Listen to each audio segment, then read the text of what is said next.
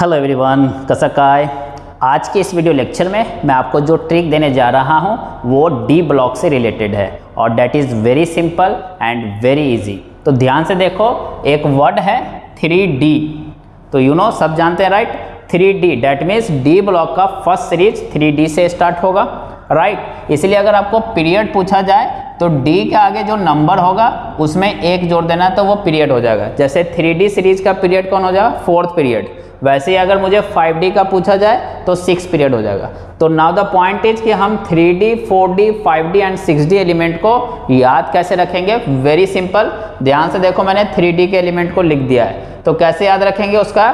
Mnemonics very simple है। Sachin Tendulkar very crazy man फिर कोई नया कप जीतेगा। और ये 99 परसेंट इन्हीं से क्वेश्चन बनते हैं, इसलिए इसको ध्यान में रखना है। और इसका एटॉमिक नंबर स्टार्ट होगा 21 से, एंड होगा 30 पे। क्यों? क्योंकि डी ब्लॉक में 10 एलिमेंट होते हैं। सिमिलरली 4D को कैसे याद रखेंगे? यारी, जरा, निभाना, मौत तक। रुकावट, राहों में पड़े तो आगे कूद जाना। ये सिंपल राइमिंग वर्ड से आप याद रख सकते हैं। That is starting from 39 ending at 48 next 5D को कैसे याद रखेंगे? ला, हफ़्ता। दोनों को कनेक्ट कर देंगे तो हफ़्ता, वरना रे, उससे इधर, पिटाई और होगी।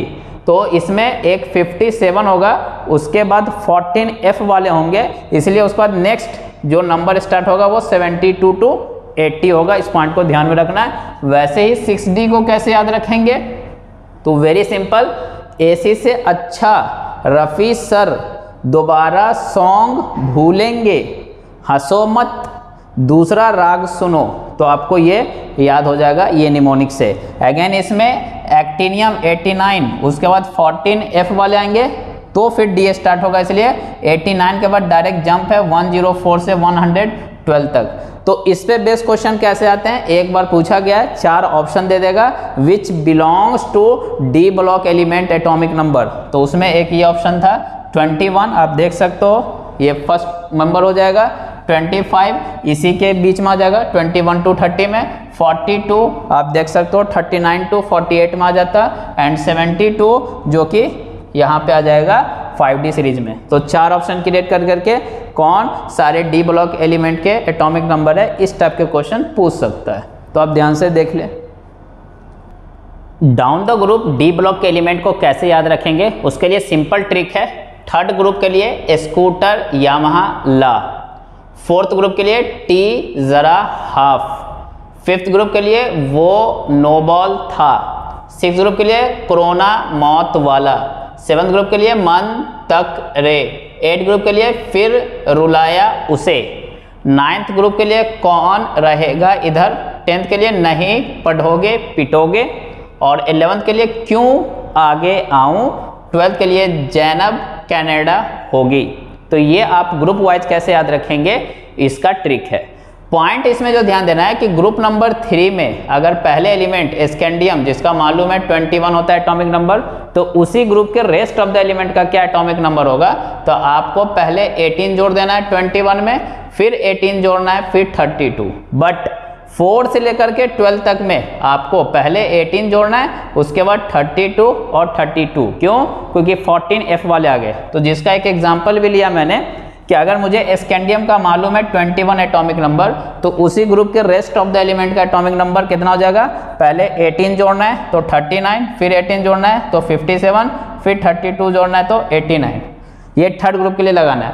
फोर से लेकर के ट्वेल्थ तक। जैसे मैंने ये फोर्थ ग्रुप कर लिया तो टाइटेनियम का मालूम होता है सभी को? 22 अभी ट्रिक भी दिया।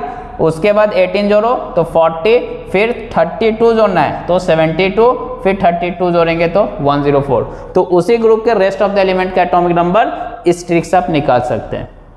दूसरा पॉइंट जो बहुत इंपॉर्टेंट है, कई बार इस पे बेस्ट क्वेश्चन पूछे गए हैं कि डाउन द ग्रुप जाने पे साइज़ इंक्रीज होनी चाहिए। लेकिन यहाँ पे क्या होता है? 3D से बड़ा साइज़ 4D का होता है और 4D और 5D का साइज़ अप्रोक्सीमेटली सेम हो जाता है ड्यू टू लेंथेनॉइड कंट्रैक्शन तो इसलिए उसको बोलते हैं लेंथेनॉइड कंट्रैक्शन तो वो किस वजह से होता है? ये भी पूछा जाता है। तो 4F सबसेल की पुअर शील्डिंग की वजह से। वैसे ही एक्टेनॉइड कंट्रैक्शन किस वजह से होगा? फाइव एफ़ सब की पोअर शील्डिंग की वजह से। इस पे बेस्ट क्वेश्चन कैसे पूछते हैं? तो उसका एक एग्ज़ाम्पल लिया है कि कॉपर से बड़ा रेडियस एजी का होगा सिल्वर का, और गोल्ड और सिल्वर का ऑलमोस्ट क्या हो जाएगा? सेम हो जाएगा। तो ऐसे पूछ सकता है या फिर ऐसे पूछा जाता है कि चार ऑप्शन दे दिया which is having approximately same size तो ध्यान दे, सिर्फ़ 4D और 5D का अप्रोक्सीमेटली सेम साइज़ होगा। तो इस टाइप के क्वेश्चन कई बार पूछे गए, आपको इसको ध्यान में रखना है। डी ब्लॉक एलिमेंट का इलेक्ट्रॉनिक कन्फिगेशन कैसे लिखेंगे? सिंपल ट्रिक से। तो विनो की फ़र्स्ट सीरीज़ है 3D राइट जो स्टार्ट होता है 21 से एंड होता है 30 पे। तो आपको कैसे लिखना है? इसका नियरेस्ट नोबल गैस हो गया आर्गन जिसमें 18 इलेक्ट्रॉन फिल हो जाएँगे राइट अब जो रेस्ट ऑफ़ द इलेक्ट्रॉन होगा तो उसमें पहले इलेक्ट्रॉन को आपको एस सबसेल में भरना है। और किसमें एस में वन होगा? कुकर वर्ड से याद रखेंगे। Cooker that means chromium and copper में एस में वन होंगे। तो रेस्ट ऑफ़ द इलेक्ट्रॉन आपको कहाँ भर देना है? डी में according to their atomic number और अगर कुकर नहीं है rest of the eight element है तो आपको उसमें एस में पहले दो इलेक्ट्रॉन भर देना है और फिर rest of the electron D में भरना है। फॉर एग्ज़ाम्पल जैसे मैग्नीज तो यू नो 25 एटॉमिक नंबर ये सभी को याद रहता है राइट 21 से 30 तक है। तो आपको क्या कर देना आर्गन 18 हो गया राइट और चूँकि ये कुकर में नहीं आ रहा है तो एस में दो भर दो तो फोर एस टू तो 20 हो गए तो टोटल कितना भरना है? 25 20 भर गए तो थ्री डी में कितना हो जाएगा? फाइव ये कहने का मतलब है। वैसे मान लो मुझे कॉपर का भरना है तो 29 है तो आर्गन 18 हो गए राइट? right? लेकिन ये कुकर वाला है तो एस में वन तो फोर एस में वन तो ये कितने हो गए? 19 हो गए। और 29 भरना है मतलब 10 और भरना है तो इसलिए 3D में कितना हो जाएगा? 10 ऐसे सिंपल आप इलेक्ट्रॉनिक कन्फिगेशन लिख सकते हैं। तो समझ गए होगे कि कुकर में एस में वन रखना है, बाकी रेस्ट ऑफ़ द एलिमेंट में एस में टू तो ये भर गया। उसके बाद जितना बचेगा डी में according to their atomic number क्योंकि 18 इलेक्ट्रॉन तो ऑलरेडी भर चुका है एस एंड पी में, जो कि आर्गन तक आ जाएगा। सिमिलरली अगर 4D की बात करें तो ध्यान से ये भी देखना है कि जैसे D के आगे जो नंबर होगा, उससे एक ज़्यादा नंबर S के आगे होगा। तो 4D वाले में उसका नियरेस्ट नोबल गैस 36 क्रिप्टन हो जाएगा और 39 से 48 तक आपको भरना होता है। तो कैसे भरेंगे? सेम वही। तो यहाँ पे क्या ट्रिक का पॉइंट है? Three four the twelve three four the twelve मतलब क्या होगा group number three group number four and group number twelve three four the twelve start होता है। जो आपका डी ब्लॉक वो थर्ड ग्रुप से स्टार्ट होता है। थ्री फोर द ट्वेल्व का क्या मतलब हो गया? कि लास्ट में टू आ रहा है तो एस में दो इलेक्ट्रॉन रखना है इसमें। तो रेस्ट ऑफ़ द इलेक्ट्रॉन कहाँ चला जाएगा? डी में। अगर टेंथ ग्रुप है तो टेंथ ग्रुप में लास्ट में क्या रहा? है ज़ीरो तो एस में उसमें ज़ीरो होंगे. डेट मीन्स सारा का सारा इलेक्ट्रॉन उसमें किसमें होगा? डी में होगा. और रेस्ट जो भी बच गया that means third group fourth group twelfth group और टेंथ ग्रुप को छोड़ करके बाकी जो ग्रुप बच गए हैं डी ब्लॉक के, उस सब में रेस्ट में एस में एक इलेक्ट्रॉन होंगे. तो ये याद रखना बहुत ईजी है. फोर वाले में थ्री फोर्थ और ट्वेल्व में टू एस में टेन में ज़ीरो टेंथ ग्रुप में बाकी सब में एस में वन राइट सिमिलरली अगर फाइव की बात करें तो फिफ्टी सेवन उसके बाद एफ़ के फोर्टीन इलेक्ट्रॉन आ जाएँगे, इसलिए सेवेंटी टू टू 80 इसका एटॉमिक नंबर रहेगा। तो आपको कैसे बनना है? डी के आगे 5 है राइट तो एस के आगे 6 हो जाएगा। इसमें पॉइंट क्या देना है? इसका नियरेस्ट नोबल गैस जो हो गया वो जेनॉन 54 तो इसमें पॉइंट क्या है? कि देखो 10 और 11 ध्यान में रखना है।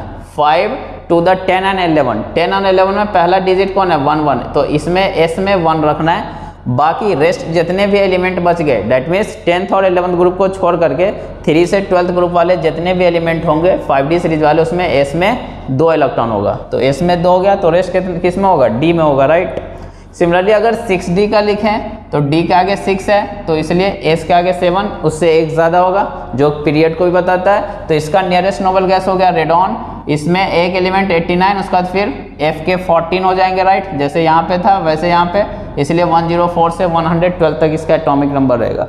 इसका इलेक्ट्रॉनिक कन्फिगेशन लिखने में क्या पॉइंट ध्यान रखना है? सिर्फ़ ग्रुप नंबर इलेवेंथ इलेवेंथ में वन आ रहा है तो उसमें एस में वन होगा। बाकी रेस्ट जितना भी एलिमेंट बच गया डेट मीन्स थ्री से लेकर के ट्वेल्थ में three four five six seven eight nine ten and twelve इन सब में एस में दो पहले भर देना है, उसके बाद रेस्ट ऑफ़ द एलिमेंट आपको डी में भरना है। तो ये है आपका एक trick for writing the electronic configuration अब जो सबसे इंपॉर्टेंट पॉइंट है, वो ध्यान दो ये। 99 परसेंट ध्यान से सुनना बेटा 99 परसेंट क्वेश्चन कहाँ से आएगा आपका? 3D सीरीज़ से। इसलिए हमें इसको ध्यान में रखना ये बहुत इंपॉर्टेंट है। 99 परसेंट क्वेश्चन आपका 3D सीरीज़ से आता है। और 3D सीरीज़ सबको याद होता है 21 से 30 है। एटॉमिक नंबर राइट और आपको निमोनिक्स भी दे रखा है। Sachin Tendulkar very crazy man फिर कोई नया कप जीतेगा। तो ये एटॉमिक नंबर और एलिमेंट को याद रखना है, क्योंकि 99 परसेंट क्वेश्चन वहीं से आएँगे। और उसमें आयंस का इलेक्ट्रॉनिक कन्फिगेशन कैसे निकालेंगे, उसके लिए सिंपल सा ट्रिक है कि डी में कितना इलेक्ट्रॉन होगा। ये अगर आपको फाइंड आउट करना हो नंबर ऑफ़ डी इलेक्ट्रॉन क्योंकि इस पर बेस बहुत सारे टाइप के क्वेश्चन आते हैं, जो भी मैं अप्लीकेशन में बताऊँगा भी। तो number of D electron is equal to atomic number 21 से 30 के बीच वाला जो भी एलिमेंट होगा माइनस 18 जो एस एंड पी में इलेक्ट्रॉन भरे हुए हैं डेट इज़ आर्गन का एटॉमिक नंबर वो माइनस कर देना है माइनस ऑक्सीडेशन स्टेट तो उसके एटॉमिक नंबर में से 18 और ऑक्सीडेशन स्टेट को माइनस कर दो, जो नंबर बचेगा, वो नंबर ऑफ़ डी इलेक्ट्रॉन है। और डी में इलेक्ट्रॉन कैसे फिलअप करते हैं? पहले single single one two three four five पहले सिंगल सिंगल भरना है। इसलिए यहाँ से हमें ये भी पता लग रहा है कि maximum unpaired electron D block में कितना हो सकता है? फाइव उसका जब सिक्स होगा तो पेयर होंगे तो इसमें आ जाएगा सिक्स फिर सेवन एट, नाइन, टेन। इस टाइप से आपको बढ़ना है। डी में पाँच घर हैं और दस लोग रह सकते हैं, ऐसा समझ लो। नाउ द पॉइंट इज़ कि कभी भी अगर मान लो कि सर ये नहीं पूछा, इधर से पूछ दिया तो तो वेरी सिंपल है। क्योंकि सबका इलेक्ट्रॉनिक कन्फिग्रेशन लिखना बता दिया है, कभी भी इलेक्ट्रॉन रिमूव करना हो अगेन पॉइंट पे ध्यान देना है, कभी भी इलेक्ट्रॉन रिमूव करना हो तो सबसे पहले आपको एस सबसेल से हटाना है। जो भी आयंस बनते हैं तो उसमें इलेक्ट्रॉन सबसे पहले कहाँ से रिमूव होगा? एस से। देन उसके बाद डी से रिमूव करना है। इस पॉइंट पे ध्यान देना डी ब्लॉक के जितने भी आयंस का इलेक्ट्रॉनिक कन्फिग्रेशन लिखना हो तो उसका एटॉमिक नंबर मालूम होगा। तो पहले इलेक्ट्रॉन आप कहाँ से हटाओगे? एस वाले से। कहाँ कहाँ से? ध्यान से देखो, ये एस वाले से आपको रिमूव करना है। उसके बाद डी से रिमूव करना है according to its oxidation state D block में इलेक्ट्रॉनिक कन्फिग्रेशन पे based 99 percent question three D series से आएँगे। तो आपको मैंने थ्री डी सीरीज़ अपने निमोनिक से याद करवा दिया है। 21 से 30 तक काउंट करने सभी को आता है। Right we know D block group three से स्टार्ट होता है और ग्रुप 12 पे एंड होता है। तो जो ग्रुप नंबर है, उतना ही इलेक्ट्रॉन मैंने लिख दिया सभी में। Group number three three electron four five and so on twelve तक। डेट मीन सबसे हमने 18 इलेक्ट्रॉन निकाल दिया है, क्योंकि उसका प्रॉब्लम नहीं है। अब हमको जो सोचना है वो, ये इलेक्ट्रॉन के बारे में सोचना है। Three four five six seven उसमें से भी दो इलेक्ट्रॉन किसमें जाएगा? एस में जाएगा। बाकी किसमें जाएगा? डी में। तो ट्रिक का पॉइंट यही है कि एस में दो इलेक्ट्रॉन भर देना है, बाकी डी में। सिर्फ़ ध्यान कहाँ पे रखना है? वीनो की डी में पाँच घर होते हैं राइट इसलिए हाफ़ फ़ील्ड या फुल फ़ील्ड कॉन्फ़िगरेशन स्टेबल होती है। तो 24 में देखो 24 में 4 आ रहा है। 4 मतलब क्या हो गया? ये चार घर भरेंगे राइट तो एक और घर भरना चाहिए सो डेट कि ये हाफ़ फ़ील्ड हो जाए। इसलिए 24 के केस में हमें एकदम अलर्ट रहना है कि वहाँ पे डी में फाइव करना पड़ेगा। सिमिलरली 29 9 से क्लियर है हमें। तो नाइन भर जाएँगे मतलब यहाँ तक भर जाएगा, ये एक सिंगल रहेगा। फुलफिल होने के लिए एक और होना चाहिए, इसलिए नाइन वाले को हमें टेन कर देना है। डेट मीन्स कॉपर में हमें अलर्ट रहना है। तो देखो वेरी सिंपल ग्रुप नंबर से इलेक्ट्रॉन आ गया। थ्री थ्री में दो इलेक्ट्रॉन एस में एक डी में। क्योंकि टोटल तीन इलेक्ट्रॉन भरना है। Group number four four electron कैसे? एस में दो डी में दो फाइव एस में दो डी में थ्री यहाँ पे सिक्स तो बट विनो की 24 है राइट तो एक डी में और चला जाएगा तो एस में कम हो जाएगा तो एस में वन डी में फाइव तो सिर्फ़ ये पॉइंट ध्यान रखना है। फिर एस में दो डी में फाइव आपको भरते हुए जाना है। एट है तो एस में दो डी में सिक्स नाइन है तो एस में दो डी में सेवन टेन है तो एस में दो डी में एट इलेवन है तो एस में वन डी में टेन अगेन यहाँ पे कुकर वर्ड से वैसे भी आपको याद करवा रखा हूँ। और एस में दो डी में टेन इससे क्या फ़ायदा हुआ? देखो, काम का आपका बस यही है। इससे फ़ायदा क्या हुआ? किसी भी आयंस या एलिमेंट का पूछा जाए थ्री सीरीज़ में इलेक्ट्रॉनिक कॉन्फ़िगरेशन आपकी आँखों के सामने दो सेकंड में। जैसे टाइटेनियम प्लस टू तो ध्यान से देखो, पहले एस से जाएँगे। जब भी इलेक्ट्रॉन रिमूव करना हो तो पहले एस से फिर डी से। दो रिमूव करना है एस से दो चला गया तो बचा कितना? डी में two M N plus four तो एस से पहले दो जाएँगे और दो और निकालना है तो डी से दो जाएँगे तो क्या हो जाएगा? डी थ्री ऑलवेज एस से पहले रिमूव करना है। कोबाल्ट प्लस थ्री में आप देख लो एस से दो जाएँगे और एक और निकालना है तो D six nickel plus two में एस से दो जाएँगे तो डी एट और कॉपर प्लस टू में एस से एक जाएगा डी से एक जाएगा तो डी नाइन तो आप देख सकते हो कितना क्विकली आपने सबका इलेक्ट्रॉनिक कन्फिग्रेशन लिख लिया। नाउ अब हम बात करते हैं अप्लीकेशन ऑफ़ इलेक्ट्रॉनिक कॉन्फ़िगरेशन का। तो आपको मैंने पहले बोल दिया 99 परसेंट क्वेश्चन हमारा 3D सीरीज़ से आएगा। तो आपको क्या करना है? 3D सीरीज़ वाले जितने भी एलिमेंट हैं, उसका ऑक्सीडेशन स्टेट निकाल लेना है। अगर गिवन है डायरेक्ट तो अच्छी बात है। नहीं तो कोई कंपाउंड गिवन है तो उसमें उसका ऑक्सीडेशन स्टेट निकाल लो। ऑक्सीडेशन स्टेट निकालने के बाद नंबर ऑफ़ डी इलेक्ट्रॉन आपको निकाल लेना है, सभी में। नंबर ऑफ़ डी इलेक्ट्रॉन कैसे निकालेंगे? एटॉमिक नंबर उस एलिमेंट का कितना है? माइनस एटीन आर्गन तक का इलेक्ट्रॉन माइनस ऑक्सीडेशन स्टेट एक बार आपको डी में इलेक्ट्रॉन पता लग गया तो क्या क्या क्वेश्चन पूछा जा सकता है उस पर बेस? ध्यान से देखो पॉइंट नंबर वन डी में इलेक्ट्रॉन मालूम है तो पहला चीज़ पूछेगा मैग्नेटिक मोमेंट बताओ. तो mu is equal to root under of N into N plus two ये फार्मूला है, लेकिन हम यूज़ नहीं करेंगे कैलकुलेशन में. वेयर एन क्या है? नंबर ऑफ़ ध्यान दें अनपेयर्ड इलेक्ट्रॉन सिंगल सिंगल जो इलेक्ट्रॉन होता है, वो आपको पुट करना है यहाँ पे। इस फॉर्मूले का हम ज़्यादा यूज़ नहीं करेंगे। डायरेक्टली हमें नंबर ऑफ़ अनपेड इलेक्ट्रॉन पता लग गया अगर x तो म्यू की वैल्यू एक्स पॉइंट नाइन आपको कर देना है। उसके आसपास वाले को आंसर को टिक कर देना है। राइट और अगर नियरेस्ट इंटीजर में पूछे तो चूँकि x पॉइंट नाइन है तो इसलिए नियरेस्ट इंटीजर में x प्लस वन हो जाएगा। जैसे सपोज़ करो n की वैल्यू टू है तो म्यू क्या कर देना आपको? 2.8 2.9 वाला आसपास का आंसर टिक कर देना है। और नियरेस्ट इंटीजर में क्या हो जाएगा वो? थ्री इस पॉइंट को ध्यान देखें। कभी कभी म्यू दे दे 3.97 ऐसा दे दिया तो अनपेड इलेक्ट्रॉन डेसिमल से पहले जो पॉइंट होगा, वही अनपेड इलेक्ट्रॉन को बताएगा। इस पॉइंट को भी ध्यान देना, कहीं पर अगर म्यू 5.92 है तो अनपेड इलेक्ट्रॉन कितना हो जाएगा? फाइव डेसिमल से पहले जो नंबर होगा, वो अनपेड इलेक्ट्रॉन हो जाएगा। पॉइंट नंबर टू इस पे बेस और क्वेश्चन कैसे पूछा जा सकता है? चूँकि डी में इलेक्ट्रॉन आप भर लोगे, अगर डी में वन से लेकर के नाइन इलेक्ट्रॉन है तो ज़रूर कोई ना कोई एक अनपेड इलेक्ट्रॉन होगा। अनपेड इलेक्ट्रॉन होने की वजह से वो पैरामैग्नेटिक होगा और कलर भी शो करेगा। तो कहीं पर अगर क्वेश्चन पूछा जा रहा है, चार ऑप्शन दे करके कि कौन कलर शो करेगा तो आपको डायरेक्ट माइंड पे जाना चाहिए कि किसमें डी वन से डी नाइन कन्फिग्रेशन है। कहीं पर अगर डी ज़ीरो या डी टेन है तो डाया होगा और जनरली वो कलरलेस होंगे। राइट तो इस पॉइंट का ध्यान देना और ये चीज़ कहाँ पे लगाना जब लिगेंड ना हो। That means we are talking only D block जब कोऑर्डिनेशन में बात करेंगे तो फिर लिगेंड का इफ़ेक्ट देखना पड़ेगा। नाउ और कैसे पूछा जा सकता है? तो यूनो की जो हाफ़ फ़ील्ड होती हैं कॉन्फ़िगरेशन वो स्टेबल होती हैं, इसीलिए कहीं पे अगर डी में फोर इलेक्ट्रॉन है तो वो फाइव बनने की कोशिश करेगा सो डेट कि वो हाफ़ फ़ील्ड हो जाए। तो फोर से फाइव कब जा सकता है? गेन करके इलेक्ट्रॉन को। तो डी फोर कन्फिग्रेशन वाले अच्छे ऑक्सीडाइजिंग एजेंट होंगे। तो पूछा जा सकता है कि इसका ऑक्सीडेशन पोटेंशियल पॉजिटिव होगा। सिमिलरली अगर डी में सिक्स इलेक्ट्रॉन है तो वो फाइव बनने की कोशिश करेगा और कैसे बन सकता है? एक इलेक्ट्रॉन आउट होकर के रिलीज़ कर करके तो क्यों? क्योंकि हाफ़ फ़ील्ड हो जाएगा। तो ऐसे केस में डी सिक्स कन्फिग्रेशन वाले अच्छे रिड्यूसिंग एजेंट होंगे। रिड्यूसिंग एजेंट वो होते हैं जो अदर को रिड्यूस करें इट क्या हो जाएँगे? ऑक्सीडाइज तो इस टाइप से पूछा जा सकता है कौन अच्छा रिड्यूसिंग एजेंट होगा, कौन अच्छा ऑक्सीडाइजिंग एजेंट होगा। इस पे बेस प्रॉब्लम को कैसे पूछा जा सकता है कि किसका ऑक्सीडेशन पोटेंशियल पॉजिटिव होगा, किसका रिडक्शन पोटेंशियल पॉजिटिव होगा तो वहाँ पे हाफ़ फिट या फुल फिट सोचना आपको। तो पॉइंट नंबर थ्री को कैसे अप्लाई करना आपको? कि ऐसे पूछा जा सकता है कि कहीं पे अगर एम एन प्लस थ्री में है तो यू नो कि उसमें डी फोर कन्फिगेशन है तो वो प्लस टू में जाना चाहेगा ताकि डी फाइव इलेक्ट्रॉनिक कन्फिगेशन हो जाए हाफ़ फ़ील्ड हो गया। तो ये थ्री से टू में कब जा सकता है? जब इलेक्ट्रॉन गेन करेगा तो तो इसलिए इसका रिडक्शन पोटेंशियल क्या हो जाएगा? पॉजिटिव ऐसे पूछा जा सकता है। और similarly M N plus three पर अगर एसिड डालें डायलूट एच प्लस तो आपको H2 नहीं मिलने वाला क्यों? क्योंकि H प्लस को भी इलेक्ट्रॉन चाहिए और इसको भी इलेक्ट्रॉन चाहिए। तो दोनों तो इलेक्ट्रॉन गेन नहीं कर सकते राइट कोई एक रिलीज़ करेगा तो दूसरा गेन करेगा। तो इसलिए डायलूट एसिड से M N plus three react नहीं करेगा। इस टाइप के क्वेश्चन आपको पूछे जा सकते हैं। ऐसे भी क्वेश्चन को पूछा जा सकता है कि क्रोमियम प्लस टू से प्लस थ्री में जाएगा। यस जाएगा क्यों?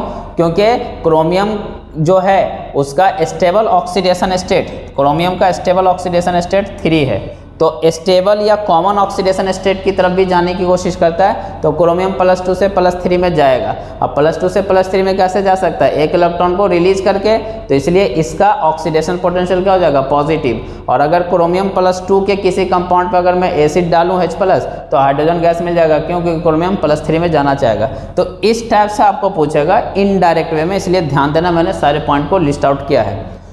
पॉइंट नंबर फोर और कैसे पूछा जा सकता है? तो जितने भी छापा वाले हैं, छापा in the sense copper H G A G P T A U ये पाँच एलिमेंट ये लेस रिएक्टिव है हाइड्रोजन से। इसलिए इस पर अगर इन सब एलिमेंट पे आप डायलूट एसिड ऐड करोगे तो आपको हाइड्रोजन गैस नहीं मिलेगी। क्यों? क्योंकि हाइड्रोजन से लेस रिएक्टिव है। जैसे फॉर एग्जांपल कॉपर पे डायलूट एसिड डालोगे तो आपको हाइड्रोजन गैस नहीं मिलने वाला।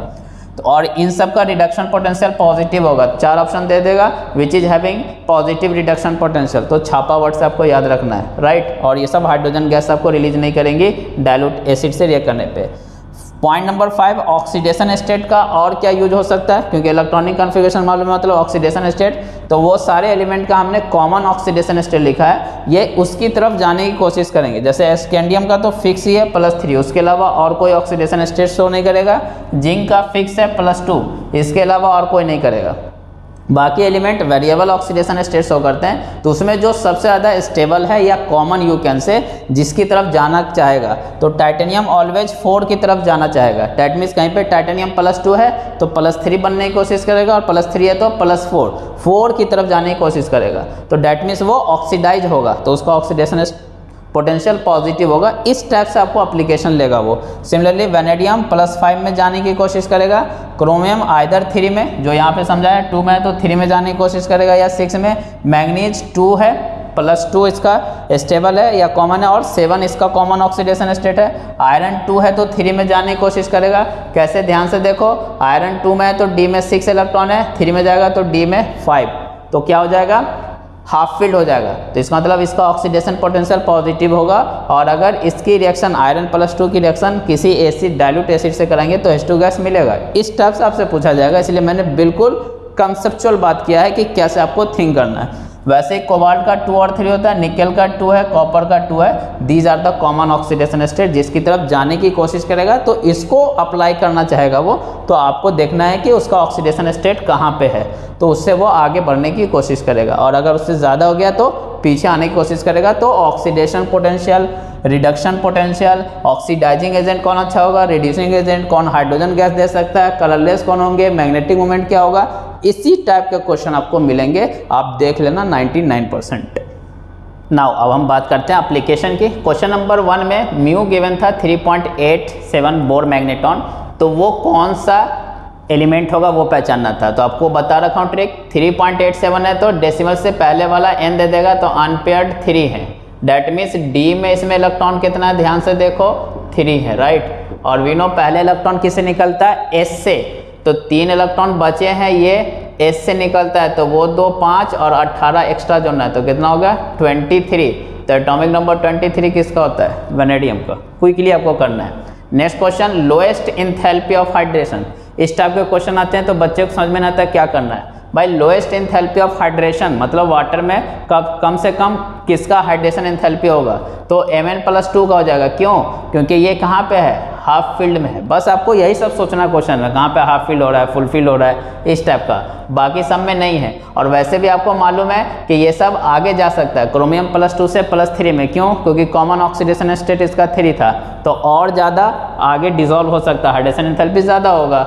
आयरन प्लस टू से प्लस थ्री में आएगा। हाफ़ फ़ील्ड होने की वजह से राइट कोबाल्ट भी इसका कॉमन ऑक्सीडेशन स्टेट थ्री है तो ये और आगे जाएगा, लेकिन ये यहीं पर रहेगा तो इसलिए इसका लोएस्ट इंथैल्पी ऑफ़ हाइड्रेशन होगा। तो क्वेश्चन में लगाना वही है electronic configuration half filled full filled लेकिन पूछने का तरीका इन्फिनाइट हो सकता है, इसलिए ध्यान से समझना है। सिमिलरली कौन कलरलेस है? इस टाइप के क्वेश्चन आ गए तो ध्यान से देखो स्कैंडियम प्लस थ्री है तो डी ज़ीरो है, जेड एन प्लस टू तो डी टेन है। डी ज़ीरो, डी टेन वाले क्या होते हैं? कलरलेस तो ऑप्शन ए हो जाएगा। इस टाइप से पूछा जा सकता है। बाकी सभी में आप चेक करो, किसी न किसी में अनपेड इलेक्ट्रॉन आ जाएँगे तो पैरामैग्नेटिक भी होगा कलरफुल भी होगा। Similarly question number four list tendency to liberate hydrogen तो हाइड्रोजन कौन? लिबरेट नहीं करेगा, छापा वाले। छापा वाले से यदि देखो, ध्यान से कॉपर हो जाएगा। आपको डायरेक्ट ट्रिक बता रखा हूँ। सिमिलरली इस टाइप से तीन कंपाउंड गिवन थे M N F four M N F three M N F two इसमें पूछा जा रहा है कि जो स्ट्रॉन्गेस्ट ऑक्सीडाइजिंग एजेंट है, उसका मैग्नेटिक मोमेंट नियरेस्ट इंटीजर में। अब बच्चे तो यहीं पर नहीं पकड़ पाते हैं कि स्ट्रॉन्गेस्ट ऑक्सीडाइजिंग कौन होगा। तो अभी आपको कंसेप्ट दिया था स्ट्रॉन्गे ऑक्सीडाइजिंग वो होंगे जो हाफ़ फ़ील्ड कन्फिगेशन में जा सकते हैं। यहाँ पे आपका मैग्नीज प्लस फोर में ऑक्सीडेशन स्टेट निकाल लो, यहाँ पे आपका प्लस थ्री में और यहाँ पे ये प्लस टू में। तो ये तो प्लस टू में ही रहेगा राइट डी फाइव हो गया तो हाफ़ फ़ील्ड कॉन्फ़िगरेशन है। यहाँ पे ये डी फोर में है और ये फाइव में जाने की कोशिश करेगा तो ऑक्सीडाइजिंग एजेंट हो जाएगा। ऑक्सीडाइजिंग वो होते हैं जो अदर को ऑक्सीडाइज करें इट सेल्फ रिड्यूस हो। तो ध्यान से देखो फोर से एक इलेक्ट्रॉन गेन कर करके फाइव में जाएगा ये रिड्यूस होगा। तो ये एक अच्छा आपका ऑक्सीडाइजिंग एजेंट है। क्यों?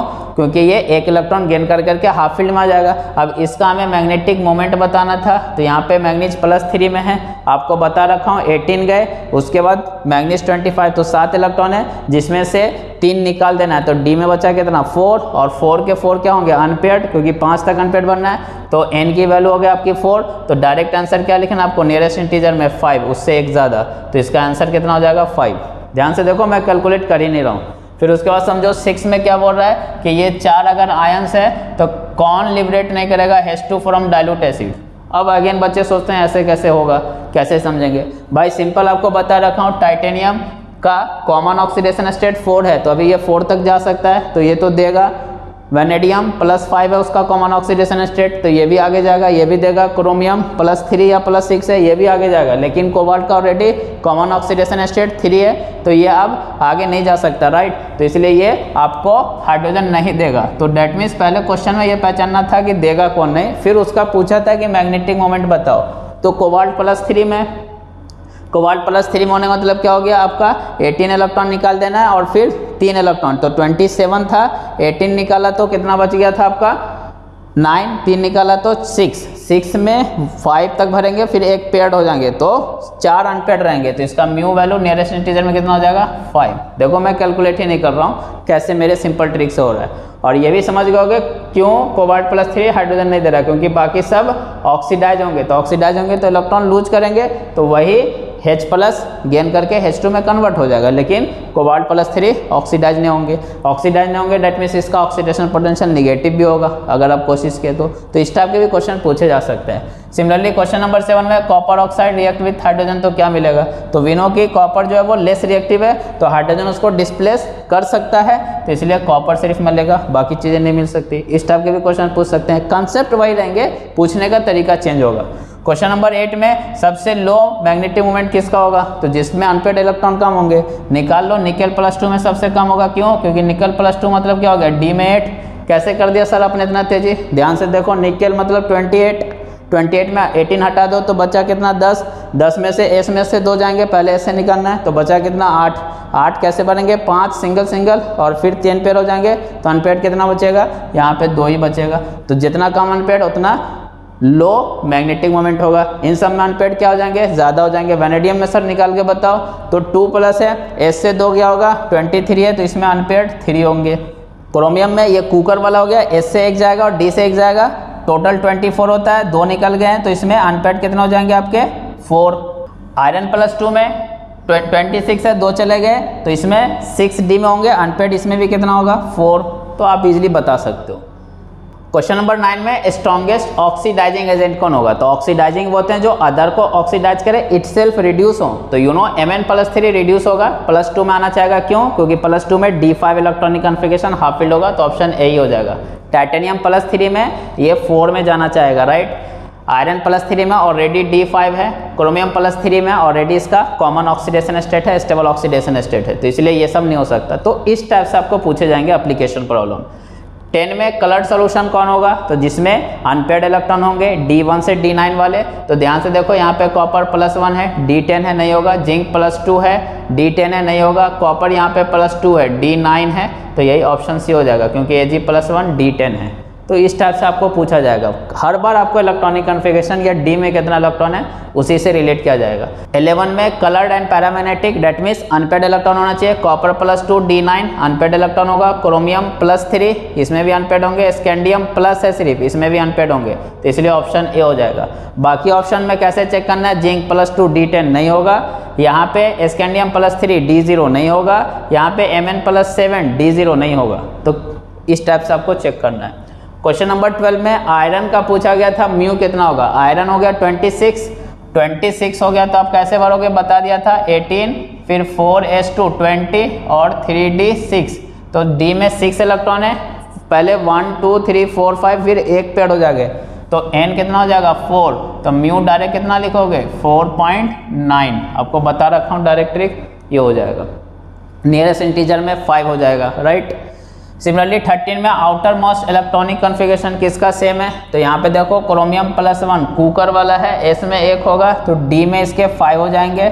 एम एन प्लस टू इसके भी डी में फाइव हो जाएँगे, क्योंकि इसमें दो होंगे। तो यही हो जाएगा। आउटर इलेक्ट्रॉनिक कॉन्फ़िगरेशन दोनों का सेम है, बाकी में नहीं होंगे। सिमिलरली फोर्टीन में एम एन प्लस टू से एम ज़ीरो में जाने का डेट मीन रिडक्शन पोटेंशियल किसका पॉजिटिव होगा? तो आपको बता रखा हूँ किसका होगा, छापा वाला जो हाइड्रोजन से लेस रिएक्टिव है। तो देखो इसमें ये ऑप्शन डी कॉपर हो जाएगा डायरेक्ट वेरी इजी उस ट्रिक से।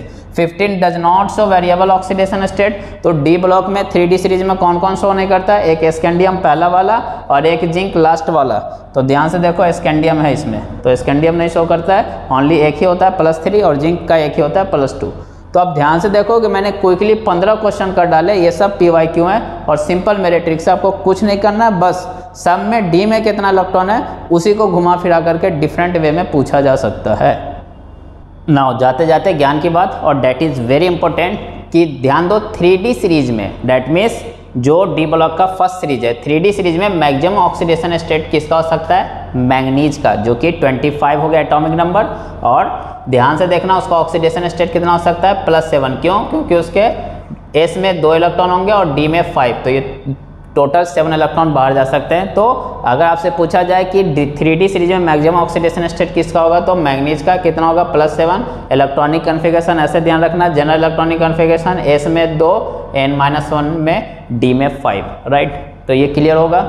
वैसे ही पूरे डी ब्लॉक में, यहाँ पे थ्री डी सीरीज़ में, पूरे डी ब्लॉक में मैक्सिमम मैग्नेटिक मोमेंट कितना हो सकता है? 5.92 नियरेस्ट इंटीजर में 6 हो जाएगा, क्योंकि अनपेड इलेक्ट्रॉन मैक्सिमम कितना हो सकता है? 5 सिमिलरली मैक्सिमम ऑक्सीडेशन स्टेट ध्यान दें maximum oxidation state whole D block में तो वो R U and O S का होगा डेट इज़ प्लस एट लेकिन थ्री डी में पूछे तो मैग्नीज का होगा प्लस सेवन पूरे डी ब्लॉक में तो प्लस एट हो सकता है। तो ये सब कुछ इंपॉर्टेंट पॉइंट है, पूछे जाते हैं। वैसे ही एक पॉइंट और है कि जितना ज़्यादा ऑक्सीडेशन स्टेट होगा, उतना ज़्यादा स्टेबिलिटी होगी एक्वस सोल्यूशन में। इस टाइप के क्वेश्चन कैसे पूछे जाते हैं? चार ऑप्शन दे दिया which is more stable in aqueous solution तो आप ध्यान से देख सकते हो बी में सबसे ज़्यादा इसका ऑक्सीडेशन स्टेट है डेट इज़ सिक्स यहाँ तो ऑलरेडी दे दिया प्लस टू है। यहाँ सिक्स से कम आएगा, यहाँ पे प्लस वन है। तो इस टाइप के कंसेप्चुअल क्वेश्चन आ सकते हैं। वैसे ही सेकंड आइनस एनर्जी हाईएस्ट किसका होगा? तो हाफ़ फिल्ड या फुल फिल लगाना है। तो क्रोमियम का होगा। क्यों? क्योंकि विनो क्रोमियम का four S one three D five होगा। कूकर हो गया तो एस से एक इलेक्ट्रॉन पहले निकलेंगे ऑलवेज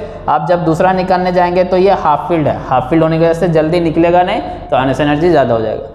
तो आई होप मेरा ये प्रयास आपको बहुत पसंद आया होगा। डी ब्लॉक में बिल्कुल भी डरने की ज़रूरत नहीं बेटा। जो आपको कंसेप्ट दिया है, सबसे ज़्यादा जो कंसेप्चुअल है वो इलेक्ट्रॉनिक कन्फिग्रेशन लिखना है। एक बार अपने इलेक्ट्रॉनिक कन्फिग्रेशन लिख लिया सही सही तो उससे डिफरेंट वे में क्वेश्चन पूछे जा सकते हैं। आपके माइंड में electronic configuration half filled full filled यही चलना चाहिए और कॉमन ऑक्सीडेशन स्टेट इसके अलावा और कुछ नहीं, उस पर बेस्ट प्रॉब्लम आप कर लोगे।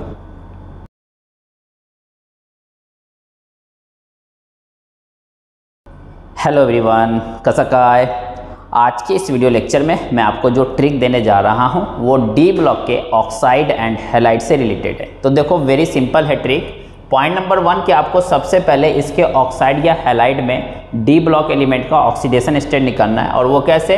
एक ऑक्सीजन का माइनस टू लेना है, एक हेलोजन का माइनस वन और उसके बाद चार्ज बैलेंस कर देना है। जैसे फॉर एग्जांपल एम में मैग्नीज का निकालना हमें तो मैग्नीज दो हैं तो टू एक्स एक ऑक्सीजन का माइनस टू सेवन ऑक्सीजन है तो minus fourteen is equal to कोई चार्ज नहीं दिख रहा है ज़ीरो तो यहाँ से एक्स कितना आ जाएगा सेवन डैट मीन्स यहाँ पे मैग्नीज आपका किसमें? एक मैग्नीज प्लस सेवन में.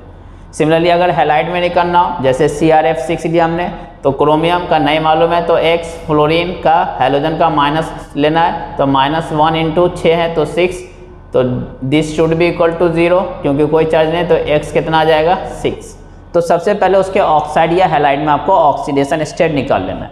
उसके बाद, अगर डिफरेंट ऑक्साइड है वन एलिमेंट का, एक ही एलिमेंट का डिफरेंट ऑक्साइड आपको गिवन है तो आप फ़र्स्ट पॉइंट से उसका ऑक्सीडेशन स्टेट निकाल लेंगे। उसके बाद ऑक्सीडेशन स्टेट को ऑब्ज़र्व करना है। अगर ऑक्सीडेशन स्टेट इंक्रीज हो रहा है तो ये चार चीज़ें इंक्रीज होंगी। कौन कौन एसिडिक करेक्टर इंक्रीज होगा। कोवलेंट करेक्टर इंक्रीज होगा हाइड्रोलिसिस इंक्रीज होगा वोलाटाइल करेक्टर इंक्रीज होगा। क्यों? देखो एसिडिक करेक्टर तो इंक्रीज होगा ही। कोवलेंट करेक्टर क्यों? क्योंकि चार्ज बढ़ेगा तो ओवरलैपिंग के चांसेस बढ़ेंगे राइट फजांस रूल से हाइड्रोलिसिस जितना ज़्यादा कोवलेंट करेक्टर आएगा, उतना ज़्यादा हाइड्रोलिसिस हो सकता है। वोलाटाइल भी उतना ही ज़्यादा होगा। क्यों? क्योंकि आयनिक करेक्टर कम होंगे जब कोवलेंट करेक्टर बढ़ेगा तो। तो इसलिए, और इसको याद रखना भी ईजी है। देखो एसी को हाई बोलो। ए को हाई बोलो मतलब एसिडिक कोवलेंट हाइड्रोलिसिस वोलाटाइल सब इंक्रीज होंगे, अगर ऑक्सीडेशन स्टेट इंक्रीज होगा तो।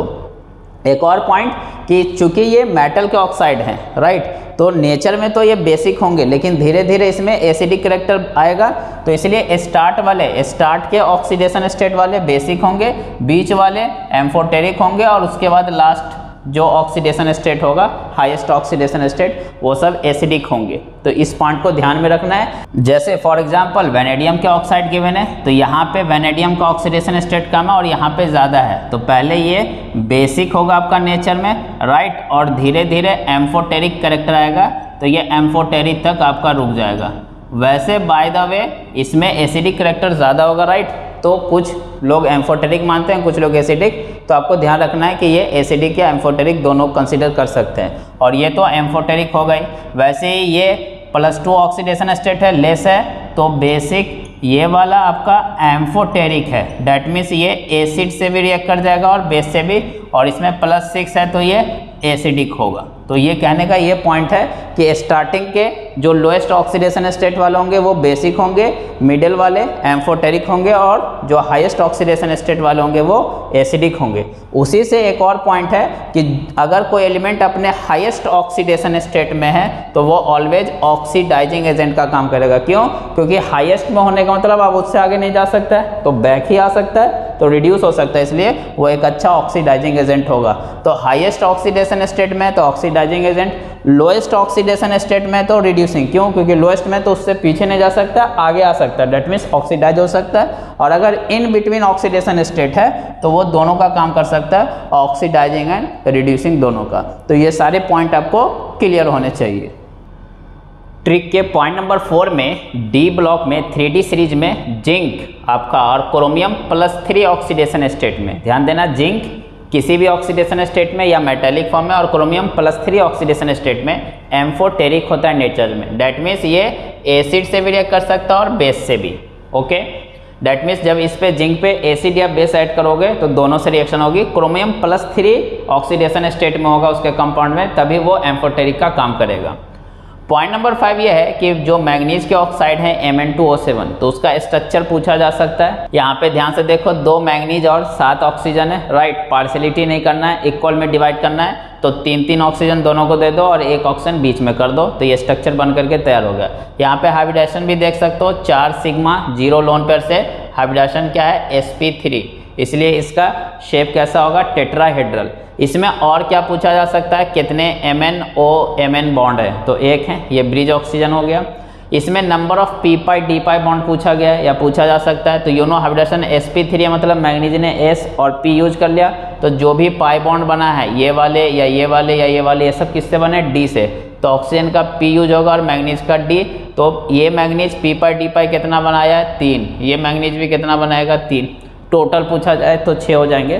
तो इस टाइप से क्वेश्चन पूछा जा सकता है, कितने सिग्मा है, कितने पाई हैं एटसेट्रा ये सब पूछा जा सकता है। यहाँ पे जो पॉइंट ध्यान में देना है कि मैग्नीज टोटल कितना बॉन्ड बना रहा है? सेवन लेकिन सिग्मा मैक्सिमम जो बना सकता है मैग्नीज वो फोर ही बना सकता है। यहाँ पे भी ध्यान से देखो, चार सिग्मा इसीलिए एम एन एफ़ फोर तो एग्जिस्ट होता है। एम एन एफ़ सेवन नहीं बनता है। इस पॉइंट पे ध्यान देंगे। मैग्नीज फ्लोराइड में अगर बात करें तो सिर्फ़ फोर सिग्मा बॉन्ड बनाने की वजह से एम एन एफ़ फोर तक एग्जिस्ट होता है। M N F five M N F six M N F seven ये सब एग्जिस्ट नहीं होता। है बट वहीं पे क्रोमियम जो है, वो सिक्स सिग्मा बॉन्ड बना सकता है मैक्सिमम इसलिए C R F six exist होते हैं। वेनेडियम पाँच बना सकता है तो वी एफ़ फाइव तो that means three D series में मैक्सिमम सिग्मा क्रोमियम बना सकता है, और उसके बाद वेनेडियम तब मैग्नीज का नंबर आता है।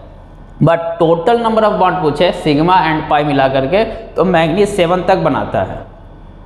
एंड लास्ट पॉइंट कि थ्री सीरीज़ में सारे के सारे एमओ बनाते हैं। एमओ मतलब मेटल के ऑक्साइड इस फॉर्म में वन वन वन इस टू वन रेशो वाले सभी बनाते हैं except scandium that means S C O exist नहीं होता। है ये ध्यान रखना है। एस सी ओ एग्जिस्ट नहीं होता है। जेड एन ओ मिल जाएगा वी ओ मिल जाएगा M N O C R O सबके rest of the nine element के मिल जाएँगे।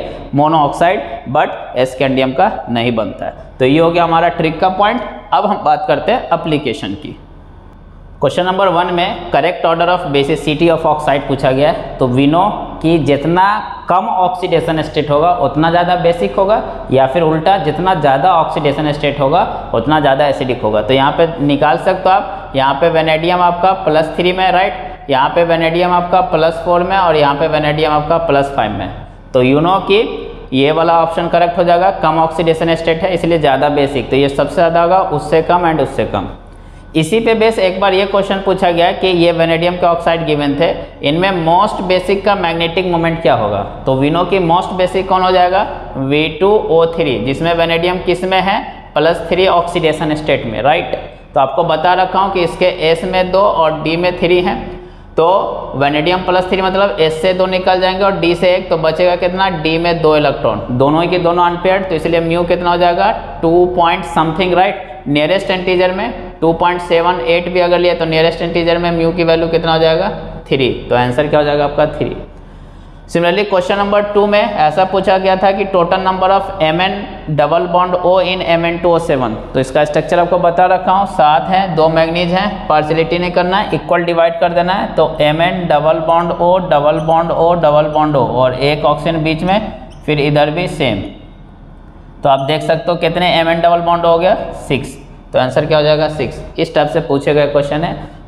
सिमिलरली क्वेश्चन नंबर फोर में इन सब के नेचर पूछे गए तो वी टू ओ थ्री में वेनेडियम लो ऑक्सीडेशन स्टेट में राइट तो इसलिए क्या हो जाएगा?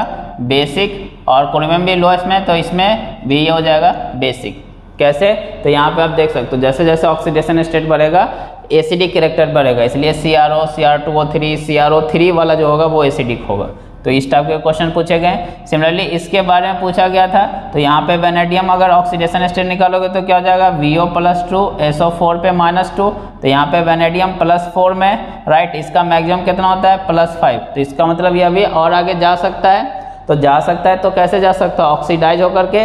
तो ये एक अच्छा क्या हो जाएगा? रिड्यूसिंग एजेंट क्योंकि रिड्यूसिंग एजेंट वो होते हैं जो अदर को रिड्यूस करें इट ऑक्सीडाइज हो जाए। तो ये एक अच्छा रिड्यूसिंग एजेंट हो जाएगा। क्रोमियम यहाँ पे प्लस थ्री में है तो ये एम्फोटेरिक होंगे नेचर में राइट ये सब आपको ट्रिक में पॉइंट दे रखा हूँ। यहाँ पे आर यू का निकालोगे ऑक्सीडेशन स्टेट तो एट आएगा, जो कि डी ब्लॉक में हाईएस्ट है, और इसी का है तो इसलिए ये एक अच्छा क्या हो जाएगा? ऑक्सीडाइजिंग एजेंट हो जाएँगे। तो इस टाइप से अप्लीकेशन बेस्ड प्रॉब्लम आपको पूछे जाएँगे। क्वेश्चन नंबर सिक्स में मेटल एसिड या बेस से रिएक्शन करने पे H2 दे रहा है। तो ये कौन हो सकता है? एम्फोटेरिक वाले, और कौन होते हैं? जिंक या क्रोमियम प्लस थ्री इसलिए ऑप्शन ए हो जाएगा। सिमिलरली यहाँ पे ऐसे रिएक्शन गिवन थे कि Z N O N A two O N A two Z N O two sodium zincate Z N O C O two zinc carbonate तो इसमें जेड एन ओ किसका काम कर रहा है? तो ये मेटल के ऑक्साइड है तो ये बेस हो गया राइट तो डेफिनेटली फ़र्स्ट वाले में जेड एन ओ एसिड का काम करेगा राइट और दूसरे वाले में ये नॉन मेटल के ऑक्साइड हैं तो ये एसिड होंगे. तो यहाँ पे Z N O amphoteric nature होने की वजह से बेस का काम करेगा. तो पहले वाले रिएक्शन में एसिड का कर रहा है ये और दूसरे वाले में बेस का। तो एसिड बेस ऑप्शन सी हो जाएँगे। एक और क्वेश्चन कि इसमें कौन एम्फोटेरिक ऑक्साइड है? तो यहाँ पे बच्चों को कन्फ्यूज़न होता है। मेटल का ऑक्साइड बेस नॉन मेटल का ऑक्साइड एसिड यहाँ पे वो कन्फ्यूज़ होते हैं। बोरॉन भी एम्फोटेरिक ऑक्साइड है राइट मेटोलाइट के सेंस में। बट यहाँ पे पूछने का जो उसका मेन पर्पस है कि मेटल के ऑक्साइड क्योंकि मेटलॉइड तो एम्फोटेरिक होंगे डेट इज़ ओके वो तो अपने नेचर की वजह से है, लेकिन मेटल हो गया है तो इसलिए उस पर वो स्ट्रेस देना चाह रहे हैं तो ऑप्शन डी आप टिक करके आएँगे। तो ये जितने भी प्रॉब्लम हमने लिए थे, ये सब पी वाई क्यू थे। देखो आपको उस ट्रिक से बहुत ईजिली बन जाएँगे। नाउ अब जाते जाते ज्ञान की बात, और डेट इज़ वेरी इंपॉर्टेंट तो ज्ञान की बात में पॉइंट नंबर वन ये है कि जो ट्वेल्थ ग्रुप वाले हैं डी ब्लॉक में डेट इज़ जिंक कैडमियम और मरकरी जैनब कनाडा होगी से आपको याद करवाया था। ये सबको ट्रांजिशन एलिमेंट नहीं मानते हैं। डी ब्लॉक के तो एलिमेंट है, ट्रांजिशन नहीं। क्यों? क्योंकि ट्रांजिशन एलिमेंट बोलने के लिए उसके डी सब शेल में कम से कम हाफ़ फ़ील्ड कॉन्फ़िगरेशन होनी चाहिए या कोई एक घर खाली होना चाहिए। यहाँ पे इसका मैटन ले लो आप। ये सब का, या फिर आयन ले लो मेटेलिक फॉर्म में या आयनिक फॉर्म किसी भी फॉर्म में, इन सब में डी में टेन होगा डी पूरा फुलफिल्ड होगा। कहीं पे भी हाफ़ फिल्ड नहीं होगा, या फिर कोई ऑर्बिटल खाली नहीं होगा, इस वजह से इसको ट्रांजिशन एलिमेंट हम नहीं बोलते हैं तो इसको ध्यान में रखना। सेकेंड थिंग कि जितना ज़्यादा अनपेड इलेक्ट्रॉन होगा इंथैल्पी ऑफ़ एटोमाइजेशन उतना ज़्यादा होगा। क्रोमियम में सबसे ज़्यादा अनपेड इलेक्ट्रॉन होंगे, इसलिए उसका इंथैल्पी ऑफ़ एटोमाइजेशन ज़्यादा होगा। Similarly point number three that is very important कि ये तीन ion cyanide ion iodide ion और थायोसल्फेट आयन ये तीनों एनायन अगर होंगे तो ये एक अच्छे रिड्यूसिंग एजेंट है। याद कैसे रखेंगे? साइना आई थी क्यों that means copper plus two को ये कॉपर प्लस वन में कन्वर्ट कर देता है। इन तीनों एनायन होंगे तो कॉपर प्लस वन में बनाना that means C U two I two बनेगा। इस पॉइंट पे ध्यान देना, कभी भी C U I two exist नहीं होगा। वैसे ही साइनाइड होगा तो C U two C N two बनेगा, या फिर थायोसल्फेट होगा तो C U two S two O three बनेगा। तो इस बात का आपको ध्यान में रखना है। ये तीनों एनायन होंगे तो कॉपर प्लस टू की जगह प्लस वन में रहेगा। क्यों? क्योंकि ये अच्छे रिड्यूसिंग एजेंट हैं तो इसको रिड्यूस कर देगा ये। And point number four that is again very important कि डी ब्लॉक के जितने भी मेटेलिक क्रिस्टल हैं, उसमें बहुत सारी खाली जगह होती है, जिसमें छोटे छोटे element like hydrogen carbon nitrogen trap हो जाते हैं, जिसकी वजह से इसको इंटरस्टिशियल कंपाउंड भी बोलते हैं नॉन स्टैकोमेट्रिक होता है, जो सॉलिड स्टेट में हम पढ़ेंगे भी।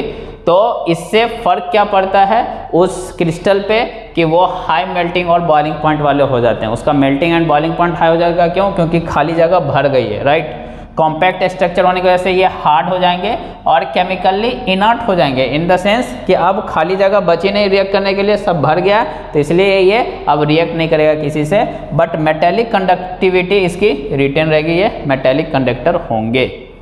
नेक्स्ट इज़ कि अगर साइज़ वर्सेज एटॉमिक नंबर का ग्राफ ड्रॉ करें तो we know left to right जाने पे पहले साइज़ डिक्रीज होगा, फिर कांस्टेंट रहता है, फिर स्लाइटली इंक्रीज होता है राइट और 3D से बड़ा साइज़ 4D का होगा और 4D 5D अप्रॉक्सीमेटली सेम हो जाते हैं। तो इस टाइप का ग्राफ आएगा। इस पॉइंट का ध्यान रखना है। और अगर 3D सीरीज़ एलिमेंट का हमें एटॉमिक साइज़ का ऑर्डर याद रखना हो कभी कभी पूछ लिया जाता है तो कैसे याद रखेंगे? सिंपल इस निमोनिक से सचिन तेंदुलकर ज़िंदगी में वो कर दिया, फिर कोई नहीं किया। विनो की सचिन तेंदुलकर ने हंड्रेड सेंचुरी मार दिया, राइट? जो आप कोई नहीं किया तो उससे याद रख सकते हैं, सचिन तेंदुलकर ज़िंदगी में वो कर दिया, फिर कोई नहीं किया। तो इससे आपको एटॉमिक साइज़ का ऑर्डर याद हो जाएगा।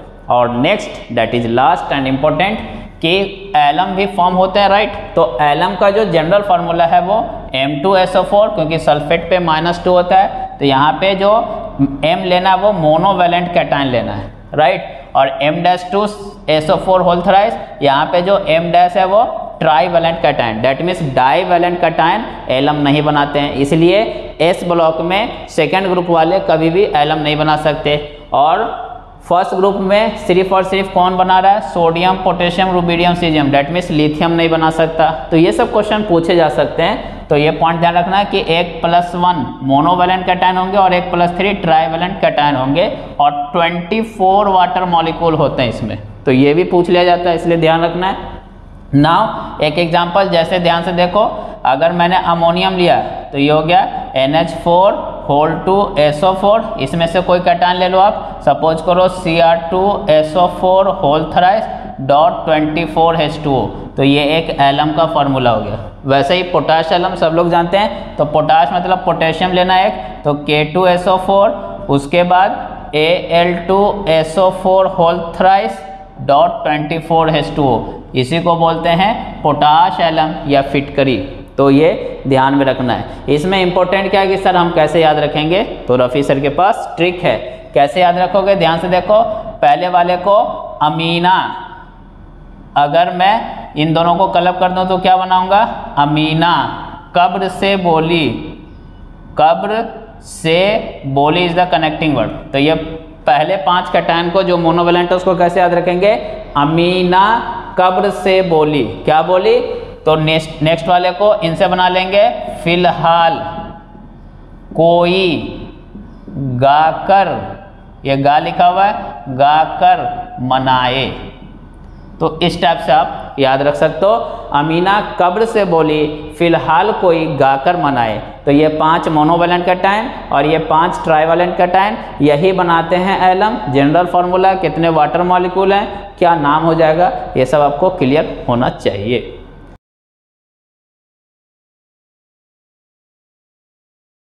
हेलो एवरीवन कैसा का है? आज के इस वीडियो लेक्चर में मैं आपको टोटल चार ट्रिक दूँगा, जिससे आप मैग्नीज के ऑक्सो एनायन से आने वाले किसी भी प्रॉब्लम को बहुत इजीली कर लोगे और बहुत फास्टली तो सबसे पहले ऑक्सो एनाइन का क्या मतलब है? मैग्नीज होगा, ऑक्सीजन होगा। तो वो मैग्नीज के ऑक्साइड हो जाएँगे। और अगर उस पर कुछ माइनस चार्ज आ जाएगा तो वो मैग्नीज के ऑक्सो एनायंस होंगे। तो अगर मैग्नीज अपने ऑक्सो एनायन में हाईएस्ट ऑक्सीडेशन स्टेट में होगा, जो कि थ्री सीरीज़ में मैग्नीज का ही सबसे ज़्यादा होता है, प्लस सेवन, राइट? तो फिर उसका नाम रखेंगे हम पर मैगानेट और अगर हाइएस्ट से एक कम ऑक्सीडेशन स्टेट हुआ डेट इज़ प्लस सिक्स तो उसका नाम होगा मैंगानेट तो ये पॉइंट क्लियर होना चाहिए. सेकेंड पॉइंट कि चूँकि ये हाईएस्ट ऑक्सीडेशन स्टेट में है डेट मीन्स एस से भी दो इलेक्ट्रॉन निकल गए और डी से भी पाँच इलेक्ट्रॉन निकल गए. तो अब इसके डी में एक भी इलेक्ट्रॉन नहीं है तो डी ज़ीरो कॉन्फ़िगरेशन है. इसलिए इसमें एक भी अनपेड इलेक्ट्रॉन नहीं है तो ये डायामैग्नेटिक होगा नेचर में.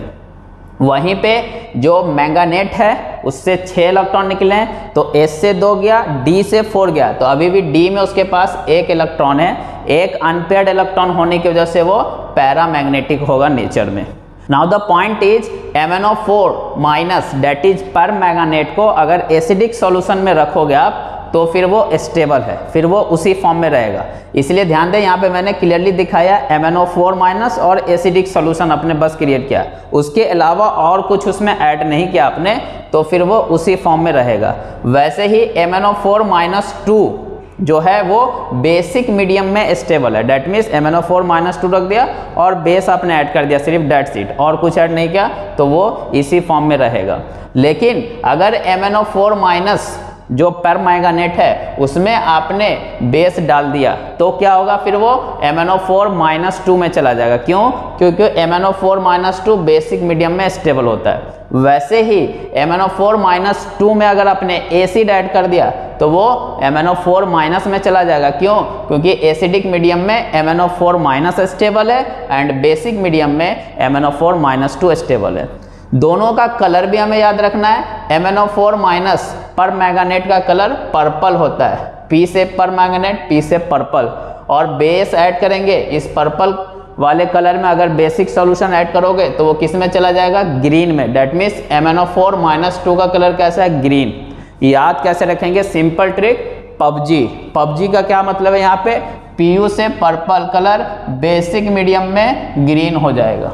तो याद हो गया? एंड वाइस वर्षा अगर ग्रीन कलर है एसिडिक मीडियम आपने ऐड किया तो वो किसमें चला जाएगा? पर्पल कलर में। तो ये राइमिंग वर्ड्स आप याद रख सकते हो।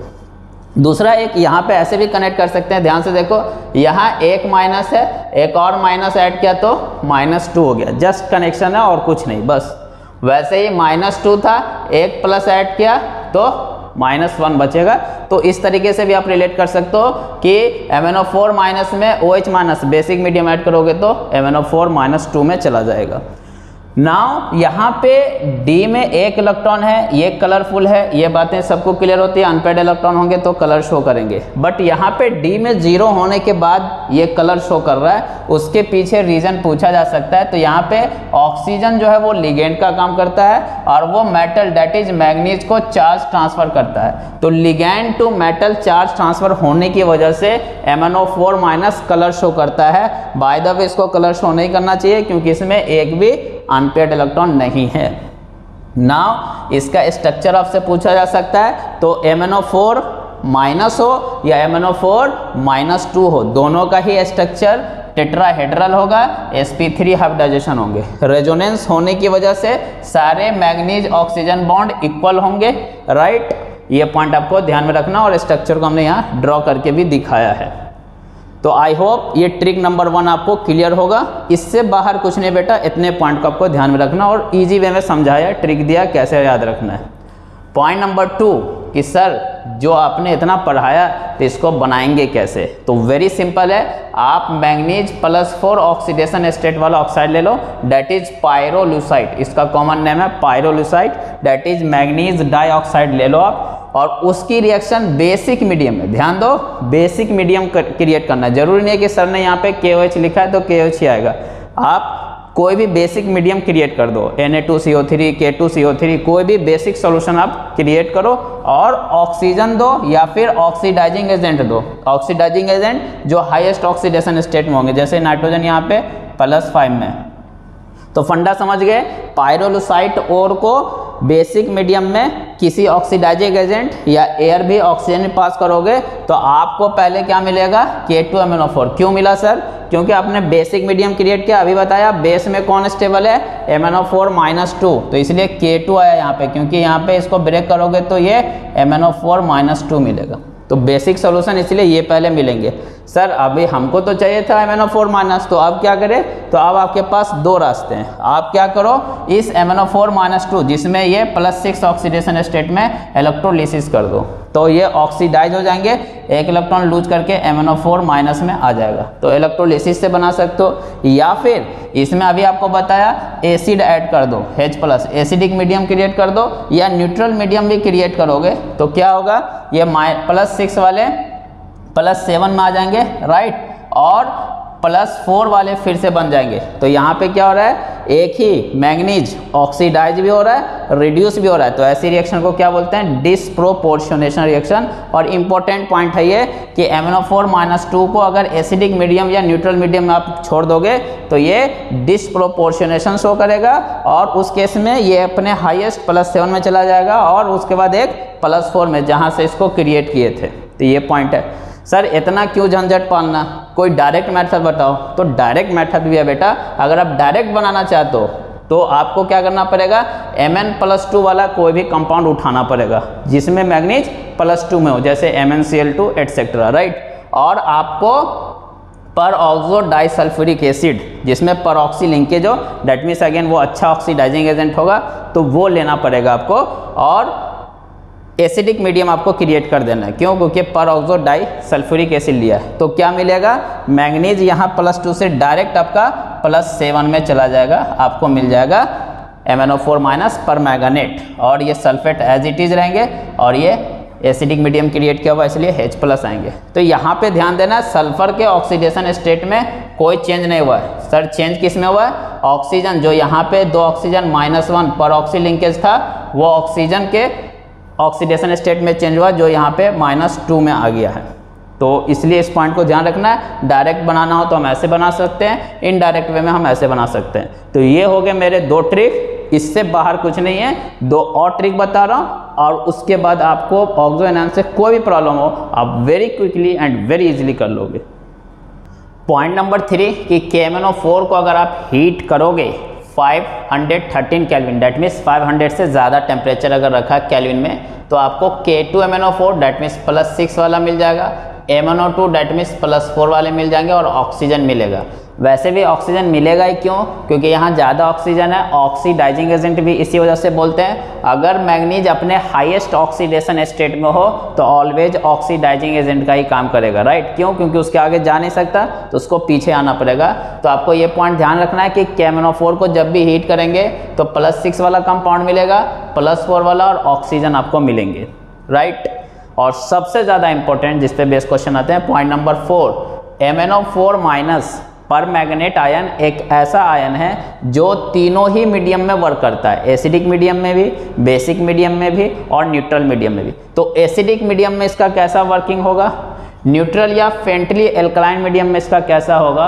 और स्ट्रॉन्गली बेसिक मीडियम में इसका कैसा होगा वर्किंग उसको मैंने क्लियरली लिस्ट आउट किया है और सिंपल ट्रिक से कनेक्ट किया। आपको क्या ध्यान देना है? अगर एसिडिक मीडियम में M N O four minus को आपने यूज़ किया तो वो खुद कहाँ चला जाएगा? प्लस टू में। वो खुद कहाँ चला जाएगा? प्लस टू में। डेट मीन्स कितने इलेक्ट्रॉन का चेंज हो गया?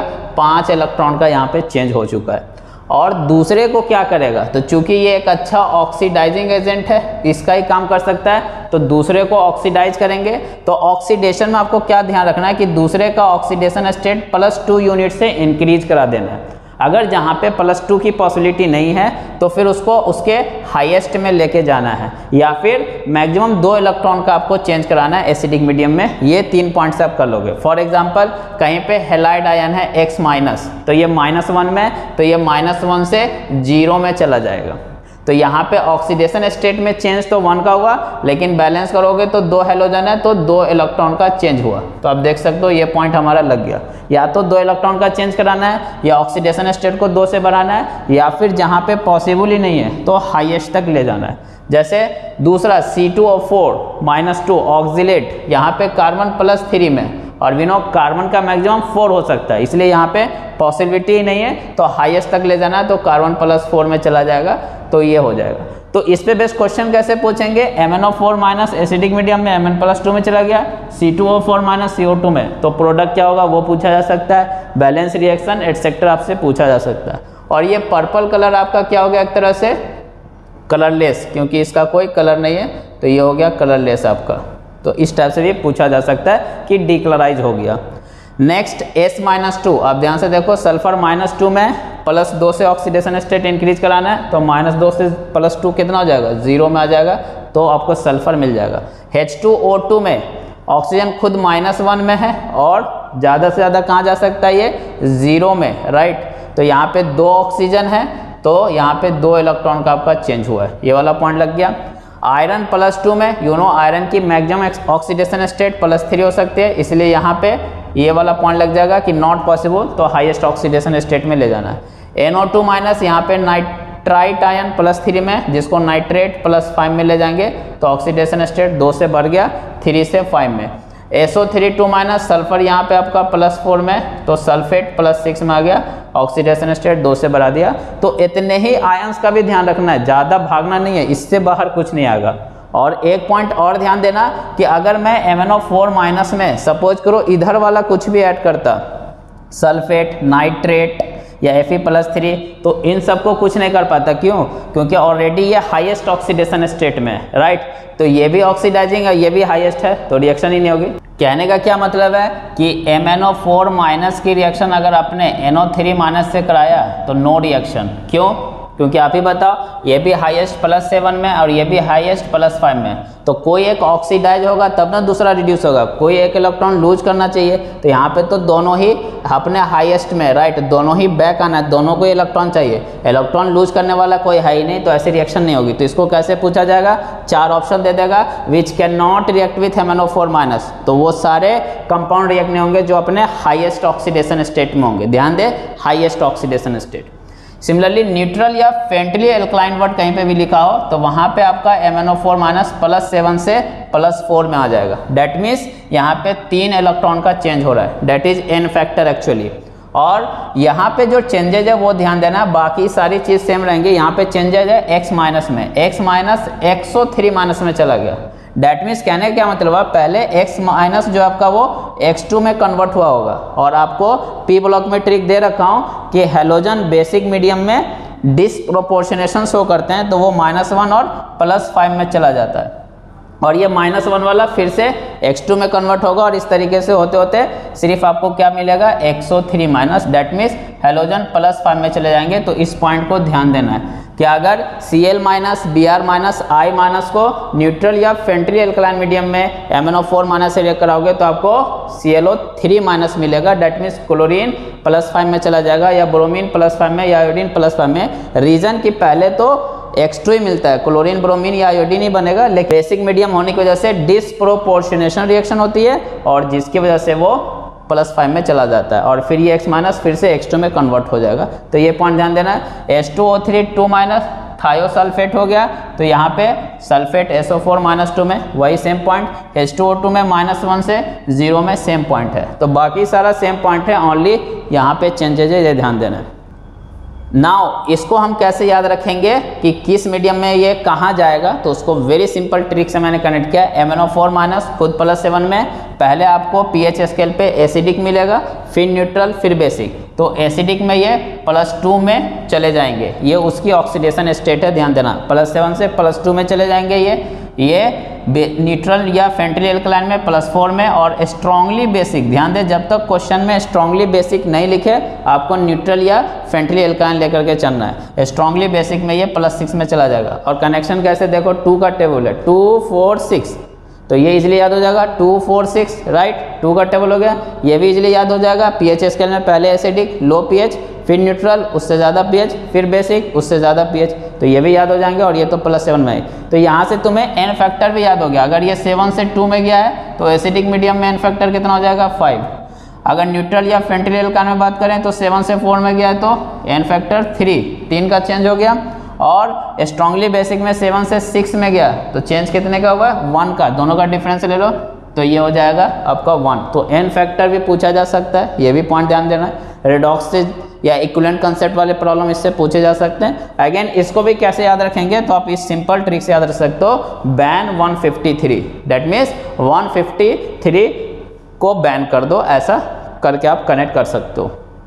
तो आई होप ये मेरा ट्रिक का पॉइंट आपको समझ में आ गया होगा। इससे बाहर कुछ नहीं है। अब हम इस पे बेस एप्लीकेशन की बात करते हैं। क्वेश्चन नंबर वन में M N O four minus की रिएक्शन आई माइनस से एसिडिक मीडियम में कराएँगे। तो अभी आपको बताया था आई टू बनेगा। लेकिन वहीं पे फेंटली एल्कलाइन या बेसिक मीडियम में कराएँगे। तो पहले आई टू बनता है। और फिर बेसिक मीडियम में I2 डिसप्रोपोर्शनेशन रिएक्शन शो करता है तो क्या बनेगा? IO3 माइनस तो इस टाइप से क्वेश्चन पूछ सकता है। यहाँ पे खुद MnO4 माइनस किसमें चला जाएगा? Mn प्लस टू में। यहाँ पे ये खुद किसमें आ जाता है? MnO2 date is plus four में। तो बहुत तरीके से रिलेट कर सकता है। क्या प्रोडक्ट मिलेंगे? इसका ऑक्सीडेशन स्टेट में क्या चेंजेज होगा?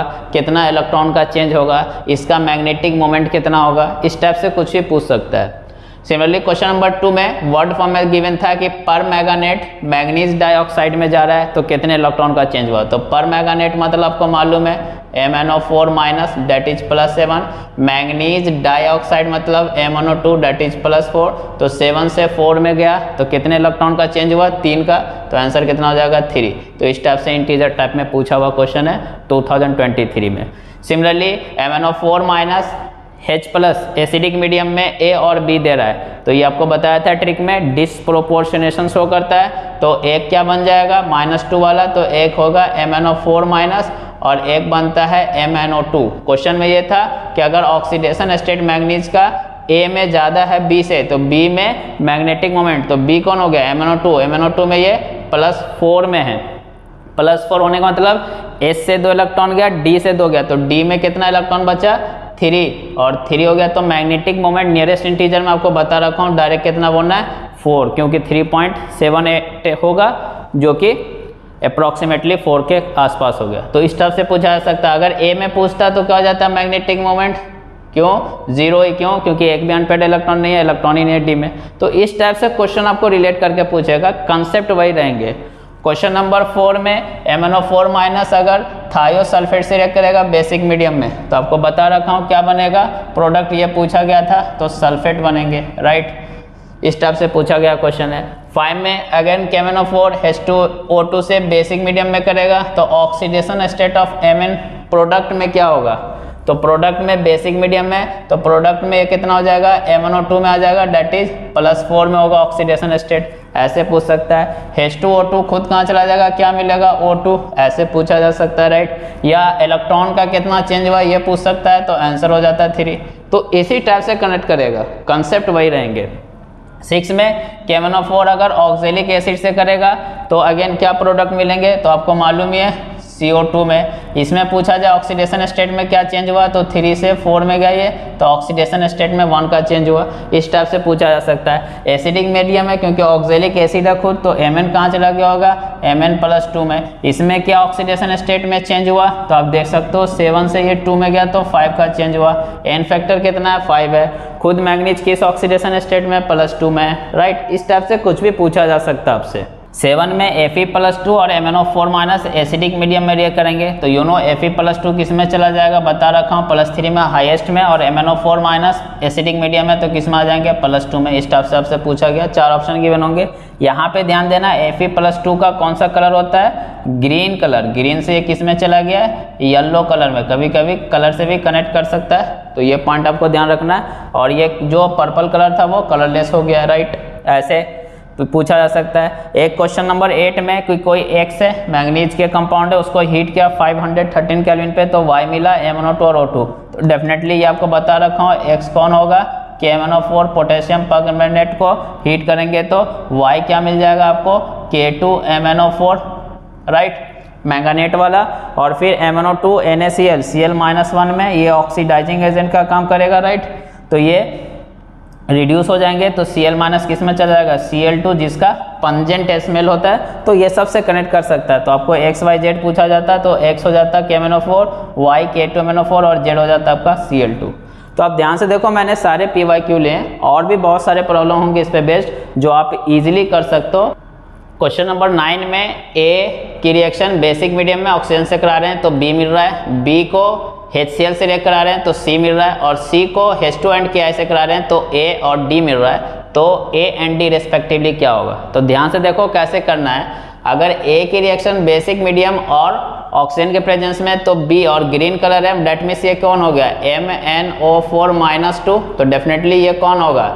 M N O two pyrolusite आपको बता रखा हूँ ट्रिक में, ऐसा एक ही ऑप्शन है, खत्म हो गया राइट अगर और करना चाहते हो तो बहुत ईजी है M N O four minus two की रिएक्शन एसिडिक मीडियम में तो ये M N O four minus बनेगा एम एन ओ टू और वाटर डिसप्रोपोर्शनेशन राइट फिर उसके बाद M N O four minus की reaction H two and K I से, ध्यान से देखो, यहाँ पे मीडियम कौन सा क्रिएट किया गया? बेसिक तो अगर बेसिक मीडियम है तो M N O four minus खुद किसमें आ जाएगा? एम एन ओ टू में राइट प्लस फोर वाले में, जो आपको बता रखा हूँ। इसलिए फिर से वो ए हो गया आपका, और डी कौन होगा? बेसिक मीडियम है आई माइनस किसमें चला जाएगा? आई ओ थ्री माइनस में that is K I O three तो इसलिए ऑप्शन बी होगा। तो इस टाइप के भी क्वेश्चन आप इजिली कर लोगे। नाउ इस पे बेस्ड मोल कंसेप्ट के प्रॉब्लम भी पूछे जा सकते हैं। जैसे M N O four minus C two O four minus two से रिएक्ट करेगा तो पहले प्रोडक्ट क्या मिलेंगे? तो एसिडिक मीडियम हो गया राइट अगर एसिडिक मीडियम है तो खुद एम एन प्लस टू में आ जाएँगे और सी टू ओ फोर से आपको सी ओ टू मिल जाएगा। क्वेश्चन अब ऐसे दे सकता है कि अगर ऑक्जेलिक एसिड के हम चार मोल लिए तो इसके कितने मोल्स रिक्वायर्ड होंगे? इसके कितने बनेंगे? इसके कितने? तो सबका सेम फंडा आपको बता रखा हूँ, किसी भी रिएक्शन में इक्विवेलेंट सेम रिएक्ट होते हैं। इक्विवेलेंट कैसे निकालते हैं? Mole into N factor mole आपको गिवन है एन फैक्टर कैसे निकालेंगे? ऑक्सीडेशन स्टेट में कितना चेंज हुआ? इनटू नंबर ऑफ़ एटम तो जैसे इसका इक्विवेलेंट अगर मैं निकालूं तो मोल हो गया फोर एन फैक्टर ध्यान से देखो चेंज आपको देखना है। तो यहाँ पे थ्री है और यहाँ पे कार्बन प्लस फोर में ऑक्सीजन का क्यों नहीं देखे? क्योंकि दोनों तरफ़ ऑक्सीजन सेम है राइट तो उसका चेंज ज़ीरो हो गया, क्योंकि चेंज आपको लेना है। तो प्लस थ्री से प्लस फोर में गया तो चेंज कितना हो गया हो गया? वन का। और नंबर ऑफ़ एटम कार्बन के कितने? दो। तो कितना हो जाएगा? एट इक्विवेलेंट अगर इसका एट इक्विवेलेंट है तो इसका भी कितना होगा? एट इक्विवेलेंट इसका भी कितना होगा? एट इक्विवेलेंट इसका भी कितना होगा? एट इक्विवेलेंट अब अगर हमसे मोल पूछा जाए तो वही पॉइंट कि equivalent is equal to mole into N factor तो मोल कितना हो जाएगा? इक्विवेलेंट बाय एन फैक्टर तो इक्विवेलेंट मिल चुका है। तो अगर मुझे इसका मोल निकालना तो eight is equal to mole नहीं मालूम है तो एक्स एन फैक्टर इसका निकालो। ये प्लस सेवन से टू में गया। चेंज कितने का हुआ? फाइव का। तो फाइव और इसके एटम कितने? ध्यान से देखो, एक ही है। जिसका निकाल रहे हो, उसका आइटम आपको लेना नंबर ऑफ़ एटम यहाँ पे। तो ये कितना हो जाएगा? X eight by five similarly अगर मुझे इसका निकालना तो ध्यान से देखो eight is equal to mole नहीं मालूम तो x एन फैक्टर तो चेंज तो अभी भी वन का रहेगा। क्यों? क्योंकि थ्री से फोर में गया। लेकिन नंबर ऑफ़ एटम यहाँ पे ध्यान से देखो, इसका हम निकाल रहे हैं तो एक ही है। तो एन टू वन तो यहाँ पे एक्स कितना हो जाएगा? एट तो that mean C O two के एट मोल्स मिलेंगे। आपको एम एन प्लस टू वाले कंपाउंड के एट बाई फाइव मोल्स मिलते। अगर इसका कितना मोल्स रिक्वायर्ड होगा तो eight is equal to moles नहीं मालूम X N factor change five का हुआ। एटम यहाँ पे भी इसके एक ही है। तो इंटू वन तो इसका भी हो जाएगा eight by five moles right? तो इस टाइप से आपको क्वेश्चन पूछे जा सकते हैं और वेरी क्लियरली आपको समझना है। अगर एक से ज़्यादा आइटम का चेंज होता तो सबका चेंज इनटू ऑक्सीडेशन स्टेट निकाल करके क्या कर देते? समेशन लगा देते। तो आई होप ये सारे प्रॉब्लम आपको क्लियर होंगे। आप सारे पी वाई क्यू को ईजिली सॉल्व कर सकते हो। नाउ अब जाते जाते ज्ञान की बात, और ज्ञान की बात में इंपॉर्टेंट पॉइंट ये है कि जब भी आप टाइट्रेशन कर रहे हो तो एज एसिडिक मीडियम आप H X that means H C L H B R H I use नहीं कर सकते। उसके पीछे रीज़न क्या है कि जैसे केमेनोफोर और ऑक्जिलिक एसिड की रिएक्शन करा रहे हो मीन्स इसका नॉन अमाउंट है और इसका आप अमाउंट जानना चाह रहे हो। दैट इज़ कॉल्ड टाइट्रेशन तो एच आप यूज़ नहीं कर सकते। प्रॉब्लम क्या होगा कि केवनोफोर इससे तो रिएक्ट करेगा ही और इससे भी कर देगा। सी माइनस को सी में कर देगा। तो जिससे आपको जो अमाउंट मिलेंगे वो दोनों से रिएक्ट वाले तो एरर आएगा आपके कैलकुलेशन में, इसलिए हम यूज़ नहीं करते हैं। तो क्या यूज़ करना चाहिए? ऐसा एसिड यूज़ करो जिसमें वो हाईएस्ट ऑक्सीडेशन स्टेट में, जैसे एच या एच क्योंकि उसको फिर उससे रिएक्शन ही नहीं हो पाएगी। तो जो भी इसका कंपाउंड रिएक्ट होगा वो सिर्फ़ इससे तो हम इक्वलेंट कंसेप्ट से निकाल सकते हैं कि इसका कितना प्रेजेंट था। तो इसलिए ये एक पॉइंट इंपॉर्टेंट है। दूसरा पॉइंट ये इंपॉर्टेंट है कि we know H M N O four को पर मैंगनिक एसिड बोलेंगे राइट और ये हीट करने पे वाटर बाहर दे देगा तो इसके दो मॉलिक्यूल लेने पड़ेंगे, क्योंकि वाटर बाहर जाने मतलब दो हाइड्रोजन है, तभी दो हाइड्रोजन हो पाएँगे। तो आप देख लो क्या बचेगा M N two O seven तो आपको ये मैग्नीज के ऑक्साइड मिल जाएँगे राइट और तीसरा point that is again important कि M N O four minus जो कि प्लस सेवन ऑक्सीडेशन स्टेट में, वो खुद प्लस टू वाले सॉल्ट को भी ऑक्सीडाइज कर देता है as a catalyst zinc sulphate या जिंक ऑक्साइड लेते हैं। क्यों? क्योंकि zinc plus two highest oxidation state है, उसका कुछ नहीं हो सकता। सल्फेट में भी सल्फ़र प्लस सिक्स में, उसका कुछ नहीं हो सकता। तो इसलिए ऐसा कैटलिस्ट यूज़ करना है जो हाईएस्ट ऑक्सीडेशन स्टेट में हो। तो खुद एम एन प्लस टू से कहाँ चलाएगा? प्लस फोर में। तो ये एक इंपॉर्टेंट पॉइंट है कि खुद M N O four minus plus seven वाला एम एन प्लस टू के सॉल्ट को ऑक्सीडाइज कर देता है।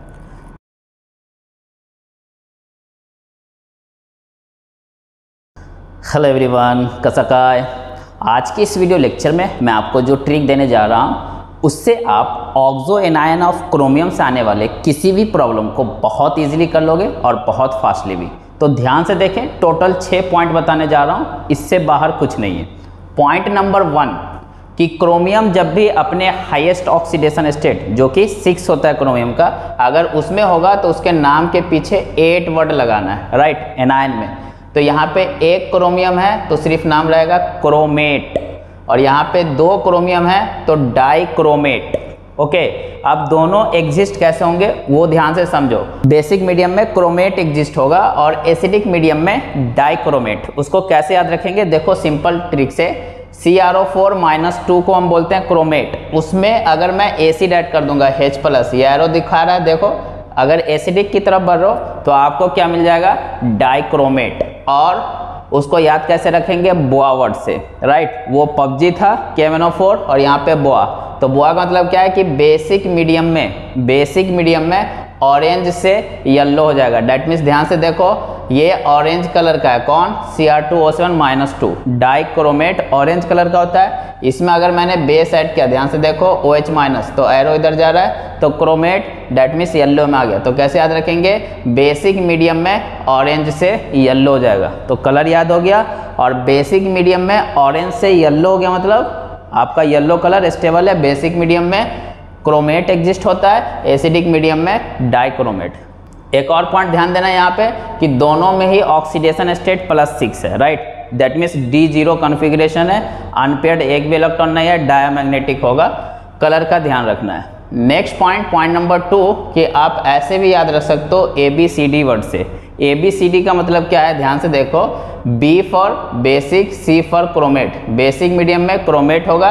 A for acidic D for dichromate तो एसिडिक मीडियम में डाइक्रोमेट होगा। तो वेरी सिंपल है। ए बी सी डी सबको याद रहता है। तो बी सी से बेसिक में क्रोमेट और फ़र्स्ट एंड लास्ट एसिडिक में डाइक्रोमेट तो पॉइंट नंबर वन और टू ये है जिसको ध्यान में रखना है। पॉइंट नंबर थ्री ये है कि ये सिर्फ़ और सिर्फ़ ऑक्सीडाइजिंग एजेंट का काम कर सकता है राइट क्यों? क्योंकि ये अपने हाईएस्ट ऑक्सीडेशन स्टेट में तो इससे आगे नहीं जा सकता, पीछे ही आ सकता है। तो ये ऑलवेज ऑक्सीडाइजिंग एजेंट का काम करेगा और ये सिर्फ़ और सिर्फ़ एक ही मीडियम में वर्क करता है डैट इज़ एसिडिक मीडियम जबकि K M N O four acidic basic neutral तीनों मीडियम में वर्क करता था, ये सिर्फ़ एक मीडियम में वर्क करता है। और जैसे उसका वर्किंग था एसिडिक मीडियम में, वैसा ही इसका भी है। प्लस टू यूनिट से ऑक्सीडेशन स्टेट को बढ़ाना है या दो इलेक्ट्रॉन इंक्रीज कराना है राइट तो ध्यान से देखो यहाँ पे सल्फ़र प्लस फोर में है तो किसमें आ जाएगा? प्लस सिक्स राइट सल्फाइड से सल्फेट यहाँ पे सल्फ़र माइनस टू में है तो ज़ीरो दो यूनिट से ऑक्सीडेशन स्टेट को बढ़ा देना है। और खुद ये कहाँ पे आ जाएगा? प्लस थ्री में, जिसमें इसका कलर क्या होता है? ग्रीन ध्यान रखना, यहाँ पे इसका कलर ग्रीन होता है। यहाँ तो आपको मालूम ही है ऑरेंज कलर का होगा ये। S O two sulphur plus four में तो किसमें आ जाएगा? डेफिनेटली प्लस सिक्स में। आई माइनस आयोडाइड आयन या बी आर माइनस होगा। तो आपको क्या बनाना है? आई टू या फिर बी आर टू यहाँ पर हमने सी एल माइनस नहीं लिखा है क्योंकि उसके लिए एक स्पेशल कंडीशन है जो मैं बात करूँगा। टीन प्लस टू में होगा तो प्लस फोर में आयरन प्लस टू होगा। तो फिर प्लस थ्री में, क्योंकि यही इसकी हाईएस्ट पॉसिबल ऑक्सीडेशन स्टेट है, वैसे ही C two O four minus two oxalic acid होगा तो किसमें चला जाएगा? सी ओ टू में। तो सेम कंडीशन है, सिर्फ़ सी एल माइनस में चेंज हो जाएगा, जिसको हमको ध्यान से देखना है। तो ये है उसका ऑक्सीडाइजिंग नेचर में वर्किंग नेक्स्ट पॉइंट जो आपसे पूछा जा सकता है कि हम इसको प्रिपेयर कैसे करेंगे? तो वेरी सिंपल आपको क्रोमाइट ओर लेना है। Chromite ore is a mixture of यहाँ पे आयरन के oxide and C R two O three इन दोनों को मिला दोगे तो ये मिल जाएगा। तो क्रोमाइट और की रिएक्शन जब भी बेसिक मीडियम में, ध्यान से देखो, और ज़रूरी नहीं कि Na2CO3 लिया तो Na2CO3 लेना। बेसिक मीडियम क्रिएट करना है। क्यों? क्योंकि ये स्ट्रॉन्ग बेस वीक एसिड से बना हुआ सॉल्ट है तो सोल्यूशन का नेचर बेसिक होगा। तो बेसिक मीडियम में आइदर ऑक्सीजन एयर पास कर दो, या फिर कोई भी ऑक्सीडाइजिंग एजेंट ले लो। तो आपको क्या मिलेगा पहले? क्रोमेट क्योंकि बेसिक मीडियम है और बेसिक मीडियम में कौन होता है? क्रोमेट येलो कलर का आपको क्रोमेट मिल जाएगा राइट आयरन यहाँ पे प्लस टू में था, वो भी प्लस थ्री में चला जाएगा क्योंकि ऑक्सीडाइजिंग एजेंट लिया नाउ द क्वेश्चन इज़ कि इसको अगर मैं एसिडिक मीडियम में पास कर दूँ तो point number one acidic medium में पास करेंगे तो क्या मिल जाएगा आपको? डाइक्रोमेट राइट और सोडियम वाला मिलेगा जो कि हाइग्रोस्कोपिक होता है। इसलिए हम वॉल्यूमेट्रिक टाइट्रेशन इससे नहीं करते हैं। क्यों? क्योंकि एरर आ जाएगा आपके रीडिंग में राइट तो इसलिए फिर हम इसको केसीएल सोल्यूशन से पास करेंगे। तो क्या मिल जाएगा? पोटेशियम डाइक्रोमेट ये हमारा काम का है राइट तो ये बनाने का मेथड को भी ध्यान में रखना है कि क्रोमाइट और लिया बेसिक मीडियम ऑक्सीडाइजिंग एजेंट तो पहले बेसिक मीडियम होने की वजह से क्रोमेट, फिर उसको एसिडिक मीडियम में पास किया तो डाइक्रोमेट, और फिर के सी सोल्यूशन से। क्यों? क्योंकि एनए वाला जो है, ये वाला पार्ट ये बहुत ज़्यादा सॉलिबल होता है और ये लेस सॉलिबल है। तो ये पॉइंट सब भी आपको ध्यान में रखना है। नाउ स्ट्रक्चर से रिलेटेड क्वेश्चन पूछे जाते हैं। वेरी सिंपल डाइक्रोमेट का स्ट्रक्चर इस तरीके से होगा। दो टेट्राहेड्रल यूनिट हो गए। ये जो सिक्स सी बॉन्ड है, ये सिक्स सी बॉन्ड ये इक्वल होंगे ड्यू टू रेजोनेंस राइट तो C R O bond length equal होंगे, ऐसा पूछा जा सकता है। इस पॉइंट के अबाउट ये स्ट्रक्चर सिमेट्रिक है, ये पूछा जा सकता है। ये एंगल 126 डिग्री होता है, वो पूछा जा सकता है। नॉन लीनियर हो गया ये टेट्राहेड्रल है राइट एस पी थ्री है। P pi D pi bond होंगे, क्योंकि एस और तीनों पी यूज़ हो गया है। तो जो भी पाई बॉन्ड बना वो क्रोमियम के डी और ऑक्सीजन का पी यूज़ होगा ऑब्वियसली बात है। तो ये सब पूछा जा सकता है। दोनों ही, चाहे वो क्रोमेट लो या डाइक्रोमेट लो, दोनों में ऑक्सीडेशन स्टेट प्लस सिक्स है। इसकी वजह से डी में एक भी इलेक्ट्रॉन नहीं है तो डायमेटिक होगा मैग्नेटिक मोमेंट ज़ीरो होगा। नाउ द सबसे important point point number six कि अगर आप ये जो एक अच्छा ऑक्सीडाइजिंग एजेंट है C R two O seven minus two इसकी reaction N A C L N A C L कहने मतलब कोई भी सॉलिबल सॉल्ट लो आप। यहाँ पे ध्यान देना, कोई भी सॉल्युबल सॉल्ट मतलब सी एल माइनस होना चाहिए और कटायन ऐसा लेना जो वाटर में सॉल्युबल हो। डेट मीन्स डी ब्लॉक का नहीं लेना, जैसे ए जी सी एल ये नहीं ले सकते, या मरकरी के क्लोराइड ये सब नहीं लेना आपको। तो इसलिए अगर सॉल्युबल सॉल्ट सोल्यूशन क्लोराइड का हो तो यहाँ पे C R O two C L two मिलेगा। जिसको बोलते हैं क्रोमाइल क्लोराइड। वेरी इंपॉर्टेंट कई बार पूछा गया और इसका ऑरेंज रेड वेपर आता है। राइट तो ये कलर भी ध्यान में रखना है। तो जब भी सी एल माइनस को, इसलिए मैंने यहाँ पे सी एल माइनस का ज़िक्र नहीं किया है। बी आर माइनस या आई माइनस होगा तो I two B R two but C L minus soluble salt solution के साथ होगा। तो आपको क्रोमाइल क्लोराइड बनाना है, जो ऑरेंज रेड वेपर देता है आपको। या एच सी एल भी होता, वो भी एक सॉल्युबल एसिड हो गया तो भी आपको क्रोमाइल क्लोराइड मिलेंगे। और यहाँ पे ध्यान देना फिर से क्रोम के ऑक्सीडेशन स्टेट प्लस सिक्स है प्लस सिक्स है तो फिर से डायमैग्नेटिक होगा डी ज़ीरो है म्यू ज़ीरो है ये सब। तो इस पे बेस पूरा क्वेश्चन आपका रहेगा इससे बाहर कुछ नहीं है। नाउ अब हम बात करते हैं एप्लीकेशन की। क्वेश्चन नंबर वन में पूछा गया which can turn K two C R two O solution green तो राइट right, कौन कर सकता है? ये खुद एक ऑक्सीडाइजिंग एजेंट होगा, क्योंकि हाईएस्ट ऑक्सीडेशन स्टेट में प्लस सिक्स में तो राइट तो वो कर सकता है, जिसमें ऑक्सीडेशन स्टेट फर्दर आगे इंक्रीज हो सकता है। CO2 में ऑलरेडी कार्बन प्लस फोर में, इससे आगे नहीं जा सकता राइट तो ये नहीं हो सकता। SO2 में सल्फ़र प्लस फोर में, जो प्लस सिक्स में जा सकता है हाईएस्ट में तो यही हो जाएगा।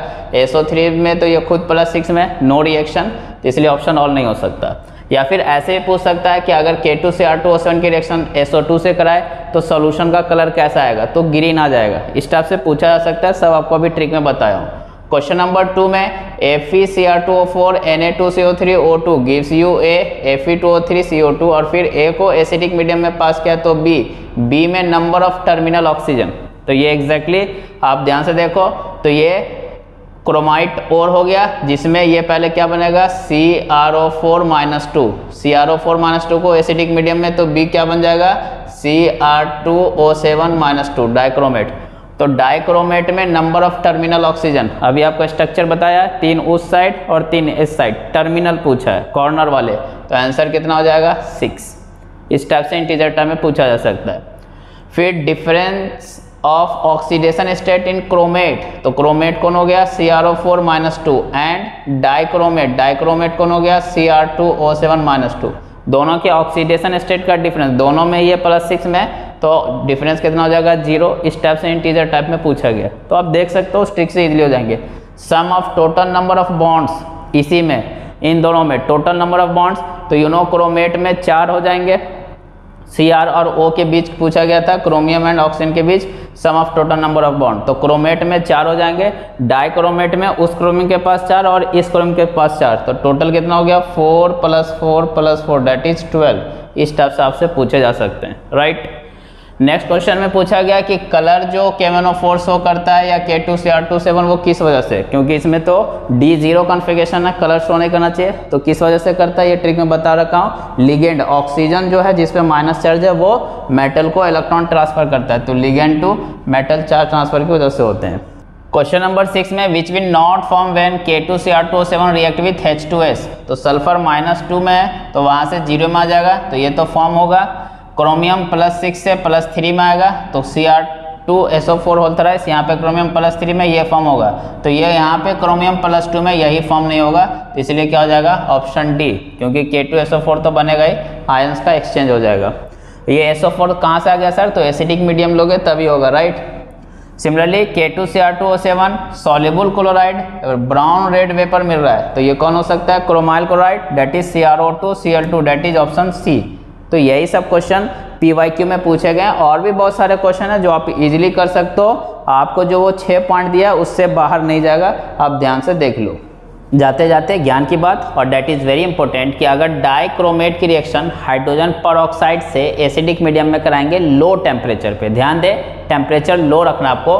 तो सी आर ओ फाइव मिलेगा डीप ब्लू कलर मिलेगा। कलर भी ध्यान में रखना, पूछा जाता है। डीप ब्लू कलर मिलेगा, जिसको आप ऐसे भी लिख सकते हो C R O O two whole two इसका जो स्ट्रक्चर होता है, वो बटरफ्लाई स्ट्रक्चर होता है। राइट क्यों?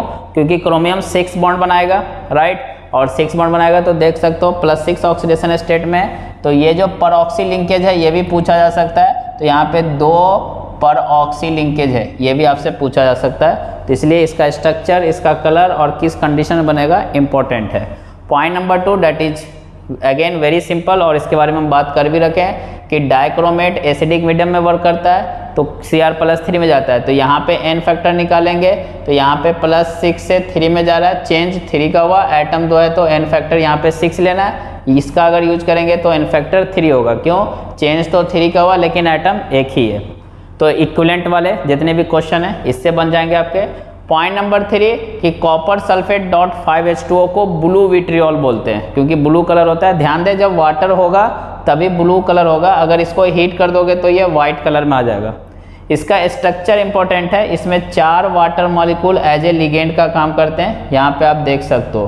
कॉपर प्लस टू को चार water molecule as a ligand का काम करते हैं। एक वाटर मॉलिक्यूल हेच बॉन्ड बनाने में काम आता है तो पूछा जाता है कि इसमें कितने वाटर मॉलिक्यूल हेच बॉन्ड बना रहे हैं। तो ये वाटर मॉलिक्यूल आपका हेच बॉन्ड बनाता है, चार हेच बॉन्ड बन जाएँगे टोटल एक मॉलिक्यूल में। एंड ये सल्फेट आयन चार्ज को बैलेंस करने के लिए, क्योंकि वाटर एक न्यूट्रल लिगेंड है कॉपर पे प्लस टू है यहाँ पे तो सल्फेट पे माइनस टू होना चाहिए तो ये पॉइंट इंपॉर्टेंट है। क्रोमियम के बारे में आपको मालूम है कि इसकी ऑक्सीडेशन स्टेट प्लस टू से लेकर के प्लस सिक्स मैक्सिमम तक हो सकती है, जिसमें कॉमन ऑक्सीडेशन स्टेट क्या क्या है? इसका डेट इज़ थ्री है एंड सिक्स है।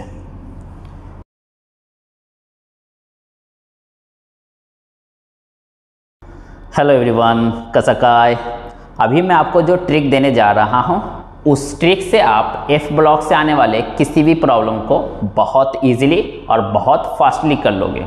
तो ध्यान से देखो वी नो कि एफ़ ब्लॉक में दो सीरीज़ होती हैं। एक को लेंथेनॉइड सीरीज़ बोलते हैं और एक को एक्टेनॉइड तो लेंथेनॉइड क्यों बोलते हैं? क्योंकि एफ़ ब्लॉक के 14 के 14 एलिमेंट लेंथेनम के अंदर है।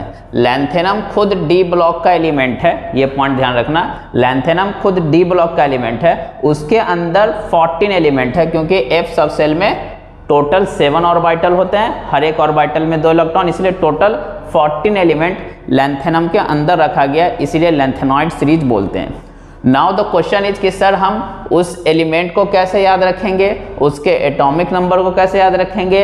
एंड उसका इलेक्ट्रॉनिक कन्फिगेशन तीनों के लिए रफ़ी सर के पास ट्रिक है और very simple and very easy सबसे पहले सर हम एलिमेंट को कैसे याद रखेंगे? तो उसके लिए निमोनिक्स अब देखिए ध्यान से. सीता, प्रसाद एंड पूनम शर्मा, यूरोप घूमे, तभी डायरिया हो गया और तुम अभी लौटो। तो इससे ये 14 एलिमेंट आपको with serial number atomic number से याद हो जाएगा। और विनो की ये 58 से स्टार्ट होता है और 71 पे एंड होगा।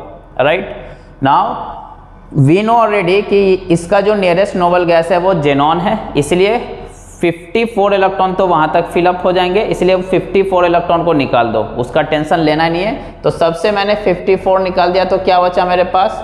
Four, five, six, seven, eight, nine, ten, and so on. Fifty four निकालने के बाद। अब ये जो चार इलेक्ट्रॉन बचे, इसमें से दो इलेक्ट्रॉन तो फिक्स हैं, किसमें जाएँगे? एस सब सेल में, राइट? तो इसलिए मैंने दो भी निकाल दिया तो आप कितना बचा? Two, three, four, five, six, seven, eight, nine, ten eleven twelve, thirteen, fourteen, and fifteen. ये वो इलेक्ट्रॉन है जिसके बारे में आपको सोचना है। अदरवाइज़ 54 के बारे में तो सोचना ही नहीं है।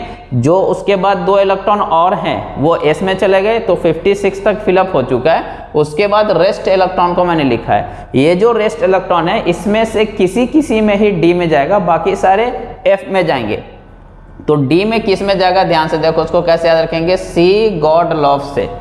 सी गॉड लॉफ भगवान को हँसते हुए देखो। डेट मीन्स ये तीन ऐसे एलिमेंट है जिसमें आपको डी में एक इलेक्ट्रॉन रखना है। ध्यान से देखो, यहाँ पे डी में एक इलेक्ट्रॉन मैंने रखा है, यहाँ पे हमने रखा है गॉड वाले में, और यहाँ पे हमने रखा है लॉफ वाले में। बस यही तीन एलिमेंट है एफ़ ब्लॉक में लेंथोनाइट सीरीज़ में, जिसमें डी में वन है। बाकी सारे में डी में ज़ीरो है। इसीलिए सारा का सारा इलेक्ट्रॉन कहाँ चला जाएगा? एफ़ में। तो इलेक्ट्रॉनिक कन्फिगेशन लिखना ईजी हुआ कि नहीं? और एक पॉइंट और ध्यान देना है कि कभी भी इलेक्ट्रॉन रिमूव करना हो आयंस अगर इस एलिमेंट का बनाना हो तो पहले एस से इलेक्ट्रॉन रिमूव करेंगे। ये बात को ध्यान में रखना। फिर डी से रिमूव करेंगे, फिर एफ़ से। ऑलवेज इलेक्ट्रॉन पहले एस सबसे निकालना, फिर डी से, फिर एफ़ से। राइट इस ग्रुप की सबसे अच्छी बात क्या है कि लेंथेनॉइड सीरीज़ में plus three oxidation state stable है। इसलिए हर कोई लोग प्लस थ्री बनने की कोशिश करेगा। ये पॉइंट को ध्यान में रखना। इसकी वजह से क्या इफ़ेक्ट आते हैं? अगर कोई इस सीरीज़ का element plus two oxidation state में तो वो थ्री में जाना जाएगा। इसलिए प्लस टू वाले अच्छा रिड्यूसिंग एजेंट होंगे। अगर कोई एलिमेंट प्लस फोर में है तो वो प्लस थ्री में आना चाहेगा। इसलिए प्लस फोर वाले अच्छे ऑक्सीडाइजिंग एजेंट होंगे। Plus three is the stable oxidation state of lanthanoid series plus three के लिए वो कुछ भी कर सकता है. डेट मीन्स टू में होगा तो थ्री में आने की कोशिश करेगा और फोर में होगा तो भी थ्री में आने की कोशिश करेगा. तो इससे रिलेट करके क्वेश्चन पूछा जा सकता है. नाउ द क्वेश्चन इज़ कि सर आपने इलेक्ट्रॉनिक कॉन्फ़िगरेशन पे इतना ज़ोर क्यों दिया? उसके पीछे लॉजिक है बेटा. क्यों? क्योंकि इतने सारे क्वेश्चन पूछे जा सकते हैं. किसका एनएस एनर्जी हाई या लो है? तो आपको क्या देखना पड़ेगा कि क्या वो हाफ़ फ़ील्ड कॉन्फ़िगरेशन में जा रहा है या फुल फ़ील्ड कॉन्फ़िगरेशन हो रहा है क्या? या फिर वो स्टेबल ऑक्सीडेशन स्टेट में जा रहा है क्या? तो वहाँ पे ये कंसेप्ट आपका आ जाएगा इलेक्ट्रॉनिक कन्फिगेशन मालूम होगा, तभी आप हाफ़ फ़ील्ड या फुल फ़ील्ड पहचान सकते हो। सिमिलरली पैरामैग्नेटिक डायमैग्नेटिक पहचानने वाले क्वेश्चन राइट अनपेड इलेक्ट्रॉन तो इलेक्ट्रॉनिक कन्फिगेशन का रिक्वायरमेंट होगा। मैग्नेटिक मोमेंट बताओ। आपको इलेक्ट्रॉनिक कन्फिगेशन ही चाहिए। कलर शो करेगा कि नहीं शो करेगा? अगर अनपेड इलेक्ट्रॉन होंगे तो कलर शो करेंगे। तो इलेक्ट्रॉनिक कन्फिगेशन चाहिए। कौन हाइड्रोजन गैस रिलीज़ करेगा? That means again electronic configuration से देखना पड़ेगा कि क्या वो हाफ़ फ़ील्ड या फुल फ़ील्ड बनने की कोशिश करेगा कि नहीं, या फिर वो स्टेबल ऑक्सीडेशन स्टेट में जाना चाहेगा कि नहीं। तो वहाँ पे भी आएगा। किसका ऑक्सीडेशन पोटेंशियल पॉजिटिव होगा? रिडक्शन पोटेंशियल पॉजिटिव होगा। ऑक्सीडाइजिंग का कौन काम करेगा? रिड्यूसिंग का। इतने सारे कंसेप्चुअल क्वेश्चन पूछे जा सकते हैं और सबका जो बेसिक कंसेप्ट है वो इलेक्ट्रॉनिक कॉन्फ़िगरेशन है। तो इसलिए again I am telling very simple total आपके पास जितना एटॉमिक नंबर है, उसमें से 56 इलेक्ट्रॉन तो हटा दो 54 जेनॉन तक खत्म। उसके बाद जो दो इलेक्ट्रॉन है वो एस में फिक्स हो गए। तो 56 खत्म।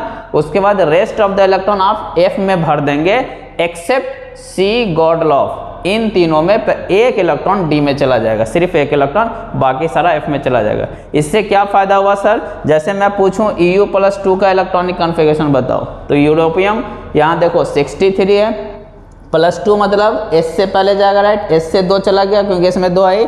तो सीधा देखो, क्या हो गया? इसका एफ़ में सेवन इलेक्ट्रॉन है। इससे क्या फ़ायदा हुआ? ये हाफ़ फ़ील्ड कॉन्फ़िगरेशन में ऐसा पूछा जा सकता है। हाफ़ फ़ील्ड में है तो स्टेबल होगा राइट अनपेड इलेक्ट्रॉन है तो पैरामैग्नेटिक होंगे। इस टाइप से क्वेश्चन पूछा जा सकता है। Similarly G D plus three तो जी डी का आप देखो, यहाँ पे प्लस थ्री मतलब तीन इलेक्ट्रॉन निकालना है पहले एस से जाएगा एस में दो थे, वो गए। जी डी गॉड वाले हैं तो इसमें डी में एक होंगे तो डी से भी एक गया। तो अभी भी इसके पास एफ़ में कितना बचा? सेवन तो जी डी प्लस थ्री का इलेक्ट्रॉनिक कन्फिगेशन कितना हो गया? लास्ट वाला एफ़ में सेवन जेनॉन और four F seven right similarly C plus three का पूछे तो तो यूनो अपने पास तीन इलेक्ट्रॉन निकालना है एस में दो हैं, वो निकल गए सी वाले हैं सी गॉड लॉफ तो डी में भी एक है तो डी से एक निकले तो एफ़ में एक बचा तो इसमें एफ़ में एक इलेक्ट्रॉन बचेंगे। तो इस टाइप से भी पूछा जा सकता है कि एफ़ में कितना इलेक्ट्रॉन है, इस टाइप से बहुत सारे, और ये हमने बताया। तो आई होप ये इलेक्ट्रॉनिक कन्फिगेशन वाला कंसेप्ट आप समझ गए होंगे, इस पे बेस्ट अप्लीकेशन प्रॉब्लम लेकर के भी मैं आपको एकदम क्लियर करता हूँ।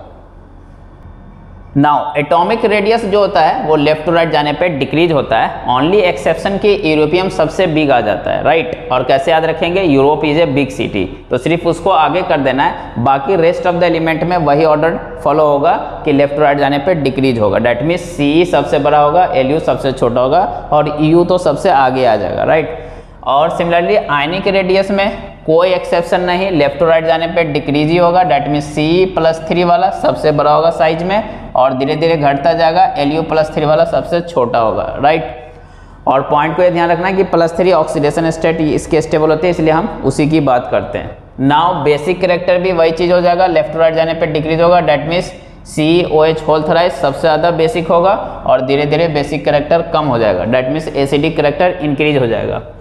सी के बारे में एक इंपॉर्टेंट पॉइंट है कि ये plus three oxidation state show करता है, जो कि इसका स्टेबल है डेट इज़ ओके ये तो सारे लेंथोनाइट शो करते हैं। ये प्लस फोर भी करता है। क्यों? क्योंकि प्लस फोर शो करने की वजह से ये नोबल गैस कन्फिग्रेशन में चला जाएगा। कैसे? सी का एटॉमिक नंबर 58 तो फोर चले गए तो 54 डेट इज़ जेनॉन राइट तो इसलिए ये प्लस फोर भी शो करता है। बहुत सारे कंपाउंड इसके बनते हैं।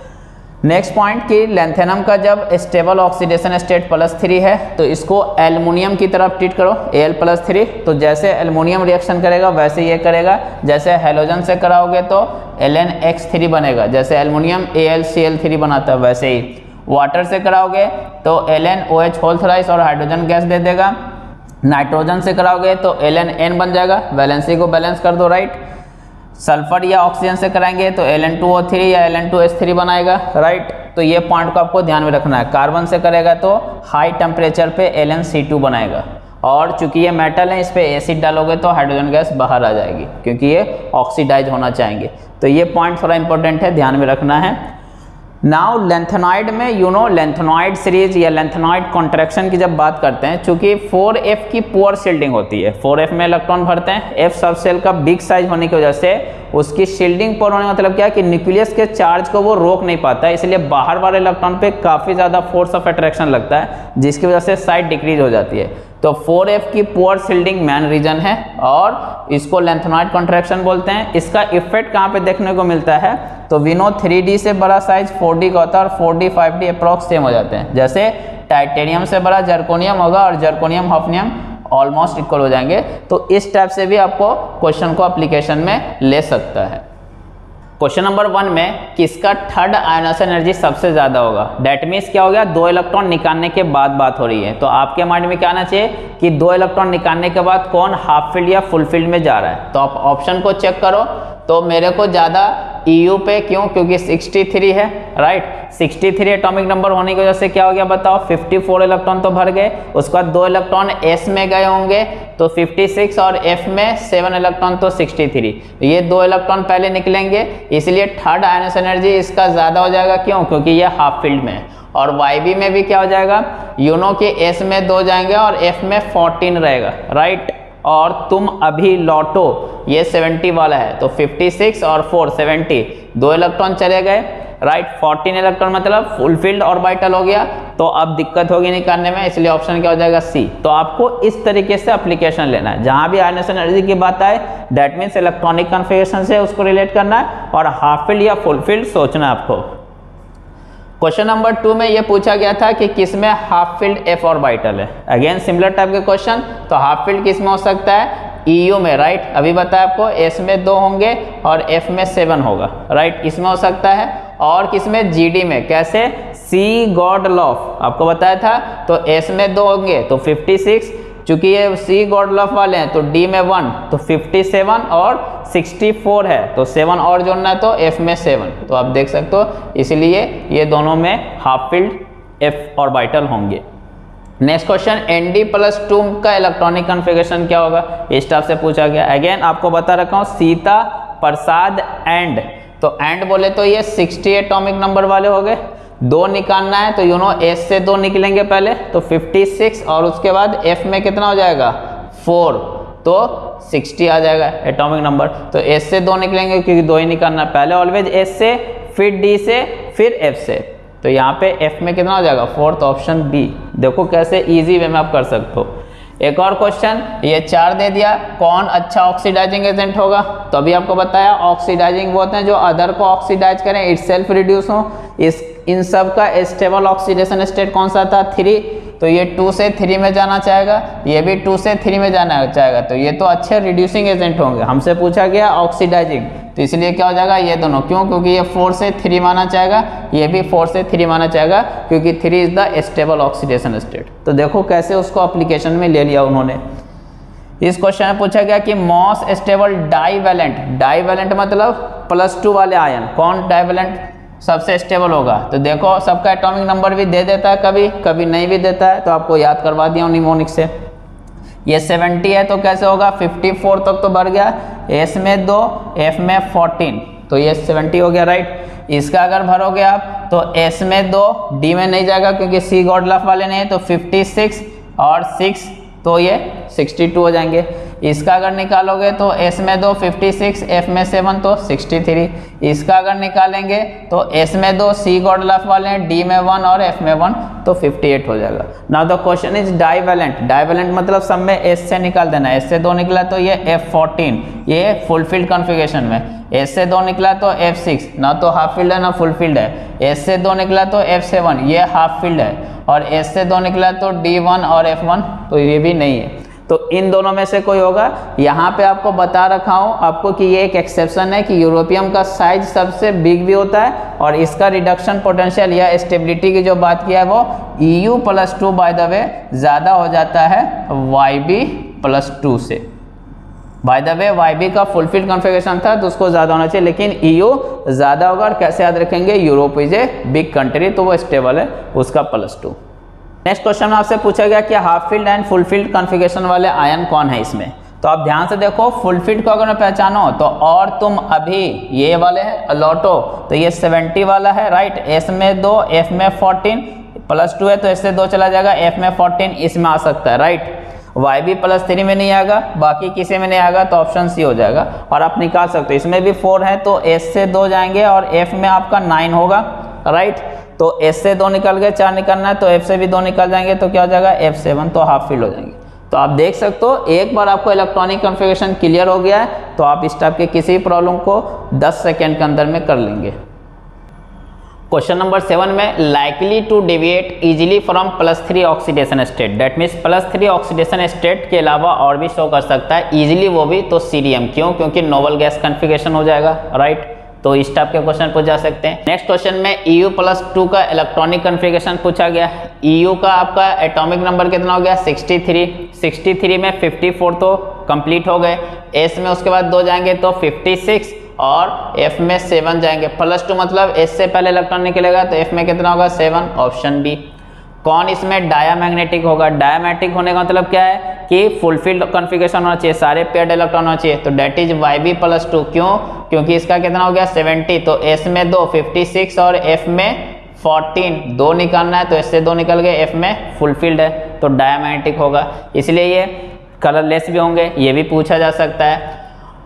सिमिलरली यहाँ पे number of four F electron in G D plus two G D plus two में तो you know C god laugh ये सिक्सटी फोर वाले हैं राइट एस में दो जाएँगे तो फिफ्टी सिक्स डी में वन जाएँगे तो फिफ्टी सेवन और एफ़ में सात जाएँगे तो सिक्सटी फोर अब यहाँ पे ध्यान से देखो, दो ही निकालना है तो एस से दो निकलेंगे. हमसे एफ़ में पूछा गया तो कितने इलेक्ट्रॉन है? सेवन तो आंसर कितना हो जाएगा? Seven number of electron in four f of H O plus three तो डायरिया हो गया, यहाँ पे एटॉमिक नंबर गिवन है 67 तो पहले यू नो एस में दो जाएँगे तो 56 और उसके बाद 67 है तो एफ़ में कितना हो जाएगा? 11 राइट कितना निकालना है? तीन एस से दो जाएँगे और एफ़ से एक जाएँगे तो बचेगा कितना एफ़ में? दस तो आंसर इसका कितना हो जाएगा? टेन तो इस टाइप के क्वेश्चन पूछे हुए पी वाई क्यू में, आप देख सकते हो कितना इजीली इलेक्ट्रॉनिक कन्फिग्रेशन समझ में आने पे हो जाता है। नेक्स्ट क्वेश्चन पूछा गया है कि does not form MO two MO two कौन नहीं बनाएगा तो डेफिनेटली वो वाले जिसका हाफ़ फिल या फुल फिल कन्फिग्रेशन हो जाएगा। तो यहाँ पे ध्यान से देखो अगेन वाई बी जो है, इसका प्लस टू ही स्टेबल होगा। क्यों? क्योंकि एफ़ में फोर्टीन फुल फिल हो जाएगा। तो प्लस टू होने की वजह से ये वाई बी ओ बना सकता है। वाई बी ओ टू नहीं, क्योंकि प्लस फोर हो जाएगा और प्लस फोर तो वैसे भी वाई बी शो नहीं करता राइट जो इनके ग्रुप के स्टेबल ऑक्सीडेशन स्टेट हैं, वो थ्री हैं और ये सब फोर शो कर सकता है, लेकिन वाई भी नहीं कर सकता। क्यों? क्योंकि इसका इलेक्ट्रॉनिक कन्फिग्रेशन में क्या हो गया है? फुलफिल्ड हो चुका है। तो ऑप्शन ए हो जाएगा। सी ओ टू तो यहाँ पे सी प्लस फोर में है। ये थ्री में आना चाहेगा राइट तो रिड्यूस होना चाह रहा है। तो ऑक्सीडाइजिंग एजेंट का काम करेगा। क्यों? क्योंकि हाईएस्ट ऑक्सीडेशन स्टेट में या फिर ऑक्सीडाइजिंग एजेंट होते हैं जो अदर को ऑक्सीडाइज करें इट सेल्फ रिड्यूस हो।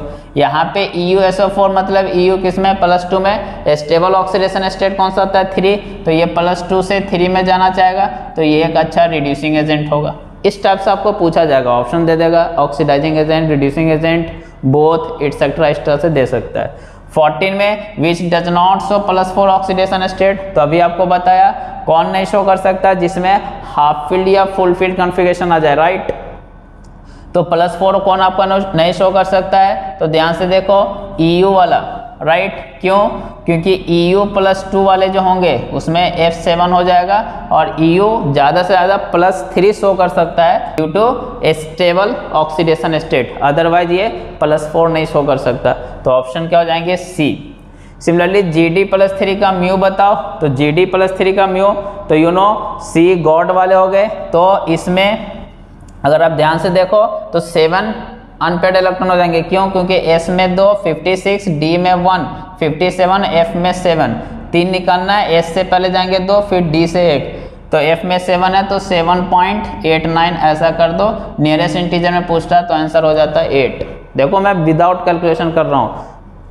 क्वेश्चन नंबर 16 में कौन कलर शो करेगा? तो कलर कौन शो कर सकता है राइट जिसमें एफ़ में हाफ़ फ़ील्ड कन्फिग्रेशन नहीं होना चाहिए, या फुल फ़ील्ड नहीं होना चाहिए, या एफ़ ज़ीरो नहीं होना चाहिए। तो ध्यान से देखो एस एम प्लस थ्री में ऐसा हो पाएगा। क्यों?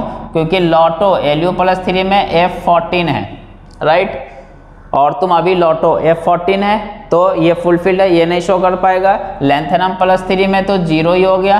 तो है इन इलेक्ट्रॉन तो ये भी नहीं शो करेगा। जी डी प्लस थ्री में एफ़ सेवन है तो इसको भी दिक्कत होगी क्योंकि ऑलरेडी एक स्टेबल कॉन्फ़िगरेशन में और एस एम प्लस थ्री में ना तो हाफ़ फ़ील्ड है, ना फुल फ़ील्ड है, ना एफ़ ज़ीरो है तो इसलिए ऑप्शन क्या होगा डी तो ध्यान से देखो, ये 16 के 16 क्वेश्चन सब इलेक्ट्रॉनिक कॉन्फ़िगरेशन से कहीं ना कहीं रिलेट थे। इलेक्ट्रॉनिक कॉन्फ़िगरेशन क्लियर है तो उसको डिफरेंट वे में आपसे पूछा जा सकता है। Next actinoid series right actinoid क्यों बोलते हैं? क्योंकि ये एक्टिनियम के अंदर 14 एलिमेंट है। एक्टिनियम खुद जो है वो डी ब्लॉक का एलिमेंट है। उसके अंदर 14 एफ़ के इलेक्ट्रॉन है। और जिसको कैसे याद रखेंगे? With atomic number and mnemonics के साथ। तो थोड़े पहलवान उनसे निपटेंगे। फ़र्स्ट फोर के लिए आप ऐसे याद रख लेंगे। थोड़े पहलवान उनसे निपटेंगे।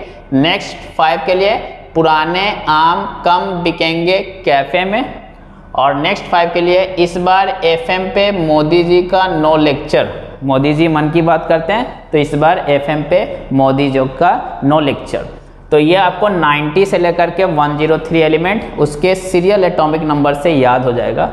अगेन यहाँ पे जो 90 से लेकर के 103 इलेक्ट्रॉन है, उसमें से 86 तो आपका फुलफिल हो चुका है नियरेस्ट नोवल गैस रेडॉन उसके बाद के इलेक्ट्रॉन को सोचना है, इसलिए 86 सब में से हमने माइनस कर दिया है. तो फोर से लेकर के कितना इलेक्ट्रॉन बच गया? 17 जिसमें से दो इलेक्ट्रॉन अगेन एस में जाएगा तो फिर से हमने दो माइनस कर दिया तो अब कितना बचेगा? Two, three and so on कर करके 15 अब यहाँ पे डी में किस किसमें इलेक्ट्रॉन होंगे?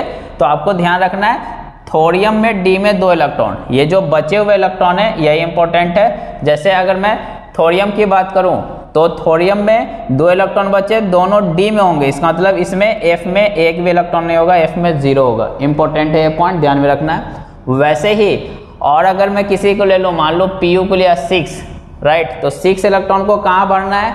तो आपका पूरा का पूरा कहाँ चला जाएगा? एफ़ में। तो डेट मीन्स कि सर हमको कैसे याद रहेगा? तो हमने आपको क्लियरली बता दिया कि आपको एटॉमिक नंबर मालूम है 86 माइनस कर दो उसके बाद दो इलेक्ट्रॉन और माइनस कर दो क्योंकि वो एस में होंगे। उस, उसके बाद ये बचे हुए इलेक्ट्रॉन जिसको मैंने यहाँ अंडरलाइन किया है ये सब एफ़ में जाएँगे एक्सेप्ट किस किसमें? थोरियम में। आपको डी में दो इलेक्ट्रॉन और ये सारे एलिमेंट में डी में एक इलेक्ट्रॉन भर देना है रेस्ट एफ़ में भर देना है।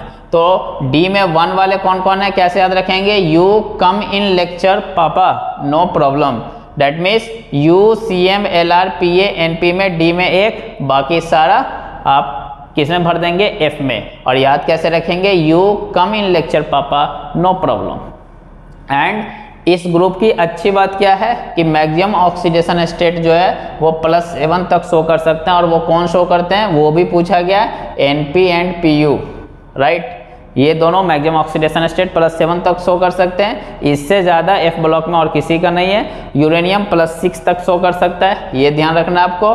अगेन अगर आयनिक रेडियाई का पूछे तो लेफ़्ट टू राइट डिक्रीज होगा। प्लस थ्री अगर वाले लिए तो लेफ़्ट टू राइट डिक्रीज होंगे। डेट मीन्स सबसे बड़ा थोरियम प्लस थ्री होगा और सबसे छोटा एल आर प्लस थ्री होगा। तो ये पॉइंट भी आपको ध्यान में रखना है। इस पे बेस प्रॉब्लम कैसे पूछे जा सकते हैं? चूँकि अगेन इलेक्ट्रॉनिक कन्फिगेशन लिखना आ गया तो वही सेम जो अभी आपको लेंथोनाइड में बताया था। तो आई होप ये एफ़ ब्लॉक आपको अच्छे से समझ में आ गया होगा। इस पर बहुत सारे पी वाई क्यूज हमने आपको करा ही दिए हैं और जो रेस्ट बचे हुए हैं, वो आप खुद से कर लीजिए। आप देखोगे आपसे इजिली इस चैप्टर से आने वाले प्रॉब्लम हो जाएँगे। थैंक यू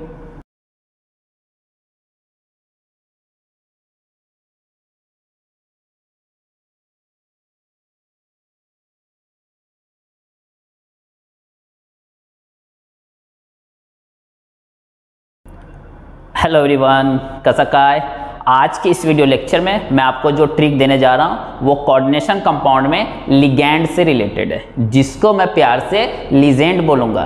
क्यों? क्योंकि ये अगर समझ में आ गया तो कोऑर्डिनेशन कंपाउंड बहुत ईजी है। नाउ द क्वेश्चन इज़ कि सर हम कैसे पहचानेंगे? तो देखो कोऑर्डिनेशन कंपाउंड की सबसे बड़ी पहचान है, वो दो स्क्वायर ब्रैकेट के अंदर में होगा। स्क्वायर ब्रैकेट के अंदर में आपका सेंट्रल मेटल होगा, जो 99 परसेंट डी ब्लॉक के एलिमेंट होते हैं। उसके बाद उस एलिमेंट को छोड़ करके जो भी मॉलिक्यूल्स बचा या आयंस बचे, जो लोन पर डोनेट कर सकते हैं या पाई इलेक्ट्रॉन डोनेट कर सकते हैं, वो सारे के सारे लिगेंड होंगे। तो लिगेंड आप कैसे पहचान लोगे? सिर्फ़ स्क्वायर ब्रैकेट के अंदर वाले होंगे मेटल को छोड़ करके, बाहर वाले लिगेंड में काउंट नहीं होते हैं। तो इसलिए लिगेंड का सबसे इंपॉर्टेंट पॉइंट कि which can donate lone pair या तो वो लोन पेयर डोनेट करे, या फिर पाई इलेक्ट्रॉन तो उसको लिगेंड बोलेंगे। पहचान स्क्वायर ब्रैकेट के अंदर में होगा। क्लियर है? पॉइंट नंबर टू कि पॉलीडेंटेड लिगेंड किसको बोलेंगे? तो देखो पॉलीडेंटेड मतलब एक से ज़्यादा डोनर साइट तो जब भी एक से ज़्यादा डोनर साइट एक ही मॉलिक्यूल में होगा तो जब वो डोनेट करेंगे तो ऑलवेज एक क्लोज स्ट्रक्चर बनेगा. तो वो जो रिंग बननी चाहिए, वो फाइव मेंबर की बननी चाहिए या सिक्स मेंबर की? तभी आप पॉलीडेंटेड बोलेंगे अदरवाइज़ नहीं बोलेंगे. फॉर एग्ज़ाम्पल जैसे मैंने इथाइलिन डायमिन लिया तो देखो, ये नाइट्रोजन लोन पे डोनेट करेगा और ये नाइट्रोजन मेटल को। तो ध्यान से देखो one two three four five पाँच मेंबर की रिंग बन रही है तो इसलिए मैं इसको बोलूँगा पॉलीडेंटेड लिगेंड है और पॉली में कैसा है? दो लोन पे डोनेट कर रहा है तो बाईडेंटेड बोलेंगे। तीन करता है एट ए टाइम तो ट्राई चार करता है तो टेट्रा तो पॉइंट एकदम क्लियर होना चाहिए। जैसे यहाँ पे एसीटेट आयन है तो यहाँ पे भी दो डोनर साइट है। बट अगर ये दोनों डोनेट करें तो ध्यान से देखो वन टू थ्री फोर, चार मेंबर की रिंग बन रही है, जो कि स्टेबल नहीं होती है। इसलिए सिर्फ़ पाँच या छः मेंबर की रिंग डोनेट करने के बाद एक क्लोज स्ट्रक्चर पाँच या छः का बने, तभी उसको पॉलीडेंटेड बोलेंगे, अदरवाइज़ उसको पॉलीडेंटेड नहीं मानेंगे, मोनोडेंटेड मानेंगे। तो इसलिए ये पॉलीडेंटेड नहीं है, ये मोनोडेंटेड है। जबकि ये पॉलीडेंटेड है और पॉली में कैसा है? बाय क्योंकि दो लोन पे डोनेट कर रहा है एट ए टाइम तीन करता तो ट्राई, चार करता तो टेट्रा। तो इस पॉइंट को अच्छे से समझ लेना है। जब पाँच या छः बनेगा, तभी पॉलीडेंटेड अदरवाइज़ नहीं होगा। और ऑलवेज एक मॉलिक्यूल में एक से ज़्यादा डोनर साइट होगी तो जब वो मेटल को देंगे तो जो एक साइड से ओपन था स्ट्रक्चर वो क्लोज हो जाएगा तो ऑलवेज एक क्लोज रिंग बनेगी। पॉइंट नंबर थ्री एक होता है एम्बीडेंटेड लिंग्विड तो एम्बीडेंटेड को आप कैसे पहचानेंगे? वेरी सिंपल इसमें एक से ज़्यादा डोनर साइट होगी बट एट ए टाइम कोई एक ही साइट डोनेट करेगा but at a time only one site can donate तो जैसे फॉर एग्जांपल साइनाइड आयन तो साइनाइड कैसे बना होगा? एन ये वाला H और ये वाला C का बॉन्ड ब्रेक हो गया तो C ने अपना इलेक्ट्रॉन लिया और H का भी इलेक्ट्रॉन ले लिया राइट तो ये निकल गया तो C पे क्या आ गया? माइनस तो अब इसमें देखो कार्बन भी डोनेट कर सकता है नाइट्रोजन भी बट एट ए टाइम कोई एक ही करेगा। सर दोनों क्यों नहीं कर सकता? अगर दोनों करेगा तो ध्यान से देखो थ्री मेंबर रिंग बन रही है। वन टू थ्री जो कि अनस्टेबल है। तो इसीलिए एम्बीडेंटेड में एक से ज़्यादा डोनर साइट है बट एट ए टाइम कोई एक ही करता है। बट जबकि पॉलीडेंटेड में एक से ज़्यादा डोनर साइट है और एट ए टाइम सब डोनेट करेंगे तो दोनों में बिग डिफरेंस भी यही है तो ये ध्यान देना है। नेक्स्ट पॉइंट जो इस चैप्टर में सबसे ज़्यादा इंपॉर्टेंट है कि आपको कुछ पूछे नहीं पूछे, आपको ये निकाल ही देना है ऑक्सीडेशन स्टेट सेंट्रल मेटल का। कैसे निकालेंगे? सारे ऑक्सीडेशन स्टेट या चार्ज का सम किसके बराबर हो जाएगा? जो चार्ज होंगे कंपाउंड पे। सिंपल, बेसिक फार्मूला लगाना है। Sum of all the charges is equal to charge on the compound. And coordination number का भी निकालना हो तो वेरी सिंपल। आपको देखना है कि नंबर ऑफ़ लिगेंड कितने हैं। वो नंबर आपको पता लग जाएगा। लिगेंड के बाहर क्लोज स्ट्रक्चर में लिखा होगा कितने नंबर हैं। वो इनटू उसकी डेंटिसिटी जो अभी हम बात करेंगे, उस दोनों को मल्टीप्लाई कर दोगे तो कोऑर्डिनेशन नंबर आ जाएगा, जो कि 99 परसेंट क्वेश्चन में आइधर फोर आएगा या सिक्स आएगा, क्योंकि हमारे सिलेबस में फोर या सिक्स का पढ़ना है बट ज़रूरी नहीं थ्री भी हो सकते हैं फाइव भी हो सकते हैं डेट्स ओके तो निकालेंगे कैसे? नंबर ऑफ़ लिगेंड को मल्टीप्लाई कर देंगे उसकी डेंटिसिटी से। तो ये पाँच पॉइंट एकदम आपको क्लियर होना चाहिए, इस पे बेस मैं एप्लीकेशन लेकर के भी समझाऊँगा। तो जैसा आपको समझ में आ गया कि इस चैप्टर में सबसे इम्पोर्टेंट लिगेंड है तो जितना लिगेंड मैं यहाँ पे बता रहा हूँ, बस उतना ही आपको जानना है। ना तो उससे ज़्यादा, ना उससे कम। इससे बाहर कुछ नहीं आएगा। बस इतने ही लिगेंड को ध्यान में रखना है। तो ध्यान से देखो, मैंने लिगेंड के फॉर्मूला लिखा है। उस पर कितना चार्ज है डोनर आइटम कौन है, क्या वो रिंग या चिलेटिंग लिजेंड कहलाएगा कि नहीं एम्बीडेंटेड होगा कि नहीं, आयु पैक नेमिंग में भी बहुत इंपॉर्टेंस है उसका। तो आयु पैक नेमिंग क्या होगा, वो हम देखेंगे और सम ऑफ़ द एक्सप्लेनेशन कैसे वो आया। तो वेरी सिंपल ध्यान से देखो one N H three right तो इस पे चार्ज ज़ीरो हो गया, क्यों? क्योंकि सबका ऑक्टेट कंप्लीट है, कोई चार्ज नहीं ज़ीरो चार्ज है। डोनर आइटम डेफिनेटली नाइट्रोजन होगा हाइड्रोजन तो कभी हो नहीं सकता, उसके पास लोन पेयर है नहीं। ये रिंग नहीं बनाएगा, इसलिए चिलेट नहीं हो सकता। इसमें एम्बीडेंट की बात नहीं हो सकती, क्यों? क्योंकि दो डोनर साइट नहीं है, एक ही डोनर साइट है। इसका नाम आयु पैक में ध्यान देना है अमाइन लिखना है डबल एम के साथ। ध्यान दे डबल एम के साथ अमाइन बोलना है। क्लियर है? दूसरा है लिगेंड हमारा वाटर H2O अगेन न्यूट्रल है वो। न्यूट्रल लिगेंड कहलाएगा ये सब, चार ज़ीरो है। डोनर आइटम ऑक्सीजन है। चिलेट या फिर एम्बिडेंट तो होगा नहीं। कट है मतलब ये नहीं है। और इसका नाम रहेगा एक्वा इसको बोलेंगे आयु पैक में एक्वा नेक्स्ट थर्ड जो है CO कार्बन मोनोऑक्साइड जो कि अगेन न्यूट्रल लिगेंड है कार्बन डोनर है अगेन सिलेट या एम्बिडेंट तो होगा नहीं राइट और इसका नाम रहेगा कार्बोनिल तो ये पॉइंट ध्यान रखना है। चौथा हमारा पी पी एच थ्री तो ये कैसे बना? तो विनो पी एच थ्री इसको क्या बोलते हैं? फॉस्फिन तो तीनों हाइड्रोजन हटा करके आपने बेंजीन रिंग लगा दिया। तो क्या हो जाएगा? ट्राईफिनाइल फॉस्फिन जो यहाँ लिखा भी हुआ है राइट अगेन इस पर चार ज़ीरो होंगे। डोनर आइटम फॉस्फोरस होगा और ये चिलेट या एम्बिडेंट नहीं होगा। जो नेक्स्ट है that is five C H two N H two C H two N H two तो इस पर भी चार्ज ज़ीरो है न्यूट्रल लिगेंड है राइट दोनों डोनर आइटम नाइट्रोजन है, क्योंकि दोनों में नाइट्रोजन के पास लोन पेयर है। दो डोनर आइटम है, इसलिए अब ये चिलेट बनाएगा क्यों? क्योंकि यहाँ पे ध्यान से देखो, जब दोनों नाइट्रोजन डोनेट करेंगे एट ए टाइम तो पाँच मेंबर की रिंग बनेगी। पाँच या छह स्टेबल होती हैं तो इसलिए ये चिलेटिंग लिगेंड में आ जाएँगे या रिंग वाले में आ जाएँगे। एम्बीडेंट नहीं होंगे, नाम क्या हो जाएगा? वन टू, वन पे भी अमाइन है, टू पे भी। तो क्या बोलेंगे? दो कार्बन है तो ethane, one two diamine. तो इसका नाम होगा इथेन, वन टू डायमंड ध्यान से देखना, फिर से डबल एम है। A M I N E मत लिखना। कई बार आयु पैक में इसमें भी फंसाया है। एंड लास्ट एक और neutral N O zero charge है न्यूट्रल लिगेंड है नाइट्रोजन डोनर है एम्बीडेंट या चिलेट तो नहीं होगा। इसका नाम होगा नाइट्रोसिल और इसमें भी एक पॉइंट ध्यान रखना कि ये तीनों इलेक्ट्रॉन, क्योंकि ऑड इलेक्ट्रॉन स्पीसीज हो गए तो ये तीनों इलेक्ट्रॉन डोनेट कर सकते हैं। तो ये सारे आपको लिगेंड छः क्लियर होने चाहिए। Next X minus that means halogen कोई भी फ्लोरीन क्लोरीन ब्रोमीन या आयोडीन जो होगा वो डोनर हो जाएगा। माइनस वन चार्ज होगा चिलेट तो नहीं होंगे एम्बीडेंट नहीं होंगे राइट और नाम क्या हो जाएगा? तो ध्यान देना, जहाँ पे भी लास्ट में ई e वर्ड आए तो ई e को रिप्लेस कर देना किससे? ओ से। जैसे क्लोराइड होता है तो क्या बोलेंगे? क्लोरीडो या फिर इसका एक और नाम चलता है क्लोरो तो ध्यान देना लास्ट में ई e को रिप्लेस कर देना ओ से। सिमिलरली साइनाइड तो ई आ गया तो ओ कर देंगे तो सायानिडो भी बोल सकते हो, या साइनो भी, या साइनेटो भी। राइट ये सब नेम चलते हैं। तो इस पर माइनस वन चार्ज है।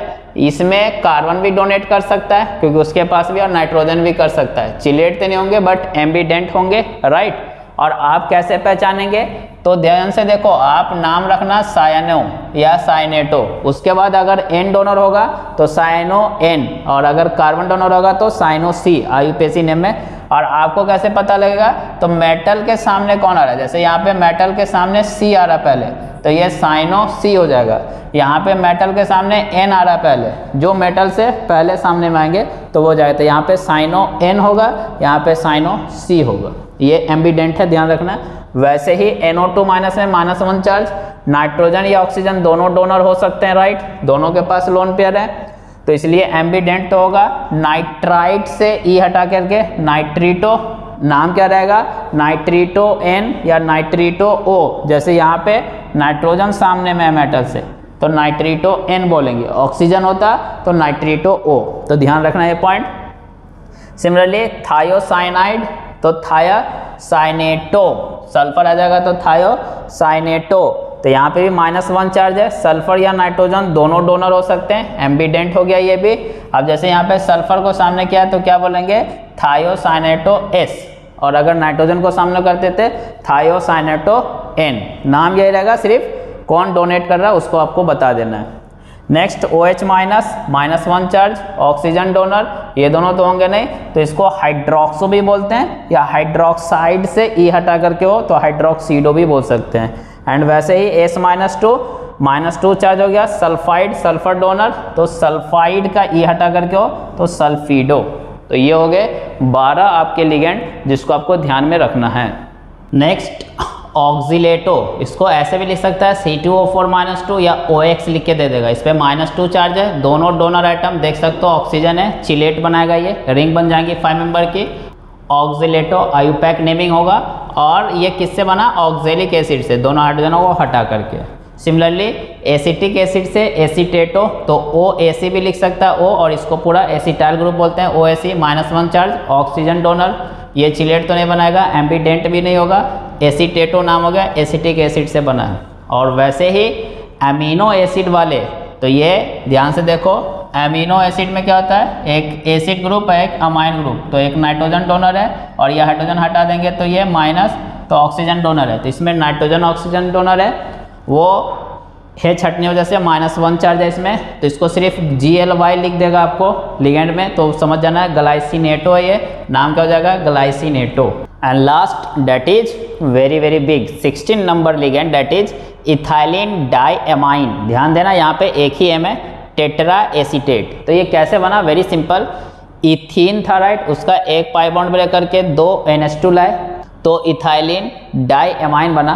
नाइट्रोजन के दोनों हाइड्रोजन को हटा करके एसीटेट लाया। C H three C double बॉन्डो और ओ माइनस एसीटेट लाया।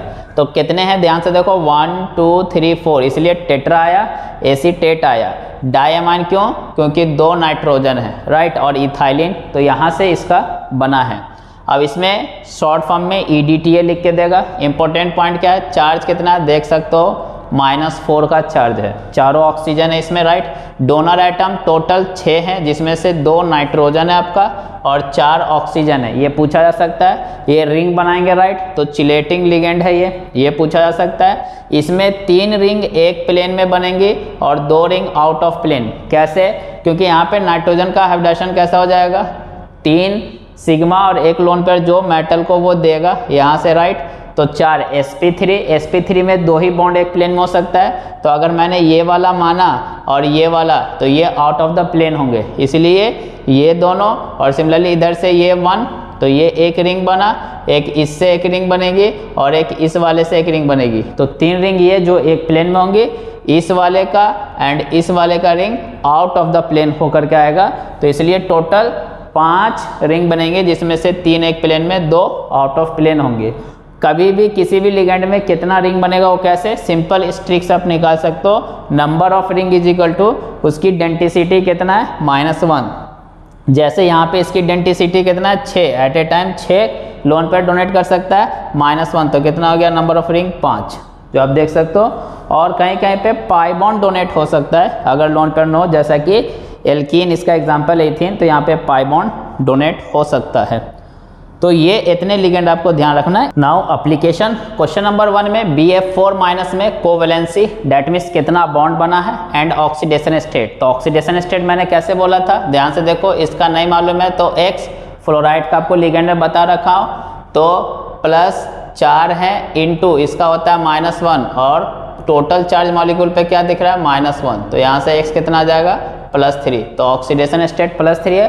कोवेलेंसी चार फ्लोरीन चारों सिंगल डोनर है राइट तो चार बॉन्ड बनेंगे तो कोवेलेंसी हो जाएगा फोर ऑक्सीडेशन स्टेट हो जाएगा थ्री क्वेश्चन नंबर टू में चार ऑप्शन गिवन थे। किसमें एम्बीडेंट लिंगेंट नहीं है?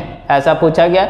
ऑक्सिलेट चिलेटिंग है ई एन चिलेटिंग है वाटर मोनोडेंटेड है। तो इसी में एम्बीडेंट नहीं है। क्यों? क्योंकि यहाँ पे एन सी एस एम्बीडेंट है, यहाँ पे एनओ टू एम्बीडेंट है, यहाँ पे भी एनओ टू और एन सी एस एम्बीडेंट है। तो इस टाइप से पूछा जा सकता है। क्वेश्चन नंबर थ्री में sum of all oxidation state metal का CO न्यूट्रल लिगेंड राइट तो यहाँ पे ज़ीरो जगह Fe पे।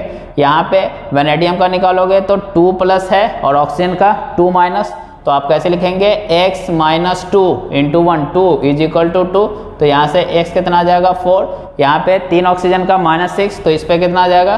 प्लस सिक्स टोटल सम करना है तो कितना हो गया? आंसर टेन नेक्स्ट क्वेश्चन कि इसमें नंबर ऑफ़ एम्बीडेंटेड लिगेंड कितने हैं? तो ये तो नहीं होता इथिलीन डायमिन एस होगा। आइधर सल्फ़र डोनर या नाइट्रोजन डोनर कितने नंबर दिख रहे हैं? चार. तो इसलिए आंसर क्या हो जाएगा? Four next question number five में ऑक्सीडेशन स्टेट सेंट्रल एटम का बताना है and coordination number oxidation state कैसे निकालेंगे? Same wise sodium first group का प्लस वन ऑक्सीडेशन स्टेट इसका नहीं मालूम है तो X sum of all charges is equal to charge on the molecule इसका बाइप्रिडिन न्यूट्रल है, कोई चार्ज नहीं है. तो ज़ीरो सी एल का माइनस वन होता है, चार सी एल है तो minus four is equal to charge दिख रहा है, नहीं ज़ीरो तो एक्स कितना हो गया यहाँ से? थ्री तो ऑक्सीडेशन स्टेट आ गया आपको थ्री कोऑर्डिनेशन नंबर क्या बोला था? नंबर ऑफ़ लिगेंड बाइपरीडिन एक लिगेंड है इनटू डेंटिसिटी देखो ध्यान से, दोनों नाइट्रोजन डोनेट कर सकता है, पाँच मेंबर की रिंग भी बन जाएँगी। तो into denticity two plus C L monodentate right और चार हैं तो फोर इंटू वन तो कितना हो जाएगा? सिक्स तो टोटल सम करेंगे तो क्या हो जाएगा? आंसर नाइन तो आपको इस टाइप से क्वेश्चन पूछा हुआ है। सिक्स में इस कंपाउंड में एजी के ऑक्सीडेशन स्टेट का सम तो ध्यान से देखो, अगर ये दोनों जुड़े हुए हैं तो डेफिनेटली ये कैटायन होगा, ये एनायन होगा। इसके बारे में आपको मालूम है, इस पर माइनस वन होता है। दो हैं तो माइनस टू तो ए पे अगर मैं प्लस वन लूँ तो राइट वैसे भी ए जी पे प्लस वन होता है तो इस पर माइनस वन आ जाएगा। और इस पर माइनस वन है तो इस पर प्लस वन आना चाहिए। तभी दोनों कनेक्टेड होंगे चार्ज होगा तो अमोनिया न्यूट्रल लिगेंड है तो जो भी प्लस वन है वो किसका है? एजी का। तो ए जी यहाँ पे दोनों में ही किसमें है? प्लस वन में तो सम ऑफ़ ऑक्सीडेशन स्टेट कितना हो जाएगा? टू तो ये सारे पी वाई क्यू हैं जो पूछे हुए हैं। नेक्स्ट क्वेश्चन नंबर सेवन में कितना ई एन रिक्वायर्ड होगा for replacement of N S three तो यहाँ से ध्यान से देखो ई एन जो होता है वो बाईडेंटेट होता है। एक बार में दो देगा। और जो अमोनिया है आपका डेट इज़ अमाइन तो ये मोनोडेंटेट है।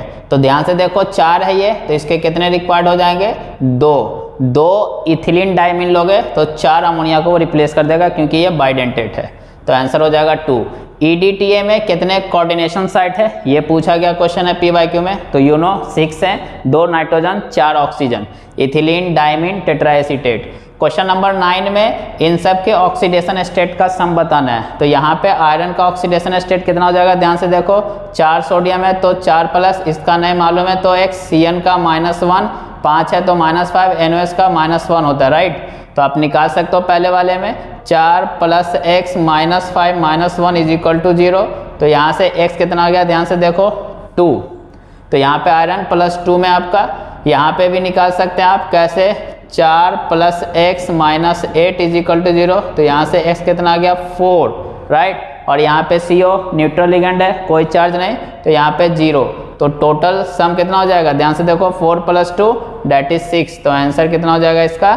सिक्स क्वेश्चन नंबर टेन में कोऑर्डिनेशन नंबर पूछा गया है। तो सी एल मोनोडेंटेट है तो वन इथिलीन डायमिंड बाईडेंटेट है तो टू टू द फोर तो आपको क्या ट्रिक बताया था? Number of ligand into denticity plus number of ligand into denticity सबको सम कर दो तो कितना आ गया आंसर फाइव इसमें अगर निकालना हो तो नंबर ऑफ़ लिगेंड ध्यान से देखो थ्री और डेंटिसिटी इसका ऑक्सीट है टू तो यहाँ कितना हो जाएगा? सिक्स तो पहले वाले में कोऑर्डिनेशन नंबर फाइव दूसरे वाले में सिक्स एक क्वेश्चन किस टाइप से बड़ा स्ट्रक्चर ड्रॉ करके दे देगा?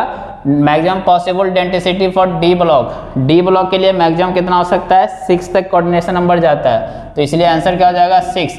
बट एफ़ ब्लॉक उससे ज़्यादा बना सकता है। टोटल डोनर आइटम काउंट करो। वन, टू, थ्री, नाइट्रोजन का lone pair four, five, six, seven, eight. तो एफ़ ब्लॉक की मैक्सिमम डेंटिसिटी क्या हो सकती है? एट तक हो सकती है।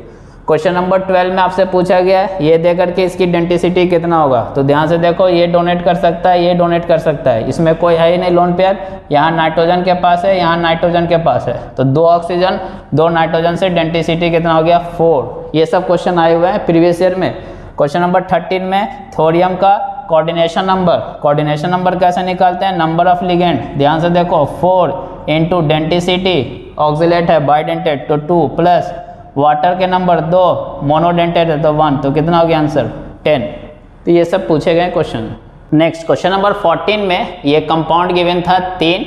इसमें ऑक्सीडेशन स्टेट क्रोमियम का बताना है. तो यहाँ पे वाटर न्यूट्रल हो गया. क्लोरीन पे एक माइनस होता है, तीन क्लोरीन तो तीन माइनस तो क्रोमियम पे प्लस थ्री होगा.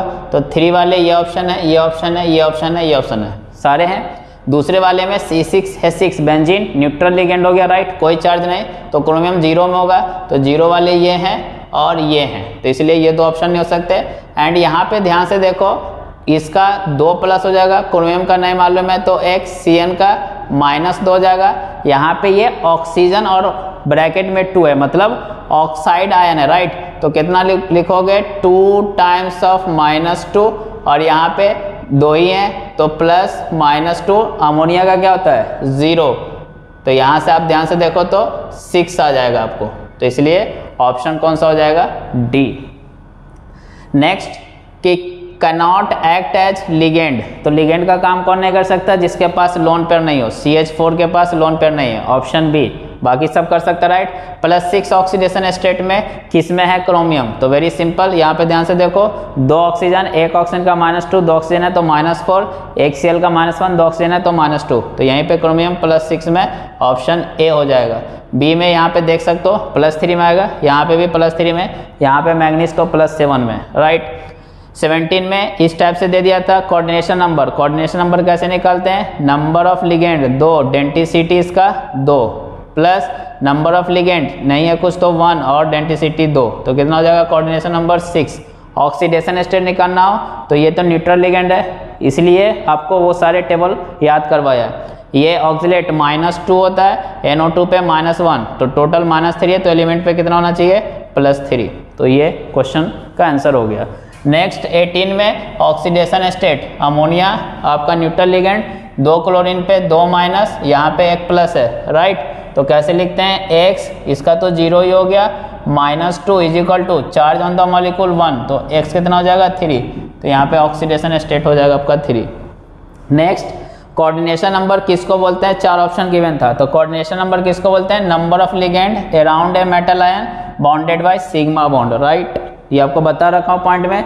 इसमें अगेन ऑक्सीडेशन स्टेट पूछा गया है। एक पोटेशियम का एक प्लस, चार पोटेशियम है तो चार प्लस निकल का नहीं मालूम है एक्स सी एन का एक माइनस होता है, चार सी एन है तो माइनस फोर, चार्ज मॉलिक्यूल पे कुछ नहीं दिख रहा है तो ज़ीरो। तो यहाँ से एक्स क्या आएगा? Zero. That means oxidation state क्या हो जाएगा? ज़ीरो। तो ये सारे पी वाई क्यू थे, जो आपको मैंने सॉल्व करके बताया अपने ट्रिक से। जाते जाते ज्ञान की बात और वेरी सिंपल है ये। होमोलिप्टिक का मतलब सारे लिगेंड सेम होना चाहिए और हेट्रोलिप्टिक मतलब एटलीस्ट वन लिगेंड डिफरेंट होना चाहिए। तो इस पर बेस क्वेश्चन कैसे पूछा जाएगा? चार ऑप्शन दे देगा विच इज़ होमोलिप्टिक तो वेरी सिंपल यहाँ पे ध्यान से देखो, सारे के सारे लिगेंड अमाइन है तो यही हो जाएगा। ये क्यों नहीं हुआ? क्योंकि इसमें दो डिफरेंट टाइप के लिगेंड है। इसमें भी दो डिफरेंट है अमोनिया एंड क्लोरीन इसमें भी दो डिफरेंट है। तो अगर डिफरेंट है तो हेट्रोलिप्टिक और अगर सेम है तो homoleptic and point number two E A N effective atomic number ये पूछा जाता है तो कैसे निकालेंगे? वेरी सिंपल जो भी सेंट्रल मेटल होगा, उसका एटॉमिक नंबर उसमें से माइनस करना है ऑक्सीडेशन स्टेट को विथ साइन पुट करना है प्लस आएगा तो प्लस माइनस आएगा तो minus two times of coordination number add कर देना है। जो कोऑर्डिनेशन नंबर होगा, उसको टू से मल्टीप्लाई करके ऐड तो अगर ये effective atomic number nearest noble gas के इक्वल आ जाता है तो हम बोलेंगे ई एन रूल को फॉलो कर रहा है। और अगर नहीं आता है तो नॉट फॉलो बट ये अप्लाई किसमें नहीं करेंगे? कार्बोनिल वाले सीओ वाले में। सीओ वाले में आई इक्वल या ना उससे मतलब नहीं है। ऑलवेज फॉलो आपको लिखना है। क्यों? क्योंकि सीओ ऑक्सीडाइज या रिड्यूस करके उसको कर ही देगा। फॉर एग्ज़ाम्पल कैसे? जैसे के फोर एफ़ सिक्स तो यहाँ पे आयरन का ऑक्सीडेशन स्टेट निकाल लोगे प्लस टू तो ये मेटल हो गया एटॉमिक नंबर 26 प्लस टू है तो माइनस दो कर दिया विथ साइन पुट कर करके. कोऑर्डिनेशन नंबर आप ध्यान से देखो सिक्स और इंटू टू तो ये कितना आ गया, ध्यान से देखो 36 जो कि आयरन का नेक्स्ट नियरेस्ट नोबेल गैस हो गया क्रिप्टन राइट तो ये फॉलो कर रहा है, ऐसा बोलेंगे हम. सिमिलरली यहाँ पे निकालोगे तो आयरन आ जाएगा आपका प्लस थ्री में. तो 26 six minus three coordination number six into two तो ये आएगा 35 जो कि इक्वल नहीं आ रहा थर्टी सिक्स के। तो हम बोलेंगे, ये फॉलो नहीं कर रहा है। और इसमें हमें चेक करने की ज़रूरत नहीं है। क्यों? क्योंकि लिगेंड कौन है? कार्बोनिल तो ऑलवेज फॉलो कर रहा है। भले वो करे या नहीं करे। बाय द वे यहाँ पे ट्वेंटी फाइव और इसका five into two ten thirty five होगा। तो इसका ये मतलब नहीं कि फॉलो नहीं कर रहा है। वो सी ओ यहाँ पे मैन फैक्टर क्रिएट करता है। वो खुद ज़रूरत पड़ने पे ऑक्सीडाइज या रिड्यूस होकर के उसको कर देगा। तो ये आपको मानना है कि ये 36 हो चुका है। तो आई होप ये लिगेंड के बारे में आपको क्लियरली समझ में आ गया होगा। यही सबसे ज़्यादा इम्पोर्टेंट है। ये अगर आपको समझ में आ गया तो आगे के लेक्चर एकदम ईजी हैं।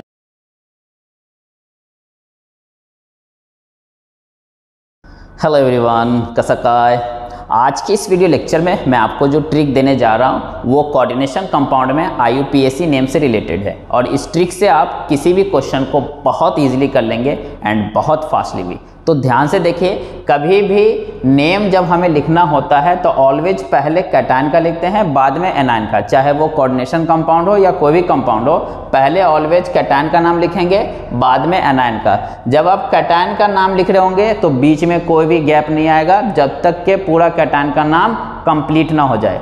फिर उसके बाद गैप आएगा, फिर जब आप एनाइन का नाम लिखेंगे तो पूरा एनाइन का नाम जब तक कंप्लीट ना हो जाए, तब तक आपको कोई भी गैप नहीं डालना है। पॉइंट नंबर वन क्लियर है? नाउ द क्वेश्चन इज़ कि कैटायन दो टाइप का हो सकता है आइदर सिंपल कैटायन हो एंड कॉम्प्लेक्स एनायन हो। कॉम्प्लेक्स कैसे पहचानेंगे? स्क्वायर ब्रैकेट के अंदर में होंगे राइट तो अगर सिंपल कैटायन है तो सिर्फ़ उसका नेम लिखना है। उसके नंबर नहीं बताना आपको, सिर्फ़ उसका नाम लिखना है एज यूजल बट अगर कॉम्प्लेक्स होगा तो उसके लिए मैं बात करता हूँ। वैसे ही एनायन दो टाइप के हो सकते हैं। अगर वो सिंपल एनायन है तो सिर्फ़ उसका नाम लिखना है अगेन उसके नंबर नहीं बताना है एज यूजल जो नेम होते हैं वो लिख देना है डेट्स इट बट अगर कॉम्प्लेक्स है तो फिर हमें देखना पड़ेगा। तो अगर कैटायन कॉम्प्लेक्स हो या एनायन कॉम्प्लेक्स हो, दोनों के लिए सेम रूल है। रूल क्या है? रूल का पहला पॉइंट जब कैटायन या एनायन कॉम्प्लेक्स होंगे तो सबसे पहले आप नंबर ऑफ़ लिगेंड को बताएँगे। अगर दो हैं तो उसके लिए बाई वर्ड यूज़ करेंगे। तीन है तो ट्राई एक ये पॉइंट हुआ। अगर लिगेंड के नेम में ऑलरेडी बाई या ट्राई वर्ड लगा हुआ है तब आपको फिर उसका नंबर बताने के लिए बीस या ट्रिस यूज़ करना है।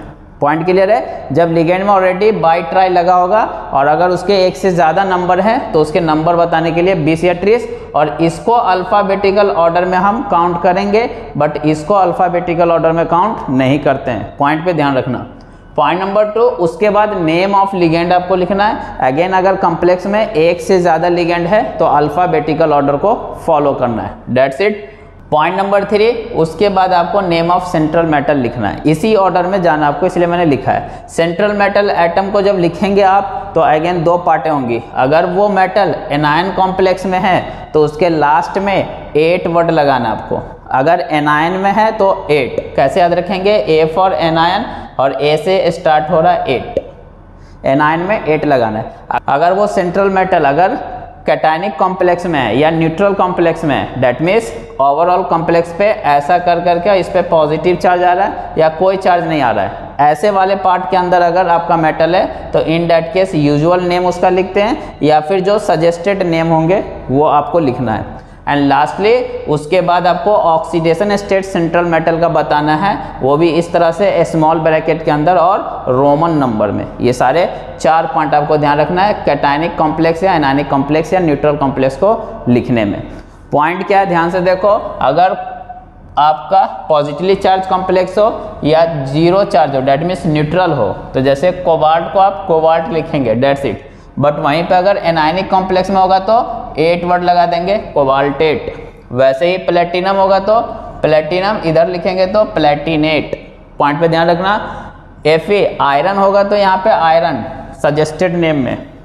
राइट बट वहाँ पे फेरेट वैसे ही सिल्वर होगा तो सिर्फ़ सिल्वर कैटानिक या फिर न्यूट्रल कॉम्प्लेक्स में. और इसमें अर्जेंटेट गोल्ड होगा तो सिर्फ़ गोल्ड इसमें ऑरेट तो ये ध्यान रखना है और ये पाँच ही आपको ध्यान रखना है क्योंकि इसी में कन्फ्यूज़न रहता है बच्चों को। ना तो क्वेश्चन इज़ कि जो मैं ये पॉइंट बोल रहा हूँ, उसका क्या मतलब? ध्यान से देखो, यहाँ पे कैटाइन स्क्वायर ब्रैकेट के बाहर है। तो ये आपका हो गया सिंपल कैटाइन एस मतलब सिंपल कैटाइन और ये पूरा का पूरा एनाइन हो जाएगा क्योंकि पोटेशियम पे प्लस है तो इस पर माइनस आएगा थ्री तो ये कॉम्प्लेक्स एनाइन हो गया। राइट? तो ये कैसा सॉल्ट हो गया? सिंपल कैटाइन से बना और कॉम्प्लेक्स एनाइन से। तो ये माइनस चार्ज आ गया इस कॉम्प्लेक्स पे, इसलिए अब आयरन में क्या लिखोगे आप? फेरेट वर्ड लिखना पड़ेगा। सिमिलरली अगर इसको चेक करें तो पहले ये लिखा मतलब ये कैटाइन है, इस पर प्लस टू, दो क्लोरीन पे दो माइनस है तो एक क्लोरीन पे एक माइनस वन। तो यहाँ पे कैटाइनिक कॉम्प्लेक्स है कैटाइनिक कॉम्प्लेक्स और सिंपल एनायन है। राइट, शॉर्ट फॉर्म में लिख रहा हूँ। कैटाइन कॉम्प्लेक्स है और सिंपल एनायन है। तो यहाँ पे कैटाइन जब आपका कॉम्प्लेक्स है तो सिर्फ़ कॉपर वर्ड लिखना पड़ेगा। सिमिलरली यहाँ पे कोई चार्ज नहीं है तो यही न्यूट्रल वाले हैं। तो ये न्यूट्रल कॉम्प्लेक्स है। और यहाँ पे आपका दोनों ही पार्ट कॉम्प्लेक्स है। कॉम्प्लेक्स यहाँ पे प्लस होगा, यहाँ पे माइनस तो कॉम्प्लेक्स कैटाइन है एंड कॉम्प्लेक्स एनायन है। तो डेट मीन सॉल्ट चार टाइप के हो सकते हैं, जिसमें सिंपल कैटाइन हो कॉम्प्लेक्स एनायन हो कॉम्प्लेक्स कैटाइन हो सिंपल एनायन हो न्यूट्रल हो, या दोनों कॉम्प्लेक्स हो। तो वही मैं कहना चाह रहा हूँ, अगर आपके स्क्वायर ब्रैकेट पे निगेटिव चार्ज आएगा तो एट वर्ड लगाना है। पॉजिटिव या ज़ीरो चार्ज होगा तो एज यूजल नेम लिखना है। तो आई होप ये क्लियर होगा। नाउ अब हम बात करते हैं एप्लीकेशन की। तो ये क्वेश्चन 2023 में पूछा गया है। कैसे करेंगे? सिंपल ट्रिक से। यहाँ पे पोटेशियम कैटायन है, तीन है तो यहाँ पे तीन माइनस आ जाएँगे राइट तो एनायन आपका कम्प्लेक्स हो गया। कम्प्लेक्स हो गया तो लास्ट में एट वर्ड आना चाहिए। ध्यान से देखो कहाँ कहाँ पे आ रहा है। यहाँ पे आ रहा है तो ये ऑप्शन नहीं होगा, क्योंकि नहीं आ रहा है। यह भी नहीं होगा, ये दोनों में से हो सकता है। और यहाँ पे एक चीज़ देखो ऑक्जिलेटो ऑक्जिलेटो में आपका कहीं भी बाई वर्ड नहीं लगा हुआ है। तो इसके नंबर बताने के लिए ट्राई यूज़ करना है राइट तो यहाँ पे ट्रिस यूज़ किया हुआ है, जबकि यहाँ पे ट्राई यूज़ किया हुआ है। तो इसलिए ऑप्शन डी करेक्ट हो जाएँगे। ऐसे आपको चेक करना है। क्यों? क्योंकि ऑप्शन आपके सामने है आंसर आपके सामने है। बस थोड़ा सा अपना दिमाग लगाना है आंसर टिक करना है। ज़्यादा इसमें सोचने की ज़रूरत नहीं है। क्वेश्चन नंबर टू में हमसे पूछा गया अगेन 2020 में कि इसका आईपीसी नेम क्या होगा? तो वेरी सिंपल ध्यान से देखो सीएल इधर बार है तो इस पर माइनस वन तो इस पर प्लस वन कैटाइन आपका कैसा हो चुका है? कॉम्प्लेक्स तो प्लेटिनम वर्ड यूज़ करना पड़ेगा राइट तो सब में प्लेटिनम है और सबका ऑक्सीडेशन स्टेट सेम है। तो इससे काम नहीं बना, आगे चलते हैं। यहाँ पे ध्यान से देखो अमाइन है। अमाइन में कोई डाइवर्ट नहीं आया राइट तो इसलिए डाई अमाइन यूज़ करेंगे। तो डाई अमाइन ध्यान से देखो, यहाँ है यहाँ है, यहाँ यहाँ बीस हुआ तो ऑप्शन डी नहीं होगा राइट अल्फ़ाबेटिकल ऑर्डर को फॉलो करना है तो डाई को हम नहीं लेते अल्फ़ाबेटिकल ऑर्डर में तो ए को लेंगे तो अमाइन तक आ गए। उसके बाद यहाँ पे ध्यान से देखो, क्लोरीन सी आएगा ए के बाद। तो क्लोरीडो तो ये भी ठीक है राइट तो यहाँ पे एम यूज़ कर लिया है तो ये गलत हो गया। अल्फ़ाबेटिकल ऑर्डर में नहीं है सी अल्फ़ाबेटिकल ऑर्डर में चल रहा है। उसके बाद ये कौन सा है? मिथेना माइन इसको बोलेंगे right alkanamine IUPAC name तो मिथेना माइन होगा एमिनो मिथेन नहीं होगा। इसलिए ऑप्शन ए करेक्ट हो जाएगा आपका। तो इस तरीके से आपको करना है। क्वेश्चन नंबर थ्री, 2012 में पूछा गया है कि डाई ब्रोमीडो बिस इथाइलिन डाई, क्योंकि यहाँ डाई लगा हुआ है, इसलिए बिस वर्ड लगाया है। अमाइन क्रोमियम थ्री में है ब्रोमाइड राइट तो इस कौन सा फार्मूला होगा? तो वेरी सिंपल ध्यान से देखो, ब्रोमीन कितना चाहिए आपको? डाई, दो ब्रोमीन चाहिए। यहाँ पे है ही नहीं तो ये गया, यहाँ पे दो ब्रोमीन है, यहाँ पे चार है तो ये गया, यहाँ पे दो ब्रोमीन है। उसके बाद हमें इथाइलिन डायमाइन भी दो चाहिए राइट तो यहाँ पे दो है, यहाँ पे एक ही है तो ऑप्शन बी आपको पूरा सॉल्व नहीं करना है, क्यों? क्योंकि नोबल प्राइज तो मिलेगा नहीं, बस चेक करो और आंसर पाओ राइट क्वेश्चन नंबर फोर में ये आपको गिवन था, इसका आईपीसी नेम बताना है 2006 में पूछा गया क्वेश्चन है। वेरी सिंपल ध्यान से देखो, यहाँ पे ये NO2 पे एक माइनस वन होगा, ये अमाइन है राइट न्यूट्रल लिगेंड है ज़ीरो चार्ज दो क्लोरीन पे दो माइनस टोटल माइनस थ्री है तो इस पर कितना होगा? Plus three oxidation state plus three वाले कौन है? ये हैं और ये हैं। तो इसलिए ये दो ऑप्शन गया। उसके बाद हमें अल्फ़ाबेटिकल ऑर्डर को फॉलो करना है तो यहाँ पे ध्यान से देखो, यहाँ पे एन से स्टार्ट किया है। जबकि इस वाले में ध्यान से देखो आप पी से बट पी को तो पेंटा को तो हम लेते नहीं अल्फ़ाबेटिकल ऑर्डर में तो एक्चुअली में वो किससे? ए से, अमाइन से। तो अल्फ़ाबेटिकल ऑर्डर में पहले एन नहीं आता है, पहले ए आता है। इसलिए ऑप्शन डी होगा right penta amine nitrito N क्यों दिखाया? क्योंकि ध्यान से देखो यहाँ पे मेटल के सामने कौन आ रहा है? नाइट्रोजन तो नाइट्रीटो एन अगर ऑक्सीजन इसी को ऐसे पलट कर लिखता ओ एन ओ तो नाइट्रीटो ओ हो जाता। तो इसलिए ऑप्शन यहाँ पे क्या रहेगा? D next question number five में अगेन आई नेम आपको बताना है और वेरी सिंपल ध्यान से देखो यहाँ पे आपका कैटायन पोटेशियम है तो ये एनायन होंगे माइनस थ्री तो इसमें एट वर्ड आना चाहिए आयरन के लास्ट में तो यहाँ पे एट आ रहा है, यहाँ पे एट आ रहा है तो ये दो ऑप्शन गए। और ये तो वैसे भी गए क्योंकि ट्राई पोटेशियम लगा दिया है, बाहर स्क्वायर ब्रैकेट के बाहर वाले का नंबर नहीं बताते हैं। अब क्या हो जाएगा? पोटेशियम छः है हेक्सा साइनो फेरेट और ऑक्सीडेशन स्टेट अब निकालना है तो यहाँ पे देख सकते हो आयरन किसमें? प्लस थ्री में। तो इसलिए ये टू वाला नहीं होगा तो ऑप्शन बी तो इस तरीके से आपको करना वेरी इजीली नाउ नेक्स्ट हम बात करते हैं वर्नर थ्योरी के बारे में। और अगेन ये थ्योरी बहुत इंपॉर्टेंट है, इस पे बेस कई प्रॉब्लम आते हैं और ये बहुत इजी भी है। अकॉर्डिंग टू वर्नर किसी भी कोऑर्डिनेशन कंपाउंड में दो तरह की वैलेंसी होती है। एक को प्राइमरी वैलेंसी बोलते हैं और एक को सेकेंडरी वैलेंसी बोलते हैं। तो दोनों में डिफरेंस क्या है, वो भी क्लियर होना चाहिए। प्राइमरी वैलेंसी से oxidation number of central metal atom का पता लगता है, जबकि सेकेंडरी से कोऑर्डिनेशन नंबर का पता लगता है राइट प्राइमरी वैलेंसी को आप कैसे पहचानेंगे? Point number two very important वो आयोनाइजेबल होती हैं। स्क्वायर ब्रैकेट के बाहर में होगा। स्क्वायर ब्रैकेट के अगर बाहर में है तो वो प्राइमरी वैलेंसी है। और स्क्वायर ब्रैकेट के अंदर में है तो वो सेकेंडरी वैलेंसी है। इसलिए अंदर वाले कभी भी ब्रेक नहीं होते हैं। इसलिए नॉन आयनाइजेबल वेरी सिंपल कभी भी स्क्वायर ब्रैकेट पूरा एक यूनिट है, ये ब्रेक नहीं होगा। इसके बाहर वाले या इधर वाले ब्रेक होंगे। अंदर वाले कभी ब्रेक नहीं होते, इस पॉइंट पे ध्यान रखना है। तो इसलिए ये नॉन आयनाइजेबल है। इसलिए ये नॉन डायरेक्शनल भी होंगे। नॉन डायरेक्शनल क्यों? क्योंकि आयन से पॉजिटिव चार्ज होगा या नेगेटिव चार्ज वो किसी भी डायरेक्शन से अटैच हो सकते हैं। बट ये डायरेक्शनल होंगी क्यों? क्योंकि ये आपके कोऑर्डिनेशन नंबर को बताती हैं प्लस शेप को डिटरमाइन करने में काम आता है। इसलिए किसी एक पर्टिकुलर डायरेक्शन से आएगा लाइक ऑक्टाहाइड्रल होगा तो एक्स वाई जेड डायरेक्शन से स्क्वायर प्लेनर होगा तो एक्स वाई डायरेक्शन से तो इसलिए ये एक प्रॉपर डायरेक्शन में आएँगी। नेक्स्ट इसको हम डॉटेड लाइन से शो करते हैं, जबकि इसको थिक लाइन से शो करते हैं। अगर दिखाना हो तो और ये सिर्फ़ और सिर्फ़ एनायन से सेटिस्फाई होंगे। ओनली एनायन हो सकता है प्राइमरी वैलेंसी जबकि सेकेंडरी वैलेंसी एनायन तो हो ही सकते हैं as well as neutral ligand भी हो सकते हैं। तो ये पॉइंट ध्यान रखना है। इसको क्वेश्चन कैसे पूछेगा? अप्लीकेशन बेस्ड तो उस पर पॉइंट ध्यान दो। इलेक्ट्रिकल कंडक्टिविटी अब आपको चार ऑप्शन दे देगा which is having more electrical conductivity simple आपको ब्रेक करके देखना है कितना आयंस मिलेंगे। जैसे इस केस में अगर मैं बात करूँ तो तीन पोटेशियम और एक ये पूरा खुद, ये एक पूरा खुद तो टोटल चार आयंस मिलेंगे। यहाँ पे बात करूँ तो ये एक पूरा और तीन ये तो यहाँ पे भी चार आयंस मिलेंगे। तो जिसमें जितना ज़्यादा आयंस मिलेंगे, उतना ज़्यादा इलेक्ट्रिकल कंडक्टिविटी होगी। इस टाइप के सिंपल आईक्यू वाले क्वेश्चन पूछे जाते हैं। एक और इसका यूज़ कितना मोल्स ए जी रिक्वायर्ड होगा? तो जैसे अगर आप ध्यान से देखो ए जी का यहाँ पे इस केस में तीन मोल्स रिक्वायर्ड होंगे। क्यों? क्योंकि तीन सी बाहर है। जितना सीएल बाहर होगा, उतना मोल्स रिक्वायर्ड होंगे।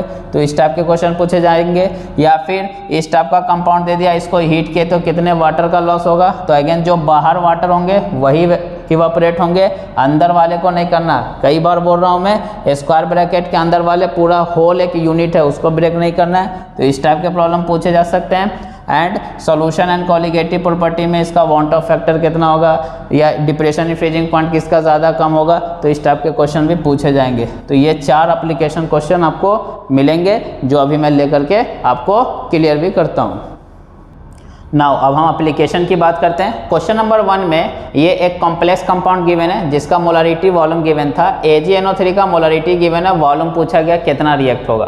तो वेरी सिंपल ध्यान से देखो, यहाँ पे दो क्लोरीन बाहर है। डैट मीन्स अगर मैं इसका एक मोल लिया, इस पूरे कंपाउंड का अगर एक मोल लिया तो दो मोल सी एल माइनस मिलेंगे, इसलिए इसका दो मोल्स रिकॉर्ड होगा। तो दोनों के मोल्स को सेम कर देना है मोलारिटी इंटू वॉल्यूम कितना हो जाएगा? Zero point zero one into molarity two और ध्यान दे, इसका दो क्लोराइड आयन मिलेगा तो इंटू टू करना नहीं भूले। तो ये राइट ये टोटल आएगा this should be equal to point one into volume निकालना है तो यहाँ से वॉल्यूम कितना आ जाएगा? फोर एम तो आंसर कितना हो जाएगा? फोर एम क्यों? क्योंकि अगर मैं इसका एक मोल लूँ तो दो मोल सी एल माइनस मिलेंगे, इसलिए इसके दो मोल्स रिकॉर्ड होंगे, इसलिए इस यहाँ पे टू करना पड़ा। तो इस टाइप के सिंपल क्वेश्चन पूछ जाते हैं। सिमिलरली यहाँ पे इस टाइप से क्वेश्चन फ्रेम किया गया था कि ये एक कंपाउंड है, इसका मोलारिटी वॉल्यूम गिवन है, दूसरा कंपाउंड मोलारिटी वॉल्यूम गिवन है, दोनों को मिक्स किया, फिर दोनों का इक्वल पार्ट की रिएक्शन एक बार एजेनो से कराया, एक बार बैरियम क्लोराइड से तो वाई और जेड मिला है तो वाई जेड का आपको मोल्स बताना है। तो ध्यान से देखो मोलारिटी इंटू वॉल्यूम और यहाँ भी मोलारिटी इंटू वॉल्यूम गिवन है। दोनों का इक्वल मोलारिटी और वॉल्यूम मिक्स किया गया है। तो अब इसका मोलारिटी कितना हो जाएगा बताओ। सिंपल, चूँकि वॉल्यूम डबल हो गया है, मोल्स तो अभी वही रहेंगे तो इसलिए इसका कितना हो जाएगा? 0.01 और इसका भी कितना हो जाएगा? 0.01 राइट, मोलारिटी। अब इसका इक्वल वॉल्यूम लिया गया है तो इसका मतलब इसका भी वन लीटर लिया गया होगा तो इसका भी वन लीटर, क्योंकि टोटल दो लीटर थे। तो इसका रिएक्शन जब आप AgNO3 से कराए तो Y मिला है बैरियम क्लोराइड से कराए तो Z. तो ध्यान से देखो, इसमें Br बाहर है तो ये one is to one ratio में ब्रेक होगा तो एक AgNO3 एक ही मोल से रिएक्ट करेगा, और वैसे यहाँ पे ये भी one is to one ratio में ब्रेक होगा तो एक बैरियम क्लोराइड सोल्यूशन एक ही इस वाले सल्फेट से करेगा, क्यों? क्योंकि एक ही सल्फेट बार है तो one is to one ratio दोनों के मोल सेम मिलेंगे तो 0.02 तो हो नहीं सकता राइट क्योंकि वो लिया ही था। तो हाफ़ होकर के 0.01 हुआ तो इसलिए ऑप्शन भी होगा। ये तो अनइक्वल वाले हैं तो ये हो नहीं सकता। ऐसे सिंपल आप आईक्यू से कर सकते हैं। नेक्स्ट क्वेश्चन नंबर थ्री में आपसे पूछा गया था कि ये कंपाउंड अगर हमने लिया तो इसमें प्राइमरी और सेकेंडरी वैलेंसी कितनी होंगी? तो आपको बता रखा हूँ क्लोज ब्रैकेट के अंदर जो होते हैं, वो सेकेंडरी वैलेंसी होते हैं। पाँच और एक क्लोरीन छः। तो छः वाले ऑप्शन कौन है? ये दोनों। और इसका ऑक्सीडेशन स्टेट निकालोगे तो प्लस थ्री आएगा, जो कि प्राइमरी वैलेंसी बताता है। दो ये क्लोरीन और एक ये क्लोरीन की वजह से भी प्राइमरी वैलेंसी आएगी। तो ऑप्शन के क्या हो जाएगा? डी ध्यान दें, यहाँ पे बच्चों का कन्फ्यूज़न होता है। प्राइमरी वैलेंसी जो होती हैं, वो ऑक्सीडेशन स्टेट को बताती हैं। तो वो इनसाइड में है तो जस्ट ऑक्सीडेशन स्टेट को रिलेट करने के लिए। बट मेजरली ये सेकेंडरी वैलेंसी का काम कर रहा है और secondary valency can be have like primary valency क्योंकि ऑक्सीडेशन स्टेट भी इससे सेटिस्फाई हो रहा है। क्वेश्चन नंबर फोर में conductivity of this solution is one is to one तो यहाँ से आपको क्या कहना चाह रहा है? कि बाहर में एक ही होना चाहिए राइट तो इसको कैसे लिखेंगे? C O N H three whole four C L two ये पूरा एक इंटाइटी हो गया और सी एल तभी ये one is to one ratio में ब्रेक होगा। तो इस टाइप से वर्ड फॉर्म में दे देता। अगर वन इज़ टू टू बोलता है तो मुझे एक और सेल को बाहर करना पड़ता। वन इज़ टू थ्री बोलता है तो मुझे तीन सेल को बाहर करना पड़ता। तो इस टाइप से दे सकता है। आप प्राइमरी बैलेंस वैलेंसी तो उससे फ़र्क नहीं पड़ता। ये तो है ही। और ये दो क्लोरीन की वजह से भी ऑक्सीडेशन स्टेट तभी प्लस थ्री आएगा।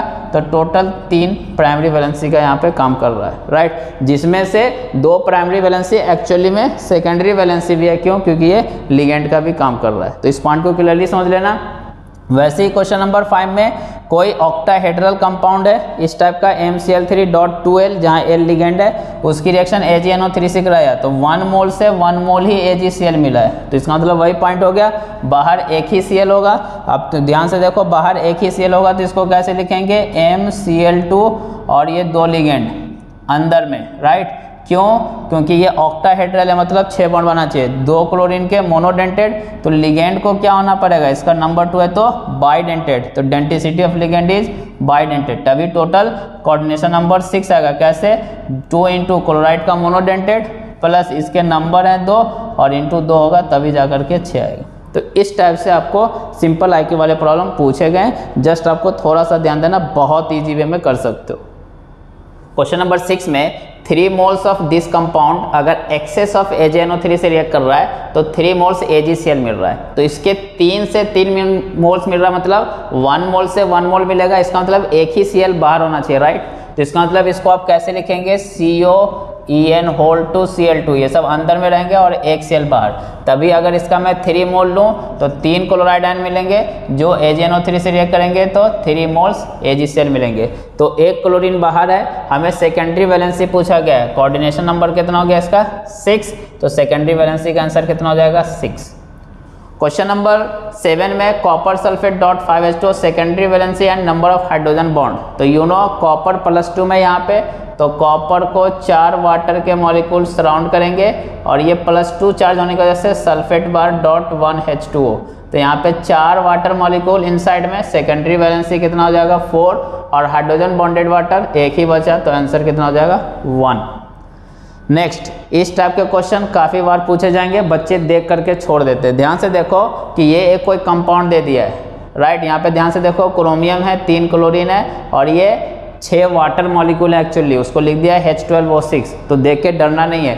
कॉन्क फोर से क्या हो जाएगा? डिहाइड्रेशन तो 13.5 परसेंट ओरिजिनल मास लॉस हो गया है। तो आपको बताना है कौन फार्मूला होगा। वेरी सिंपल ध्यान से देखो, पहले इसका टोटल मास निकाल लो क्रोमियम का 52 गिवन था तीन क्लोरीन है तो 105 प्लस छः वाटर मॉलिक्यूल हैं तो 108 ये टोटल आप कर लो, अप्रॉक्स में ये 265 आ जाएगा राइट 265 का आप क्या निकाल लो 13.5 परसेंट मतलब 14 ले रहा हूँ मैं अप्रॉक्स तो ये हो जाएगा तो 14 सेवन था और ये अप्रॉक्स में 36 मतलब कितना? 36 ग्राम लॉस हुआ। 36 ग्राम मतलब दो वाटर का लॉस हुआ राइट तभी 36 होगा। डेट मीन्स दो वाटर मॉलिक्यूल बाहर होना चाहिए। ध्यान से देखो, यहाँ पे एक भी नहीं है ऑप्शन है गया यहाँ पे तीन वाटर हैं तो 54 का लॉस होगा, इसलिए ये गया।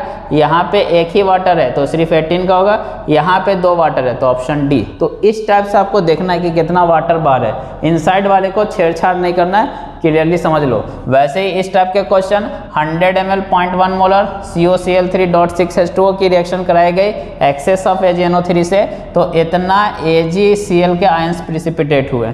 तो ये गिवन है मतलब यहाँ से हम मैं मोल्स निकाल सकता हूँ 1.2 पॉइंट टू इंटू टेन की power twenty two divided by Avogadro number six into ten की पावर ट्वेंटी थ्री तो ये कितना हो गया? ज़ीरो पॉइंट ज़ीरो टू ये मिल रहा है, इसको निकाल लो। तो ये मोलारिटी इंटू वॉल्यूम से मोलारिटी ध्यान देना।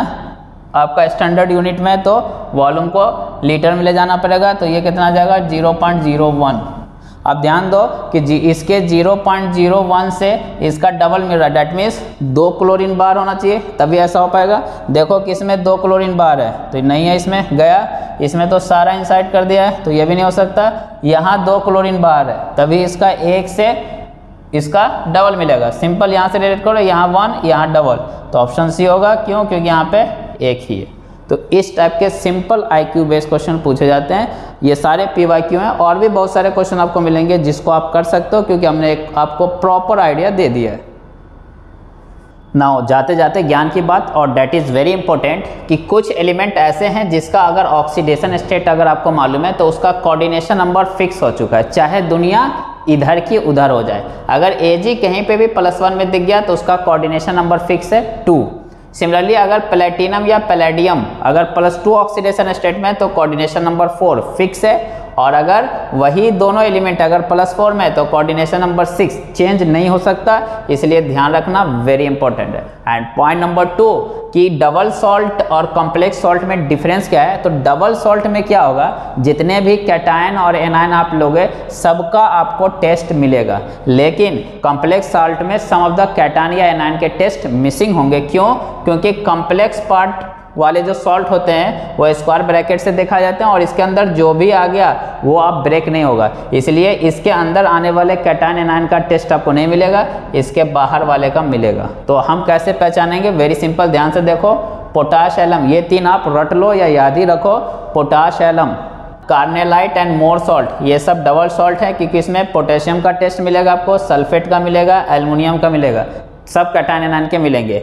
और एक से ज़्यादा कैटाइन या एनाइन होंगे, तभी उसको आप डबल सॉल्ट या कॉम्प्लेक्स सॉल्ट बोलेंगे। वैसे यहाँ पे पोटेशियम क्लोराइड मैग्नीशियम इन सब का टेस्ट मिलेगा। यहाँ पे आयरन सल्फेट अमोनियम इन तीनों का मिलेगा। तो डबल सॉल्ट बोलेंगे, इसको ध्यान में रखना है। कॉम्प्लेक्स सॉल्ट में क्या होगा? एक्चुअली में ये कैसे एग्जिस्ट होगा? ये लिखने को ऐसे लिखा गया, लेकिन यू नो ये जो चार पोटेशियम है, वो बाहर रहेगा K four F C N six ये हो जाएगा। तो आपको पोटेशियम का तो टेस्ट मिलेगा, लेकिन आयरन का नहीं मिलेगा, क्योंकि इनसाइड में और साइनाइड का भी नहीं मिलेगा आपको। तो इसलिए ये क्या हो गया? कॉम्प्लेक्स सॉल्ट सिमिलरली इसको कैसे लिख सकते हैं? Copper N H three whole four ये इनसाइड में चला गया और ये सल्फेट तो जनरली डी ब्लॉक वाले भी बनाते हैं कॉम्प्लेक्स सॉल्ट ये भी आप कह सकते हो। तो यहाँ पे अगेन कॉपर का टेस्ट नहीं मिलने वाला आपको और अमोनिया का सिर्फ़ सल्फेट का मिलेगा। तो ये कॉम्प्लेक्स सॉल्ट है। इसको आप कैसे लिख सकते हो? K A G C N whole twice तो यहाँ पे पोटेशियम का मिलेगा सिल्वर और साइनाइड का आपको नहीं मिलने वाला है। तो कॉम्प्लेक्स सॉल्ट की पहचान है कि उसमें सम ऑफ़ द आयंस के टेस्ट मिसिंग होंगे, जबकि इसमें सभी कैटान और एनाइन का मिलेगा। इतने ही को ध्यान में रखना बेटा, इससे बाहर कुछ नहीं आता है।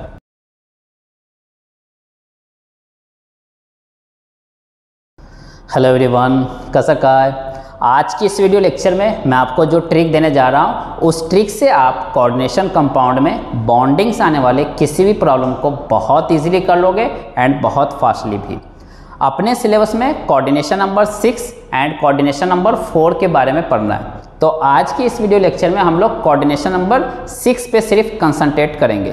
तो चूँकि अपना कोऑर्डिनेशन नंबर फिक्स हो गया है सिक्स तो टोटल मैं छः पॉइंट दूँगा। और उस पॉइंट को अच्छे से फिल भी करा दूँगा, क्योंकि वो छः पॉइंट अगर आपको समझ में आ गए तो फिर कोऑर्डिनेशन नंबर सिक्स से आने वाले किसी भी प्रॉब्लम को आप विद इन वन मिनट में कर लोगे। तो पॉइंट नंबर वन कि कोऑर्डिनेशन नंबर आप कैसे निकालेंगे? तो very simple summation of number of ligand into denticity number of ligand कोई भी बच्चे पहचान लेते हैं। फॉर एग्ज़ाम्पल वो नंबर दिख जाता है राइट जैसे कि यहाँ पे मैंने एक एग्ज़ाम्पल लिया है। तो यहाँ पे दिख रहा है कि इसके दो हैं, इसके भी दो हैं। तो नंबर ऑफ़ लिगेंड पहचान लेते हैं। डेंटिसिटी में बहुत सारे बच्चों को प्रॉब्लम आता है तो वो वेरी सिंपल है। आपको बस इतना लिगेंड के बारे में ध्यान रखना है। 99 परसेंट क्वेश्चन में जो बाई डेंटेड होगा, वो इथिलीन डाई एमाइन होगा, जिसको ई e से रिप्रेजेंट करके भी दे सकता है।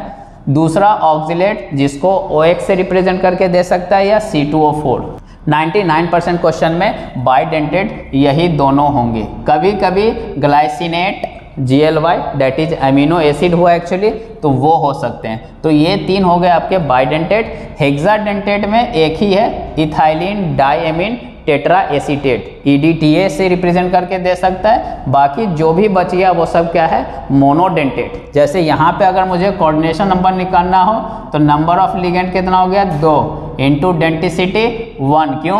क्योंकि ना तो वो ई एन है, ना ऑक्जिलेट है, ना ही आपका ई डी टी है। और यहाँ पे प्लस नंबर दो है और ई एन है। ई एन का डेंटिसिटी दो। तो कितना आ गया? सिक्स तो एक बार कोऑर्डिनेशन नंबर सिक्स आपने कंफर्म कर लिया तो आपका शेप जो है वो फिक्स हो चुका है। आपको शेप ऑलवेज या स्ट्रक्चर ऑलवेज बताना ऑक्टाहेड्रल जिसको आप स्क्वायर बाय पिरामिडल भी बोल सकते हो। और ये शेप कैसा है? तो वेरी सिंपल आपको क्या मानना है कि आपका सेंट्रल मेटल एटम ओरिजिन पे है। कोऑर्डिनेट एक्सिस का एक्स वाई जेड डायरेक्शन होता है तो ओरिजिन पे आपका सेंट्रल मेटल एटम है एक्स डायरेक्शन में दो लिगेंड है, एक प्लस एक्स में, एक माइनस एक्स में वाई डायरेक्शन में दो लिगेंड है जेड डायरेक्शन में दो लिगेंड है। यहाँ पे जेड डायरेक्शन को मैंने ऐसे दिखाया एक्चुअली वो कैसे होगा?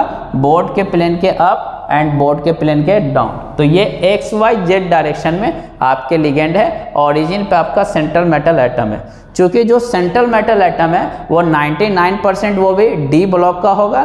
तो वीनो कि जो डी ब्लॉक है, उसमें डी ऑर्बिटल में पाँच घर होते हैं. उस पाँच घर में तीन घर या तीन orbital in between the axis होता है और दो घर या दो ऑर्बिटल ऑन द एक्सिस होते हैं. राइट तो इन बिटवीन द एक्सिस वाले कौन कौन है? D x y d y z and d x z right जैसे यहाँ पे मैंने डी एक्स वाई को दिखाया है तो मतलब वो एक्स वाई एक्सिस के बीच में होगा 45 डिग्री एंगल पे। और जो एक्सिस वाले हैं, वो d x square y square and d z square है, दोनों में स्क्वायर ही लगा हुआ है तो ईजी है याद रखना, इसमें स्क्वायर नहीं है सिंपल और d x square y square मतलब एक्स वाई एक्सिस पे है वो, जो यहाँ पे दिखाया है डी जेड स्क्वायर मतलब वो जेड एक्सिस पे तो ये दो आपके, ये वाले दो ऑन द एक्सिस हैं और ये तीन आपके इन बिटवीन द एक्सिस हैं। तो एक्चुअल में क्या होगा आप ध्यान से देखो आप खुद ही कि लिगेंड भी आपका एक्सिस पे आ रहा है एक्स वाई जेड डायरेक्शन से, और आपके ये जो ऑर्बिटल है, वो भी एक्सिस पे है एक्स वाई जेड एक्सिस पे। इसलिए ये दोनों में आमने सामने की टक्कर होगी, जिसकी वजह से ये एनर्जी में ऊपर चले जाएँगे। और वो जो तीन घर, जिसमें आमने सामने की कॉलिजन नहीं होगा, आमने सामने का टक्कर नहीं होगा साइड वाइज टक्कर होंगे तो वो कहाँ आ जाएँगे? नीचे आ जाएँगे। अब इस पॉइंट को मैं प्रॉपर फील भी करा देता हूँ। वेरी सिंपल ध्यान से देखो, आपको लिगेंड को क्या मानना है? कि वो व्हीकल है।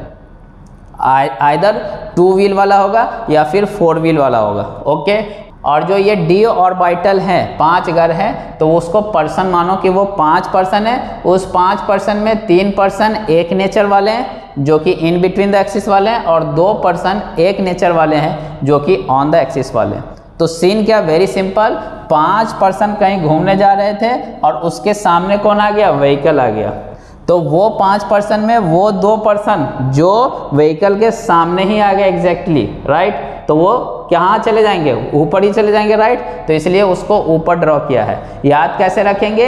ईगो वर्ड से। ईगो में ईजी आ रहा है। ये दो घर हैं, यहाँ पे दो लेटर है। ईजी उसका नाम है। और यहाँ पे तीन घर है, यहाँ पे तीन लेटर है टी टू जी जिसको प्यार से चिंटू जी भी बोल सकते हैं। तो बात समझ में आ गई कि व्हीकल से ये पाँच परसेंट टकराएँगे तो वो दो पर्सन जो व्हीकल के सामने आ जाएँगे, वो ऊपर चले जाएँगे, और वो तीन पर्सन जो साइडवाइज टकराएँगे, वो नीचे आ जाएँगे। डैट मीन्स वो हॉस्पिटल में जाएँगे और ये भगवान के पास। आप खुद ही सोचो कि अगर ये व्हीकल भारी हो गया, जैसे ट्रक बस हो गया तो फिर ये पर्सन और ज़्यादा ऊपर चला जाएगा। हो सकता है प्यारा ही हो जाए भगवान को राइट तो इसलिए मैंने यहाँ पे दो तरह की स्प्लिटिंग दिखाई है। एक weak field ligand weak field ligand का सेंस क्या है? कि अगर वो व्हीकल मोटरसाइकिल है तो फिर आपका जो टक्कर होगा तो उसकी वजह से वो जो दो लोग हैं ईगो वाले, वो ऊपर तो जाएँगे ही राइट चोट तो उनको आएगी, लेकिन उतना भी ऊपर नहीं जाएँगे। लेकिन अगर वही व्हीकल सपोज़ कर लेते हैं, वो लिगेंड स्ट्रॉन्ग फ़ील्ड लिगेंड हो गया राइट डैट मीन्स बस हो गई या ट्रक हो गई तो फिर वो दोनों बंदा ऊपर ही चला जाएगा। इसलिए उसका देखो ध्यान से मैंने बहुत ऊपर दिखाया राइट और जितना ऊपर ये जाएगा, उतना ही नीचे ये भी आएँगे। राइट तो वेरी सिंपल है। सीन समझ में आ गया कि पाँच परसेंट में से टक्कर हो रही है उनकी व्हीकल से। तो अगर वो व्हीकल लाइट वेट है तो फिर ज़्यादा गैप नहीं होगा। डैट मीन्स लाइट वेट का मतलब क्या है? वीक फ़ील्ड लिगेंड है। वीक फ़ील्ड हम कैसे पहचानेंगे? जिसमें भी ऑक्सीजन डोनर हो हेलोजन डोनर हो सल्फ़र डोनर हो, ये सब वीक फ़ील्ड है। स्ट्रॉन्ग फ़ील्ड आप कैसे पहचानोगे? जिसमें भी कार्बन डोनर हो नाइट्रोजन डोनर हो, वो स्ट्रॉन्ग फ़ील्ड होंगे। उसको भी अगर याद रखना तो सी से कान एन से नाक। कान और नाक वाले जो है, वो क्या है? स्ट्रॉन्ग फ़ील्ड डोनर है, क्योंकि ये दोनों चीज़ बहुत ही स्ट्रॉन्ग है है। और यहाँ पे कैसे रख सकते हो? ओ से और हेलोजन से हाथ। और हाथ जो है वो आपका वीक फ़ील्ड लिगेंड है। कैसे भी कनेक्ट कर सकते हो? तो ये वीक फ़ील्ड वाले हैं, इसलिए स्प्लिटिंग कम होगा। क्यों? क्योंकि ये वीक अगर व्हीकल होंगे that means light weight vehicle होगा तो टक्कर जो होगी, उसकी वजह से ज़्यादा नुकसान नहीं होगा राइट लेकिन अगर वही स्ट्रॉन्ग व्हीकल हो गया डेट मीन्स बस या ट्रक हो गए तो फिर वो भगवान को प्यारे हो जाएँगे। तो स्प्लिटिंग आपको बहुत ज़्यादा गैप करना है। बात यहाँ तक क्लियर हो गई? तो ये है मेरा पॉइंट नंबर टू ये ऑक्टाहेड्रल स्ट्रक्चर को भी आप सिंपल ऐसे फील कर सकते हो। ध्यान से देखो, मैंने यहाँ पे दिखाया है। तो राइट तो ये है आपका ऑक्टाहेड्रल शेप जिसमें से तीन पेंसिल हैं, एक एक्स डायरेक्शन में, एक वाई डायरेक्शन में, एक जेड डायरेक्शन में राइट और तीनों का जो मीट पॉइंट है, वहाँ पे central metal atom d block का कोई एलिमेंट होगा 99 परसेंट राइट हर पेंसिल का दो इंड पॉइंट है, वहाँ पे कौन होंगे? लिगेंड तो ये है आपका ऑक्टाहेड्रल या स्क्वायर बायपिरामिडल ऑक्टाहेड्रल क्यों बोल रहे हैं? क्योंकि अगर मैं यहाँ से, अगर डॉटेड लाइन ड्रॉ करूँ तो ऊपर से चार डॉटेड लाइन ड्रॉ होंगी राइट एक्स वाई प्लेन में और नीचे से चार होंगी। तो टोटल एट डॉटेड लाइन होगा। इसलिए ऑक्टा वर्ड आ रहा है बट बॉन्ड यहाँ पे ध्यान देना छः ही हैं। नाउ पॉइंट नंबर थ्री आपको क्या करना है? सेंट्रल मेटल एटम का ऑक्सीडेशन स्टेट निकाल लेना है। क्यों?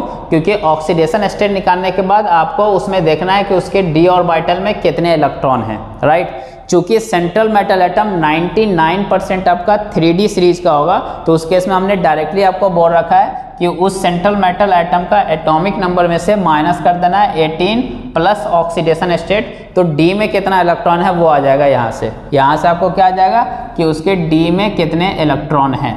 राइट? right? और अगर वो 3D सीरीज़ का नहीं हुआ 4D 5D का हुआ तो आपको आइडिया दे रखा हूँ इलेक्ट्रॉनिक कन्फिग्रेशन कैसे लिखेंगे? पहले S से इलेक्ट्रॉनिक करना है, फिर D से according to their oxidation state तो एक बार आपको पता लग गया कि D में कितना इलेक्ट्रॉन है तो उसको यहाँ पे फिलअप करना अपने को। ऐसे क्यों स्प्लिट किया? क्योंकि D एंड एफ़ ब्लॉक में लिगेंड नहीं था, इसलिए वो ऑर्बिटल आपका ऐसे ही था। इसको बोलते हैं degenerate orbital that means सबकी एनर्जी सेम है। लेकिन जब लिगेंड आ जाएगा तो ये स्प्लिट हो जाएँगे। अगर वीक फ़ील्ड होगा तो ये टी टू जी और ई e जी का गैप कम होगा। स्ट्रॉन्ग होगा तो ये टी टू जी और ई e जी का गैप ज़्यादा होगा। क्यों? क्योंकि अभी आपको समझाया, अगर वो भारी व्हीकल से टकराया तो क्या हो जाएगा? ऊपर चला जाएगा और अगर लाइट व्हीकल से टकराया तो ज़्यादा ऊपर नहीं जाएगा राइट तो आपको डी ऑर्बिटल को इस तरीके से टी टू जी ई जी में ब्रेक कर देना है। अब उसके बाद हमें इलेक्ट्रॉन की फिलिंग करना है अकॉर्डिंग टू कि आपके डी में कितना इलेक्ट्रॉन है। अगर डी में वन टू थ्री इलेक्ट्रॉन है आइधर वन है या टू है या थ्री है तो उस केस में स्ट्रॉन्ग फ़ील्ड या वीक फ़ील्ड का कोई फ़र्क नहीं पड़ने वाला है, क्योंकि यहाँ पे अगर तीन इलेक्ट्रॉन होंगे तो one two three single single पहले भरे जाएँगे तो ये इसी टी टू जी में आएगा और स्ट्रॉन्ग फ़ील्ड में भी वन टू थ्री इसी में भरे जाएँगे राइट तो इसलिए कोई फ़र्क नहीं पड़ने वाला, उस केस में हाइब्रिडाइजेशन फिक्स हो गया है d two s p three क्यों d two s p three क्योंकि ऊपर वाले दोनों के डी क्या होंगे? खाली होंगे। तो पहले वो यूज़ होंगे तो दो डी के, एक एस के, तीन पी के टोटल छः ऑर्बिटल यूज़ हो गए, क्योंकि छः कोऑर्डिनेशन नंबर भी है।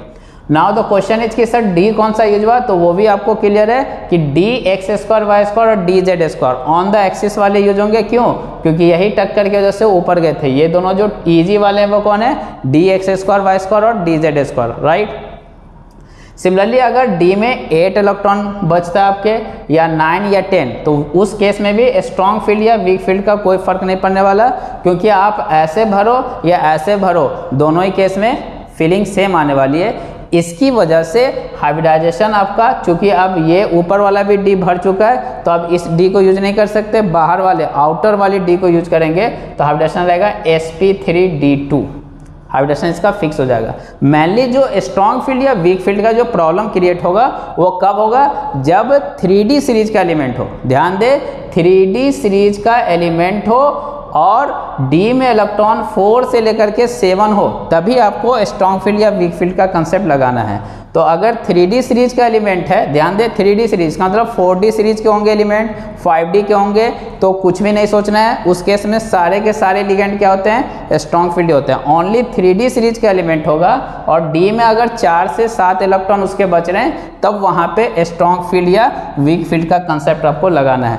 और स्ट्रॉन्ग फ़ील्ड में चूँकि ये गैप बहुत ज़्यादा होगा तो ये जो एनर्जी है डेल्टा ओ ओ फॉर ऑक्टाइडल वो ज़्यादा हो जाएगी पेयरिंग से।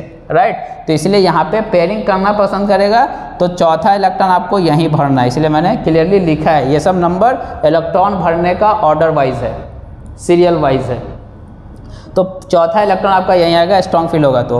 पांचवा इलेक्ट्रॉन भी यहीं आएगा और छठा इलेक्ट्रॉन भी यहीं आएगा। क्यों? क्योंकि ये गैप बहुत ज़्यादा है तो चौथा इलेक्ट्रॉन यहाँ नहीं जा पाएगा। तो वो पेयरिंग करना पसंद करेगा। इसलिए यहाँ पे ऑक्टाहेड्रल का गैप अगर ज़्यादा है पेयरिंग से तो फिर पेयरिंग करेगा। यहाँ पे ऑक्टाहेड्रल का गैप कम है पेयरिंग एनर्जी से। यहाँ पे उल्टा है। तो इसलिए आपका चौथा इलेक्ट्रॉन पहले कहाँ चला गया? यहाँ चला गया। तो स्ट्रॉन्ग फ़ील्ड होंगे तो D2sp3 क्यों? क्योंकि सारे इलेक्ट्रॉन इधर भरेंगे तो ऊपर वाला खाली रह जाएगा आपका। तो हाइब्रिडेशन होगा D2sp3 और इस केस में हम उसको बोलते हैं इनर ऑर्बिटल कॉम्प्लेक्स इनर क्यों बोल रहे हैं? क्योंकि डी जो यूज़ हो रहा है वो उसी वाला इनसाइड वाला डी यूज़ हो रहा है राइट तो इनर और लो स्पिन क्यों बोलेंगे? क्योंकि पेयरिंग होगा तो नंबर ऑफ़ अनपेड इलेक्ट्रॉन कम होंगे तो स्पिन कम होता जाएगा तो इसलिए लो स्पिन कॉम्प्लेक्स भी बोलते हैं। सिमिलरली अगर वीक फ़ील्ड हुआ तो यू नो ये गैप कम होगा। चौथा इलेक्ट्रॉन आपका यहाँ जाएगा। अनपेड इलेक्ट्रॉन बढ़ते जाएँगे अभी भी तो इसलिए इसको बोलते हैं हाई स्पिन चूँकि ये डी यूज़ हो गया इलेक्ट्रॉन है ही इसमें, हमें खाली घर चाहिए तो वो खाली घर है नहीं तो इसलिए बाहर वाला डी यूज़ करना पड़ेगा। तो इसलिए उसको बोलेंगे आउटर ऑर्बिटल कॉम्प्लेक्स और हाइब्रिडेशन क्या रहेगा? S p three d two ध्यान दें, यहाँ पे बाहर में डी है लास्ट में डी है, यहाँ पे पहले डी है। अब इस पे बेस्ट क्वेश्चन कैसे पूछा जा सकता है कि कौन डी जनरेट ऑर्बिटल के सेट हैं? तो डी जनरेट ऑर्बिटल के सेट कौन है? टी टू जी वाले। D x y d y z d x z इन तीनों की एनर्जी सेम है। डी जनरेट ऑर्बिटल मतलब सेम एनर्जी या फिर ई e जी वाले। That is d x square y square और डी जेड स्क्वायर ये डी जनरेट और वाइटल होंगे. इस टाइप के क्वेश्चन पूछे जा सकते हैं. दूसरा इसका अप्लीकेशन बहुत इंपॉर्टेंट है, ले सकता है टी टू जी ई जी क्योंकि यहाँ पे बेटा अगर मैं क्वेश्चन कराने जाऊँ तो वीडियो लेक्चर का लेंथ बहुत लंबा हो जाएगा. मैं सारे कंसेप्ट को पहले समझा दे रहा हूँ कि आपको क्या क्या पूछा जा सकता है. टी टू जी और ई e जी में कैसे कैसे पूछा जा सकता है क्वेश्चन कि उसमें अनपेयर्ड इलेक्ट्रॉन कितने हैं? टी टू जी में बताओ। तो डी में कितना इलेक्ट्रॉन है? आपको भरने का तरीका बता दिया है। काउंट करके आपको बता देना कितना अनपेयर्ड इलेक्ट्रॉन है। या फिर टी टू जी में पेयर्ड इलेक्ट्रॉन कितने हैं? वो भी पूछा जा सकता है। तो इसलिए क्वेश्चन पे ध्यान देना। अनपेयर्ड पूछ रहा है। पेयर्ड का पूछ रहा है। तो ये सब क्वेश्चन पे ध्यान देना है। Sum of electron in t two g e g बताओ, ऐसा या difference between t two g e g बताओ, कुछ भी इस टाइप से पूछ सकता है, क्योंकि सबका कंसेप्ट वही है राइट पूछने के तरीके इन्फानाइट हो सकते हैं। टी टू जी में अगर एम इलेक्ट्रॉन है ई जी में एन है तो एम प्लस एन की वैल्यू बताओ, या एम माइनस एन या एम डिवाइडेड बाई एन कुछ भी इस टाइप से, या एम इंटू एन बताओ इंटीजर टाइप में, यही सब पूछा जा सकता है। या फिर किसमें सिमेट्रिकल फ़ील्ड हुआ है? सिमेट्रिकल फ़ील्ड होने मतलब टी टू जी में वन वन वन है और ई जी में भी वन वन है तो उसको बोलेंगे सिमेट्रिक दैट मीन्स इसका मतलब टी टू जी में तीन इलेक्ट्रॉन होना चाहिए और ई जी में दो इलेक्ट्रॉन होना चाहिए। तो उसको सिमेट्रिक फीलिंग बोलेंगे। या फिर डी इलेक्ट्रॉनिक कन्फिगेशन बताओ इस टाइप से। तो टी टू जी में काउंट कर लो, कितना इलेक्ट्रॉन है? मान लो कि चार इलेक्ट्रॉन है तो t two g four e g में मान लेते हैं दो इलेक्ट्रॉन है तो ई जी टू ऐसा आपको लिख करके चार ऑप्शन क्रिएट कर देगा। तो इस टाइप के आपको अप्लीकेशन प्रॉब्लम पूछे जा सकते हैं। एक और एप्लीकेशन कैसे ले सकता है? कि मैग्नेटिक मोमेंट से रिलेटेड कि उसकी वैल्यू बताओ। तो मैग्नेटिक मोमेंट म्यू कैसे निकालते हैं? Root under of n into n plus two लेकिन इस फॉर्मूले को हम ज़्यादा यूज़ नहीं करेंगे। एन क्या है? Number of unpaired electron right तो आप कैसे निकालेंगे? तो आपको दिख जाएगा कितना अनपेयर्ड इलेक्ट्रॉन है भरने के बाद। तो जितना भी अनपेयर्ड इलेक्ट्रॉन होगा, मान लो कि वो एक्स आ रहा है तो आपका मैग्नेटिक मोमेंट की वैल्यू एक्स पॉइंट समथिंग कर देना और सेवन से बड़ा रखना। X point seven x point eight x point nine क्योंकि वो क्लोज टू फिर उधर ही जाएगा राइट जैसे अगर अनपेड इलेक्ट्रॉन वन है तो वन पॉइंट सेवन थ्री आ जाएगा। टू है तो टू पॉइंट एट नाइन ऐसा कर देना। थ्री है तो थ्री पॉइंट नाइन कर देना है तो वो वाले ऑप्शन को टिक कर देना आपको। दूसरा, इसका उल्टा भी पूछा सकता है कि मैग्नेटिक मोमेंट इतना है तो अनपेड इलेक्ट्रॉन बताओ तो डेसिमल से पहले जो नंबर होंगे वही अनपेड इलेक्ट्रॉन को बताएगा। और कैसे पूछ सकता है कि चार ऑप्शन दे दिया which can be attracted in magnetic field which can be attracted in external magnetic field इस टाइप से तो बात वही है, या which can respond in magnetic field तो वही कहना चाह रहा है कि कौन पैरामैग्नेटिक है। पूछने का अगेन वही बोल रहा हूँ, तरीका अलग होगा कंसेप्ट सेम ही रहेगा। या फिर ऑर्डर बताओ उसके मैग्नेटिक मोमेंट का, या अनपेड इलेक्ट्रॉन का ऑर्डर बताओ, चार ऑप्शन दे देगा, या फिर कौन पैरामैग्नेटिक होगा इसमें, कौन डायामैग्नेटिक होंगे, ये सब क्वेश्चन पूछे जा सकते हैं। या फिर मैग्नेटिक मोमेंट का रेशियो बताओ डिफरेंस बताओ तो ये इस टाइप के सारे क्वेश्चन पूछे जा सकते हैं। अब जो एक पॉइंट है that is very very important इसको ध्यान में रखना है। अगर आपको चार ऑप्शन दे दे और पूछा जाए कौन डायामैग्नेटिक है तो डायामैग्नेटिक सिर्फ़ दो होंगे। डी में सिक्स इलेक्ट्रॉन है। डी सिक्स कॉन्फ़िगरेशन है और स्ट्रॉन्ग फ़ील्ड है तो डाया होगा।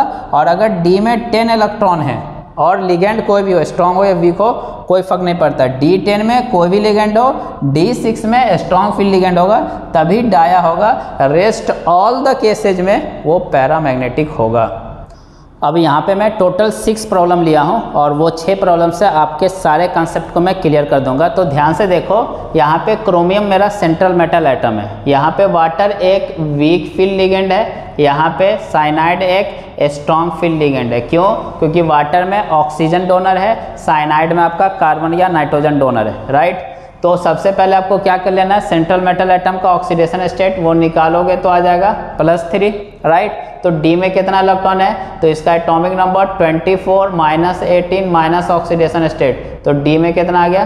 थ्री इलेक्ट्रॉन राइट डी में थ्री इलेक्ट्रॉन है, यहाँ भी सेम वही है क्रोमियम आपका प्लस थ्री में डी में तीन इलेक्ट्रॉन है. तो डी में तीन इलेक्ट्रॉन कैसे भरेंगे? ध्यान से देखो, अगर वीक फ़ील्ड होगा तो वन टू, थ्री, तीनों का तीनों आपका टी टू जी में जाएगा। स्ट्रॉन्ग फ़ील्ड हुआ भी तो भी कहाँ जाएगा? ध्यान से देखो। वन टू थ्री इसलिए मैंने बोला डी में एक इलेक्ट्रॉन हो, दो इलेक्ट्रॉन हो, तीन इलेक्ट्रॉन हो स्ट्रॉन्ग फ़ील्ड हो वीक फ़ील्ड हो, फ़र्क नहीं पड़ता है सेम फीलिंग रहेगी।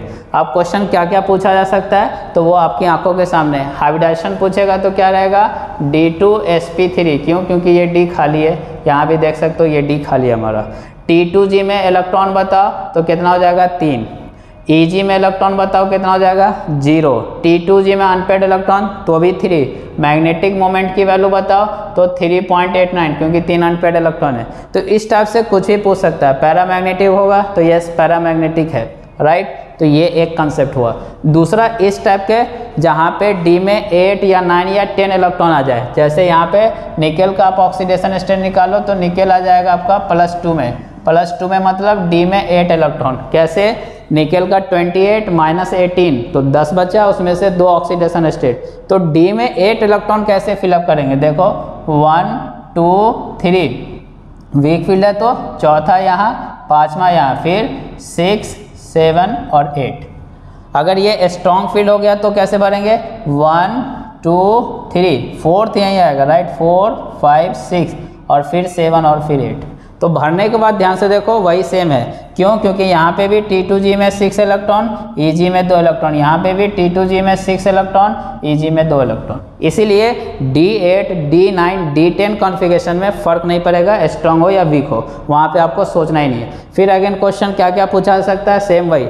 हाइब्रिडाइजेशन अब यहाँ पे हाइब्रिडाइजेशन आपको बताना पड़ेगा sp3d2 क्यों? क्योंकि ये डी में इलेक्ट्रॉन ऑलरेडी है जबकि हमें वैकेंट ऑर्बिटल चाहिए। इसलिए ये आउटर ऑर्बिटल कॉम्प्लेक्स होंगे क्योंकि बाहर वाले डी यूज़ हो है राइट टी टू जी में कितने इलेक्ट्रॉन है? पूछा जाए तो छः ई जी में कितने हैं? दो। ई जी में अनपेड कितने हैं? तो भी दो। टी टू जी में अनपेड कितने हैं? तो ज़ीरो टी टू जी में पेयर्ड कितने हैं? तो तीन पेयर्ड इलेक्ट्रॉन है। राइट तो इस टाइप से कुछ ही पूछ सकता है। म्यू बताओ मैग्नेटिक मोमेंट तो टू पॉइंट समथिंग हो जाएगा, दो अनपेड है। पैरामैग्नेटिक है यस पैरामैग्नेटिक होंगे। तो ये मैं आपको बताना चाह रहा हूँ कि पूछने का उसका तरीका बहुत सारा हो सकता है कंसेप्ट वही रहेंगे। और इसलिए मैंने ध्यान से देखो, आपको कोऑर्डिनेशन नंबर सिक्स वाला जैसे ही क्वेश्चन आया, आप डी के पाँच घर को तीन दो में डिवाइड कर दो। स्ट्रॉन्ग होगा तो गैप को बढ़ा दो वीक होगा तो गैप को कम कर दो। डी वन टू थ्री होगा तो फ़र्क नहीं पड़ेगा। डी एट नाइन टेन होगा तो फ़र्क नहीं पड़ेगा। फ़र्क कहाँ पड़ेगा डी फोर से सेवन में होगा। तो उसका एक एग्ज़ाम्पल मैंने यहाँ पे लिया। ध्यान से देखो, यहाँ पे आयरन का ऑक्सीडेशन स्टेट है प्लस टू प्लस टू होने मतलब डी में इसके सिक्स इलेक्ट्रॉन कैसे? ट्वेंटी सिक्स है एटॉमिक नंबर एटीन माइनस करोगे तो एट बचा और ऑक्सीडेशन स्टेट टू है, वो दो माइनस करोगे तो छः इलेक्ट्रॉन डी में जो छः इलेक्ट्रॉन है वाटर वीक फ़ील्ड है तो one two three weak field होने की वजह से चौथा इलेक्ट्रॉन यहाँ जाएगा फाइव और सिक्स राइट लेकिन वही यहाँ पे साइनाइड एक स्ट्रॉन्ग फ़ील्ड लिगेंड है तो इलेक्ट्रॉन वन टू थ्री तक तो ऐसे ही भरेंगे, लेकिन फोर यहीं पे आएगा फाइव भी यहीं पे सिक्स भी यहीं पे। अब देखो क्लियर डिफरेंस है इसमें राइट यहाँ पे अगर हमसे पूछा जाए तो T2G में सिक्स इलेक्ट्रॉन है EG में ज़ीरो है, जबकि यहाँ पे T2G में फोर इलेक्ट्रॉन है और EG में टू है। तो इस टाइप के इलेक्ट्रॉनिक कॉन्फ़िगरेशन पूछ सकता है कि T2G में कितने हैं EG में कितने हैं। कितने पेयर्ड इलेक्ट्रॉन है T2G में? तो स्ट्रॉन्ग फ़ील्ड में T2G में तीन पेयर्ड हैं। ये डाया मैग्नेटिक हो जाएगा। यही पॉइंट हमने बताया था कि D6 स्ट्रॉन्ग फ़ील्ड हो तो ऑलवेज डायमेटिक क्योंकि सारे पेयर्ड हैं। जबकि यहाँ पे ये पैरामैग्नेटिक होगा।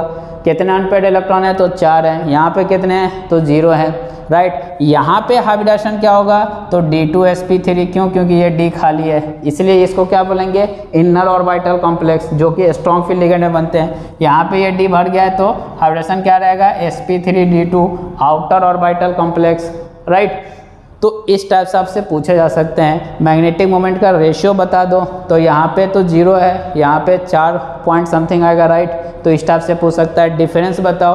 तो कुछ भी पूछ ले, सबका जो मेजर कंसेप्ट है, वो आपकी आँखों के सामने बोर्ड पे है कि आपको कोऑर्डिनेशन नंबर सिक्स वाला दिखे डी ऑर्बिटर को ऐसे डिवाइड कर दो और डी में इलेक्ट्रॉन निकाल करके भर दो। सारे क्वेश्चन का आंसर आप क्विकली कर सकते हो।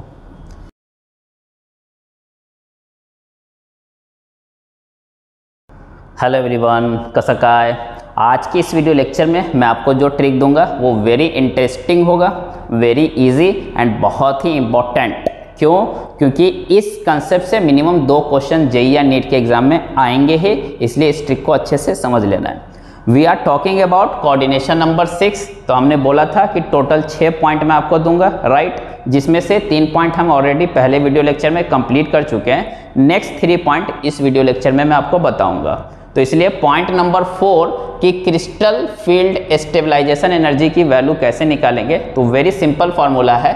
ध्यान देना माइनस साइन लगा हुआ है। माइनस में point four times of number of electron in T two G plus point six times of number of electron in E G और इस पूरे को होल ब्रैकेट है इनटू में delta O what is delta O delta O O stand for octahedral splitting energy जिसकी value question में या तो दे देगा या आंसर इसी के टर्म्स में पूछा जाएगा। नाउ आपको 0.4 0.6 एक फिक्स नंबर है। ध्यान देना है उसके आगे माइनस साइन है, इसके आगे प्लस साइन है। नंबर ऑफ़ इलेक्ट्रॉन T2G और EG में काउंट करके यहाँ पुट कर दोगे, आपका क्रिस्टल फ़ील्ड स्टेबलाइजेशन एनर्जी की वैल्यू आ जाएगा। आपको मैंने क्लियरली बता रखा है कि हमारे पास जो डी ऑर्बिटल है सेंट्रल मेटल एटम का, उसमें दो कैटेगरी हैं। तीन orbital in between the axis हैं, दो ऑर्बिटल ऑन द एक्सिस है। हमारा जो लिगेंड है, वो भी X Y Z on the axis पे तो आप ही सोचो कि जब लिगेंड जो कि ऑन द एक्सिस पे हैं और वो दो ऑर्बिटल जो ऑन द एक्सिस वाले हैं, उनकी आमने सामने की टक्कर होगी, जिसकी वजह से वो भगवान को प्यारे हो जाएँगे तो वो ऊपर चले जाएँगे जब स्प्लिटिंग होगा तो। और वो जो तीन इन बिटवीन द एक्सिस वाले थे, उनकी लेटरल टक्कर होगी या कॉलिजन होगा तो वो नीचे आ जाएँगे एनर्जी में, जिसका नाम T2G रखेंगे राइट और वो कौन कौन होंगे? D X Y D Y Z D X Z और ये D X square Y square D Z square E G वाले होंगे राइट आपको ये भी बता रखा हूँ कि अगर वीक फ़ील्ड लिगेंड हुआ तो स्प्लिटिंग ज़्यादा नहीं होगा गैप ज़्यादा नहीं होगा। लेकिन अगर स्ट्रॉन्ग फ़ील्ड लिगेंड हुआ तो स्प्लिटिंग या गैप बहुत ज़्यादा होगा राइट तो इसलिए ध्यान रखना है कि वीक फ़ील्ड लिगेंड में ये डेल्टा ओ नॉट की वैल्यू कम होगी। मान लो 200 है तो यहाँ पे हो सकता है कि वो चीज़ 500 के बराबर हो। बात समझ में आ गई?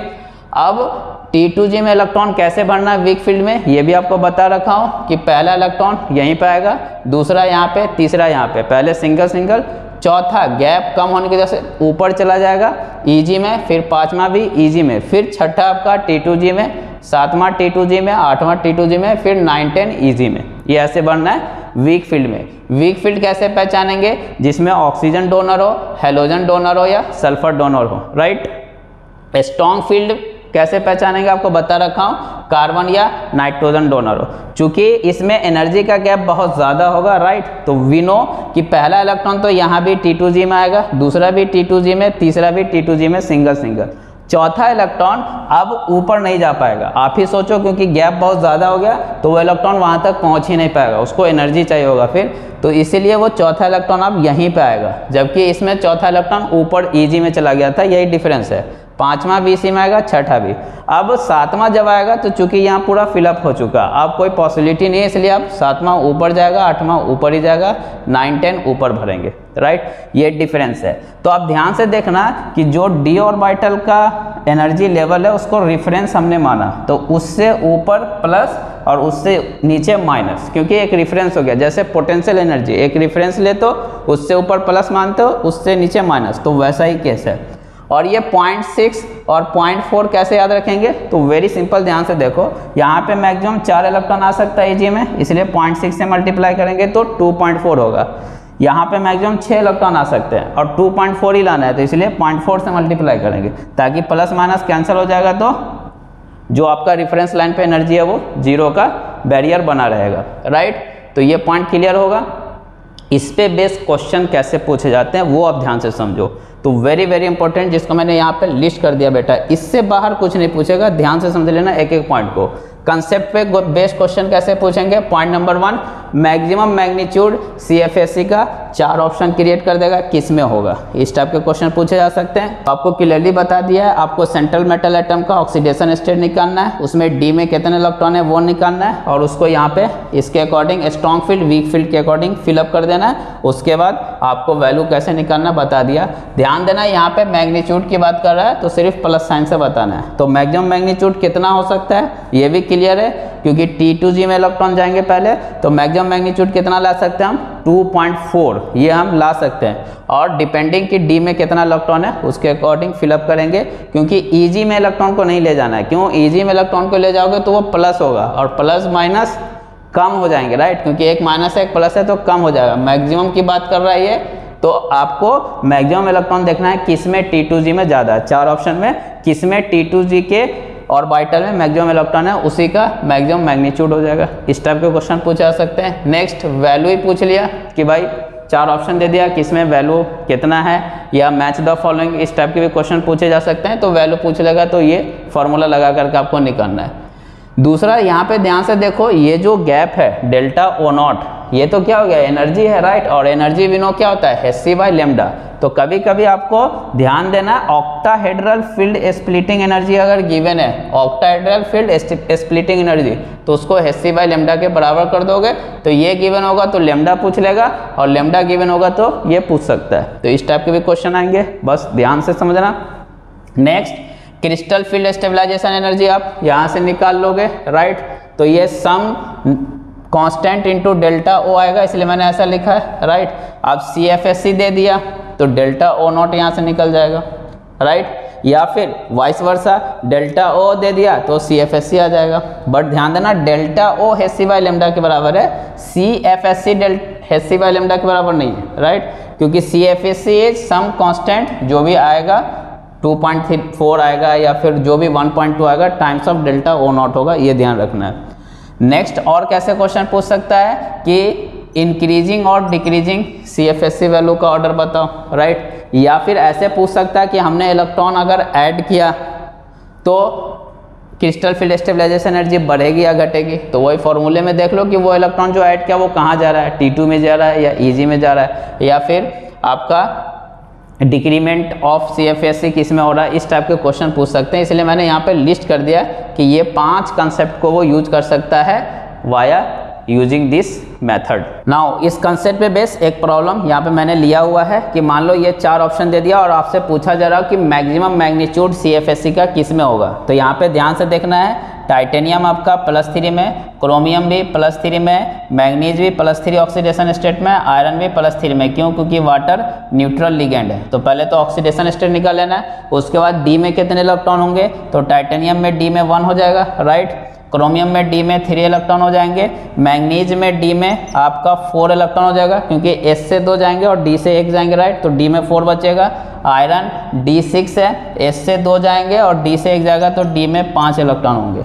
अब ध्यान से देखो वाटर क्या मेरा? वीक फ़ील्ड लिगेंड है। अगर वीक फ़ील्ड लिगेंड है तो स्प्लिटिंग ये वाली होगी। अब अगर वन इलेक्ट्रॉन तो यहीं पर रहेगा।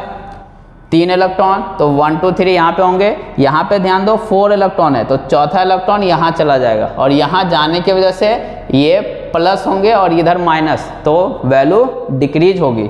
और वैसे ही ये पाँच है इसमें तो यहाँ पे पाँचवा इलेक्ट्रॉन आ जाएगा तो अगेन ये प्लस है और ये माइनस तो वैल्यू और भी डिक्रीज होगी। हमसे पूछा गया है मैक्सिमम मैग्नीट्यूड तो किसमें आने वाला है? डी थ्री में। क्यों?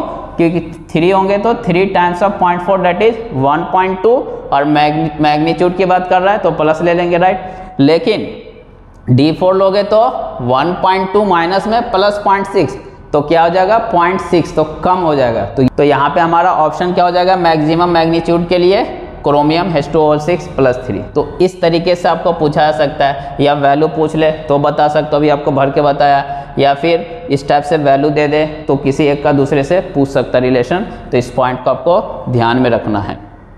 Next point is that is again very important कि दूसरा इसका एप्लीकेशन कैसे ले सकता है वो? तो वी नो कि जितना ज़्यादा एनर्जी गैप होगा राइट right? जितना ज़्यादा एनर्जी गैप होगा तो E इज़ इक्वल टू क्या है? एच सी बाई लेमडा तो लेमडा उतना कम होगा। तो वही पॉइंट हमने लिखा है कि अगर एनर्जी बढ़ा डेट मीन्स गैप बढ़ा तो वेवलेंथ क्या हो जाएगा? कम हो जाएगा। तो क्वेश्चन किस किस टाइप के पूछे जा सकते हैं? ध्यान से देखो पॉइंट वन चार ऑप्शन दे देगा विच कैन शो कलर तो कलर कौन शो कर सकता है? जिसमें अनपेड इलेक्ट्रॉन होंगे, वही कलर शो कर सकता है। तो इस टाइप के क्वेश्चन का यही कंसेप्ट है कि unpaired electron that means paramagnetic species आपको देखना है। दूसरा जो क्वेश्चन पूछा जा सकता है कि लेमडा एब्जॉर्ब का आप ऑर्डर बताओ इस टाइप का। तो यहाँ पे बच्चों को कंफ्यूजन होता है। वेरी सिंपल ध्यान से देखो चूँकि जितना ज़्यादा एनर्जी का गैप होगा लेमडा उतना कम होगा। क्यों? क्योंकि एनर्जी ज़्यादा है तो लेमडा को कम होना पड़ेगा क्योंकि वो डिवाइड में राइट तो इसलिए अगर लेमडा एब्जॉर्ब का अगर आपसे पूछा जाए तो आप लिगेंड देखो कौन सा है। स्ट्रॉन्ग फ़ील्ड लिगेंड होंगे तो एनर्जी का गैप ज़्यादा होगा। एनर्जी का गैप ज़्यादा होगा तो वेवलेंथ कम होगा। तो इसलिए यहाँ से कैसे आप करेंगे? तो विनो विवग्योर सभी को मालूम है, इस साइड में रेड कलर के साइड में आपका वेवलेंथ इंक्रीज होता जा रहा है। तो आप देख लो, अगर स्ट्रॉन्ग फ़ील्ड लिगेंड है तो एनर्जी गैप ज़्यादा मतलब वेवलेंथ कम तो मतलब इधर वाला कोई होगा एब्जॉर्ब वेवलेंथ राइट और अगर मान लो एनर्जी कम है तो डेट मीन्स वेवलेंथ ज़्यादा तो इधर वाला कोई होगा। तो इसलिए ये ध्यान देना है कि लिगेंड कैसा है वहाँ पे। स्ट्रॉन्ग फ़ील्ड लिगेंड होगा तो इधर वाले होंगे वीक फ़ील्ड लिगेंड होगा तो इधर वाले होंगे। क्यों? क्योंकि इस डायरेक्शन में लेमडा इंक्रीज हो रहा है। तो इस टाइप का कंसेप्चुअल क्वेश्चन पूछा जा सकता है। वैसे ही स्ट्रॉन्ग वही पॉइंट लिखा है स्ट्रॉन्ग फ़ील्ड अगर लिगेंड इंक्रीज होगा तो एनर्जी इंक्रीज होगा और वेवलेंथ डिक्रीज होंगे। नेक्स्ट इंटेंसिटी पे बेस्ड क्वेश्चन पूछ सकता है। तो जितना ज़्यादा वेवलेंथ उतना ज़्यादा इंटेंसिटी तो इसी से आप कनेक्ट कर लोगे कि अगर स्ट्रॉन्ग फ़ील्ड लिगेंड हुआ तो एनर्जी ज़्यादा होगा वेवलेंथ कम होगा तो इंटेंसिटी भी उस कलर का कम होगा। और अगर वीक फ़ील्ड लिगेंड हुआ तो एनर्जी कम होगा वेवलेंथ ज़्यादा होगा तो इंटेंसिटी भी ज़्यादा होगा। तो इस टाइप से, देखो कंसेप्ट ये रहेंगे, लेकिन पूछने के तरीके चेंज हो सकते हैं। जैसे इसको भी मैं एक प्रैक्टिकल एग्ज़ाम्पल से आपका क्लियर करता हूँ कि मान लो आपको ये दे दिया और पूछा जाए कि इन दोनों में कौन ज़्यादा वेवलेंथ को एब्जॉर्व करेगा। तो ध्यान से देखो, यहाँ पे अमोनिया नाइट्रोजन डोनर है, ये स्ट्रॉन्ग फ़ील्ड लिगेंड है और यहाँ पे क्लोरीन हेलोजन डोनर है तो ये एक वीक फ़ील्ड लिगेंड है। वीक फ़ील्ड लिगेंड होने की वजह से इसका क्या हो गया? एनर्जी कम स्प्लिटिंग वाला राइट ये वाला कम हो गया तो वेवलेंथ क्या हो गया? ज़्यादा। तो इंटेंसिटी किसकी ज़्यादा रहेगी? इसकी ज़्यादा रहेगी। क्योंकि वेवलेंथ ज़्यादा है तो आई मतलब इंटेंसिटी ज़्यादा। यहाँ पे स्ट्रॉन्ग फ़ील्ड तो एनर्जी ज़्यादा हो गया। कौन वाला? ये वाला गैप तो एनर्जी ज़्यादा हो गया तो वेवलेंथ कम इंटेंसिटी भी कम। तो आपसे पूछा जाए कि इन दोनों में किसकी ज़्यादा इंटेंसिटी होगी? तो देखो, ये ऑप्शन हो जाएँगे। वेवलेंथ एट जॉब का ऑर्डर बताओ तो फिर वेवलेंथ इसका ज़्यादा होगा राइट क्योंकि एनर्जी कम है। इस टाइप से पूछा जा सकता है। एनर्जी का ऑर्डर बताओ तो एनर्जी में फिर ये हो जाएँगे। तो मेरी बात को समझे तो मैंने पूरा आपको क्लियर कर दिया कि वो कहाँ तक जा सकता है। एक तरीके से मैंने ऑपरेशन कर दिया इस कंसेप्ट का कि ये एक कंसेप्ट है, उसको कितने डिफरेंट वे में पूछा जा सकता है और इन सब पे based question P Y Q में आए हुए हैं, जिसको आप बहुत ईजिली कर लोगे। नेक्स्ट पॉइंट नंबर फाइव कि आप स्ट्रॉन्ग फ़ील्ड लिगेंड को कैसे याद रखेंगे उसके सीरियल ऑर्डर से? तो ध्यान से देखो स्ट्रॉन्ग फ़ील्ड आपको बताया था कि नाइट्रोजन या कार्बन डोनर वाले होंगे। तो यहाँ पे ध्यान से देखो अमोनिया में नाइट्रोजन डोनर है पायरीडीन में अगेन नाइट्रोजन डोनर है डाई पायरीडीन में भी नाइट्रोजन डोनर है, और ये बाइडेंटेड लिगेंड हो जाएगा। नाइट्रो में नाइट्रोजन डोनर है साइनाइड में आपका आइधर कार्बन या नाइट्रोजन डोनर है और कार्बन मोनोऑक्साइड कार्बोनिल में भी आपका कार्बन डोनर है। तो इसलिए इसको उसके ऑर्डर में ही लिखा और वैसे भी याद रखना आपको। तो, तो इसके लिए निमोनिक्स है। That is very simple ammonia pyridine en dipy dipy जो हम लगाते हैं तो ammonia pyridine en dipy nitro सुनने को रेडी नहीं। तो इस राइमिंग वर्ड्स आप याद रख सकते हो कि जब आपने अमोनिया पायरिडीन को डीपी में लगा लोगे तो नाइट्रो सुनने को रेडी नहीं। तो ये उस ऑर्डर में याद हो जाएँगे। डेट मीन सबसे ज़्यादा जो एनर्जी का गैप आएगा वो सीओ में कार्बोनिल में आएगा। फिर उससे कम सी एन में एंड सोन बट ध्यान रहे कि ये सब स्ट्रॉन्ग फ़ील्ड लिगेंड है। डेट मीन्स एक एनर्जी का गैप तो ज़्यादा होगा ही, फिर उसमें भी बात हो रही है तो और बढ़ते जाएँगे। But these all are strong field ligand इसमें इलेक्ट्रॉन जब भरेंगे तो तीन इलेक्ट्रॉन T2G में, चौथा भी T2G में ही जाएगा, ये ध्यान रखना है। वीक फ़ील्ड को कैसे याद रखेंगे? सेम उसी तरीके से तो हेलोजन वीक फ़ील्ड लिगेंड है, उसमें भी वैसा ही ऑर्डर है। आई से ज़्यादा बी आर बी आर से ज़्यादा सी एल सी एल से ज़्यादा एफ़ फ़ील्ड की स्ट्रेंथ फिर ओ एच माइनस, फिर ऑक्जिलेट जिसपे माइनस टू चार्ज होता है बाइडेंटल लिगेंड और फिर वाटर। तो कैसे याद रखेंगे? वेरी सिंपल हेलो हेलोजन से हेलो ऑल अल्कोहल का ऑल हेलो ऑल ऑक्स को वाटर पिलाओ। तो इस तरीके से याद रख सकते हैं, चार हैं हेलो ऑल ऑक्स को वाटर पिलाओ। इन सब में ध्यान से देखो तो हेलोजन या ऑक्सीजन डोनर है। तो ये याद रखने से क्या फ़ायदा होगा कि अगर आपको चार ऑप्शन गिवन है, किसमें ज़्यादा स्प्लिटिंग होगी, किसका क्रिस्टल फ़ील्ड स्टेबलाइजेशन एनर्जी ज़्यादा होगा तो इस टाइप के क्वेश्चन आप इजीली कर लोगे तो इसको ध्यान में रखना है राइट तो ये हो गया पांचवा पॉइंट जिसमें एक पॉइंट और है कि सेंट्रल मेटल एटम अगर 4D सीरीज़ का या 5D सीरीज़ का हो जाता है कोऑर्डिनेशन नंबर कुछ भी हो सिक्स हो फोर हो डजन मैटर इस पॉइंट पे ध्यान देना। अगर सेंट्रल मेटल एटम 4D या 5D सीरीज़ का है कोऑर्डिनेशन नंबर कुछ भी हो, जितने भी लिगेंड है सब के सबको क्या ट्रीट करना है? स्ट्रॉन्ग फ़ील्ड फिर ये सब कहानी खत्म। ये कहानी कब तक है? जब तक आपका 3D सीरीज़ का एलिमेंट है, तभी ये सोचना आपको। अदरवाइज़ 4D 5D सीरीज़ का है तो सारे के सारे लिगेंड स्ट्रॉन्ग फ़ील्ड हैं। फॉर एग्ज़ाम्पल पीटी आपका नहीं पढ़ोगे, पिटोगे तो ये हो गया आपका 5D सीरीज़ का। इसलिए ये नहीं कि Cl है तो वीक फ़ील्ड लिगेंड ये स्ट्रॉन्ग फ़ील्ड का काम करेगा स्ट्रॉन्ग फ़ील्ड के अकॉर्डिंग आपको थिंक करना है। वैसे यहाँ पे Pt है, फिर Cl है वीक फ़ील्ड नहीं, फिर आपको स्ट्रॉन्ग फ़ील्ड के अकॉर्डिंग थिंक करना है। फिर यहाँ पे Pt बाय द वे यहाँ पे तो अमोनिया स्ट्रॉन्ग फ़ील्ड है तो एनी हाउ कहने का ये मतलब होगा कि 4D 5D सीरीज़ का अगर सेंट्रल मेटल दिख गया आपको तो सारे के सारे लिगेंड स्ट्रॉन्ग फ़ील्ड लिगेंड है। And last point number six कि कोऑर्डिनेशन नंबर सिक्स में अगर आपका कोबाल्ट प्लस थ्री में है और लिगेंड ऑक्सिलेट या वाटर है, वैसे ही आपका central metal atom iron plus two में है या मैग्नीज प्लस टू में और लिगेंड अमोनिया है निकेल प्लस फोर में है और लिगेंड फ्लोराइड है। ध्यान देना, बस यही होंगे तो। तो इन सब में एक्सेप्शन है। डैट मीन्स वीनो की ये वीक फ़ील्ड लिगेंड है, लेकिन काम किसका करेंगे यहाँ पे? स्ट्रॉन्ग फ़ील्ड का। वीक फ़ील्ड स्ट्रॉन्ग का करेगा स्ट्रॉन्ग वीक का, क्योंकि एक्सेप्शन है और ये एक्सेप्शन इतने ही है, इतने ही ध्यान रखना है। वैसे अमोनिया एक स्ट्रॉन्ग फ़ील्ड लिगेंड है, क्योंकि नाइट्रोजन डोनर है बट इन दोनों के केस में वीक फ़ील्ड का काम करता है। वैसे ही फ्लोरीन एक वीक फ़ील्ड है, लेकिन निकेल प्लस फोर में होगा तो स्ट्रॉन्ग फ़ील्ड का काम करेगा। तो अगेन कैसे याद रखेंगे? तो रफ़ी सर का सिंपल ट्रिक्स निमोनिक्स उसके लिए वेरी सिंपल है। ऑक्स को वाटर से is a connecting word ox को वाटर से नहाओ. एन एच थ्री से हमने बना लिया, नहाओ. फिर मैं Fe से फिर Mn से मैं. और NIF में टी लगा दिया. जैसे निफ्ट होता है राइट ऑनलाइन ट्रांजेक्शन करते हैं तो जस्ट हम कनेक्ट कर सकते हैं कनेक्शन के लिए. फिर मैं निफ्ट करता हूँ इज़ ए कनेक्टिंग वर्ड तो निमोनिक्स वेरी सिंपल है. ऑक्स को वाटर से नहाओ और जो नहाएगा ऑब्वियसली बात है, उसको पेमेंट देना पड़ेगा. तो फिर मैं निफ्ट करता हूँ.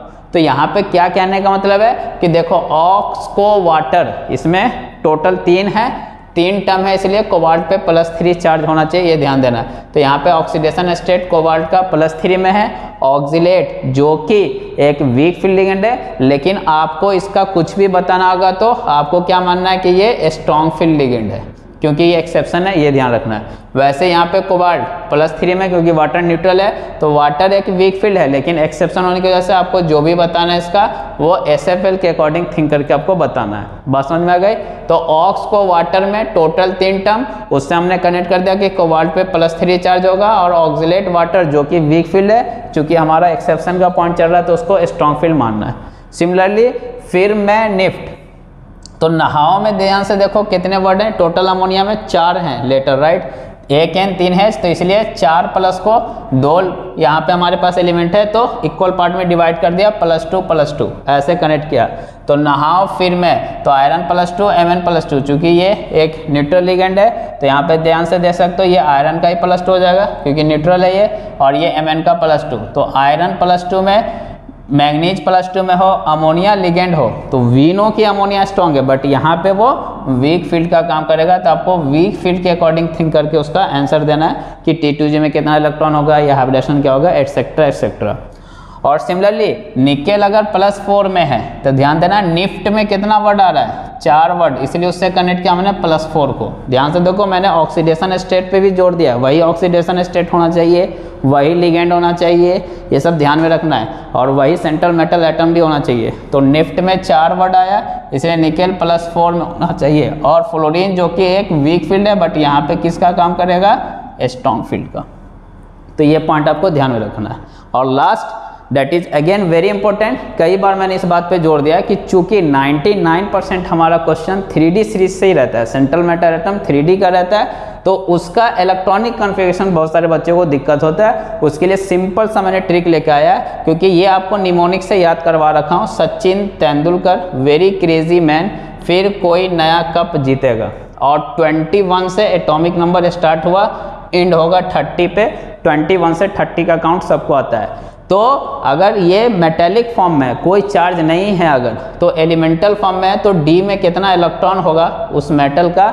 उसको सिंपल हमने कनेक्ट कर दिया है कि 21 से स्टार्ट हो रहा है तो 20 से जितना ज़्यादा इलेक्ट्रॉन है, वो सब डी के इलेक्ट्रॉन है, ऐसा मान लो। तो 20 से ज़्यादा कितना हो गया? वन तो डी में एक इलेक्ट्रॉन 22 में 20 से दो ज़्यादा है तो डी में दो इलेक्ट्रॉन डी में थ्री इलेक्ट्रॉन यहाँ पे कुकर वर्ड आपको दिया था, या फिर आप ऐसे भी कनेक्ट करना, जहाँ पे भी डी में फोर इलेक्ट्रॉन हो तो उसको फाइव कर देना, क्योंकि फोर से फाइव होना चाहेगा वो क्यों?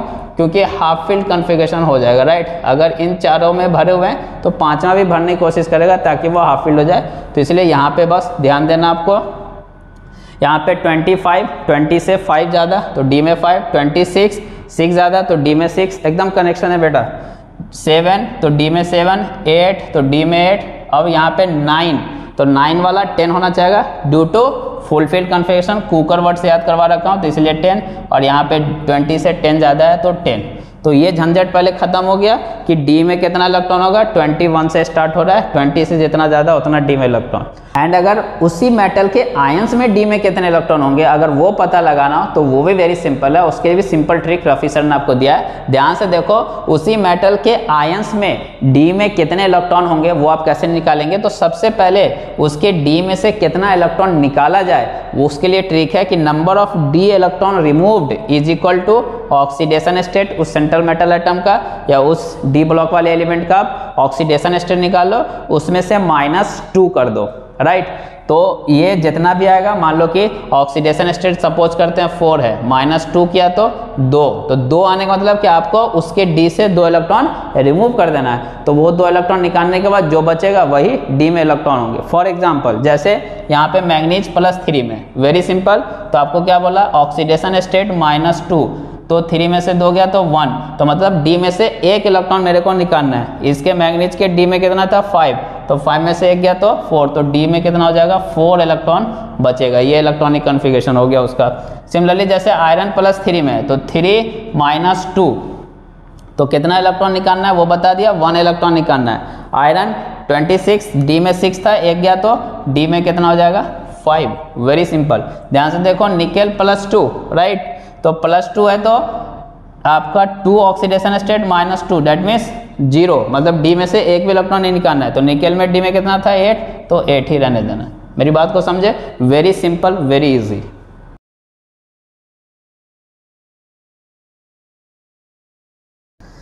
hello everyone कैसा का आज के इस वीडियो लेक्चर में मैं आपको जो ट्रिक दूँगा, वो ट्रिक कोऑर्डिनेशन कंपाउंड में केमिकल बॉन्डिंग से रिलेटेड है। और ये ट्रिक बहुत इंपॉर्टेंट है, क्योंकि इस पे बेस्ड एक क्वेश्चन हर साल आते ही आते हैं। इसलिए आप अपना चार मार्क्स फिक्स कर लें। ओके आज का जो ट्रिक होगा वो कोऑर्डिनेशन नंबर फोर पे बेस्ड होगा। राइट और चूँकि कोऑर्डिनेशन नंबर फोर है तो इसलिए टोटल मैं चार पॉइंट दूँगा। उस चार पॉइंट को अच्छे समझ लो, इससे बाहर कुछ नहीं है। आपके सारे problem with in one minute में होंगे। तो ध्यान से देखो पॉइंट नंबर वन, कि कोऑर्डिनेशन नंबर कैसे निकलता है? आपको बता रखा हूँ number of ligand into denticity अगर वो फोर आ जाता है तो आपको क्या चेक करना है? सेंट्रल मेटल एटम अगर सेंट्रल मेटल एटम या आयन जो है कोऑर्डिनेशन कंपाउंड का, वो अगर 4D सीरीज़ का है या 5D सीरीज़ का है राइट तो फिर उस केस में आपको लिगेंड को चेक नहीं करना है, क्योंकि सारे के सारे लिगेंड क्या होंगे? स्ट्रॉन्ग फ़ील्ड लिगेंड होंगे। डेट्स वाई उस केस में हाइब्रिडाइजेशन आपका फिक्स हो चुका है। अगर आपसे पूछेगा तो डी एस पी टू जैसे for example P T C L four minus two तो यहाँ पे ये दिख गया कि ये 5D सीरीज़ का है तो इसलिए आपको कुछ चेक करने की ज़रूरत नहीं है डायरेक्ट इसका हाइब्रिडेशन बोल देना DSP2 अगर कोऑर्डिनेशन नंबर फोर है सेंट्रल मेटल एटम आपका 4D या 5D सीरीज़ का है तो लिगेंड पे ध्यान ही नहीं देना है। सारे के सारे लिगेंड चूँकि स्ट्रॉन्ग फ़ील्ड की तरह बिहेव करेंगे, इसलिए हाइब्रिडेशन फिक्स है DSP2 एंड शेप भी फिक्स हो गया हाइब्रिडेशन अगर DSP2 है तो शेप भी फिक्स है स्क्वायर प्लेनर देखने में कैसा होगा? वेरी सिंपल यहाँ पे बोर्ड पे देख सकते हो। चारों लिगेंड और मेटल बोर्ड के प्लेन में ही होंगे राइट इसलिए वर्ड आया है प्लेनर तो यहाँ पे अगर मैं ध्यान से देखूँ तो ये एक स्पेशल केस है किसका? ऑक्टाहेड्रल का। क्योंकि ऑक्टाहेड्रल भी ऐसे ही बनता था, चार ये प्लेन में, एक प्लेन के अप और एक प्लेन के डाउन तो वही अप और डाउन वाले को निकाल लोगे तो ये हो गया स्क्वायर प्लेनर इसलिए ये पॉइंट लिखा हूँ कि it is a special case of octahedral एक पॉइंट और पूछा जा सकता है कि इसके हाइब्रेशन में जो डी यूज़ हुआ है, वो कौन सा है? तो आप समझ सकते हो, ये एक्स वाई प्लेन में है ऑन द एक्सिस पे लिगेंड है तो इसलिए एक्सिस वाले ऑर्बिटल यूज़ होंगे। एक्सिस वाले ऑर्बिटल कौन थे? D X square Y square वो भी एक्स वाई एक्सिस पे लाई करते थे तो इसलिए वो जो डी यूज़ होगा हाइब्रेशन में, वो D X square Y square होंगे। नाउ अगर सेंट्रल मेटल एटम या सेंट्रल मेटल आयन अगर आपका 3D सीरीज़ का है, ध्यान देना 3D वही Sachin Tendulkar very crazy man फिर कोई नया कप जीतेगा राइट तो अगर वो 3D सीरीज़ में है तो फिर आपको चेक करना है कि लिगेंड कैसा है। अगर वो स्ट्रॉन्ग फ़ील्ड लिगेंड है तो hybridization D S P two shape square planar आपको बताना है। जनरली 99 परसेंट केस में ऐसा ही होगा। एक दो एक्सेप्शन है जिसको मैं आपको ट्रिक से याद भी करवा दूँगा। जैसे फॉर एग्जांपल NiCO4 यहाँ पे by the way strong field ligand है बट हाइब्रिडेशन DsP2 नहीं है। क्या है इसका? Sp3 और सेफ़ फिर क्या हो जाएगा? टेट्राहेड्रल तो एक दो एक्सेप्शन है अदरवाइज़ 99 परसेंट ये चीज़ें फुलफिल होंगी 3D सीरीज़ में। और अगर वीक फ़ील्ड लिगेंड है वीक फ़ील्ड लिगेंड कौन होते हैं बता रखा हूँ जो भी ऑक्सीजन या हेलोजन या सल्फ़र डोनर होंगे स्ट्रॉन्ग फ़ील्ड कार्बन या नाइट्रोजन डोनर होंगे तो राइट? तो वीक फ़ील्ड लिगेंड होगा तो हाइब्रिडेशन फिक्स है sp3 शेप टेट्राहेड्रल टेट्राहेड्रल यहाँ पे ड्रॉ कर रखा है, जो आप केमिकल बॉन्डिंग में पढ़ते हो। इसमें दो ही बॉन्ड एक प्लेन में आ सकते हैं, ये ध्यान रखना। और ये जो दो बॉन्ड मैंने दिखाया, एक बॉन्ड प्लेन के अप होगा, ऐसे तो एक बॉन्ड प्लेन के डाउन में होगा। इसलिए मैंने इसको डॉटेड लाइन से दिखाया है। तो ये टेट्राहेड्रल स्ट्रक्चर है। इसमें एंगल आपको मालूम है 109 डिग्री 28 मिनट है। इसमें आपको मालूम है स्क्वायर प्लेनर में एंगल कितना हो जाएगा direct 90 degree right now the point is कि ये कभी भी, ये वाला कभी भी G I that means geometrical isomer कभी भी नहीं शो कर सकता, ये ध्यान रखना। वैसे हम आइसोमरिज्म में बात करेंगे। नाउ पॉइंट नंबर टू कि टेट्राहेड्रल में डी ऑर्बिटल का स्प्लिटिंग कैसे होगा? तो यू नो कि टेट्राहेड्रल में जो लिगेंड है, वो भी इन बिटवीन द एक्सिस है और आपका जो D X Y D Y Z D X Z है, वो भी इन बिटवीन द एक्सिस है। तो दोनों ऑलमोस्ट क्लोज में होंगे तो उसका कोलिजन काफ़ी इफ़ेक्टिव होगा राइट इसकी वजह से वो एनर्जी में ऊपर चले जाएँगे। तो यहाँ पे ध्यान से देखो डी ऑर्बिटल के जो पाँच घर थे, उसमें से तीन घर ऊपर चले गए।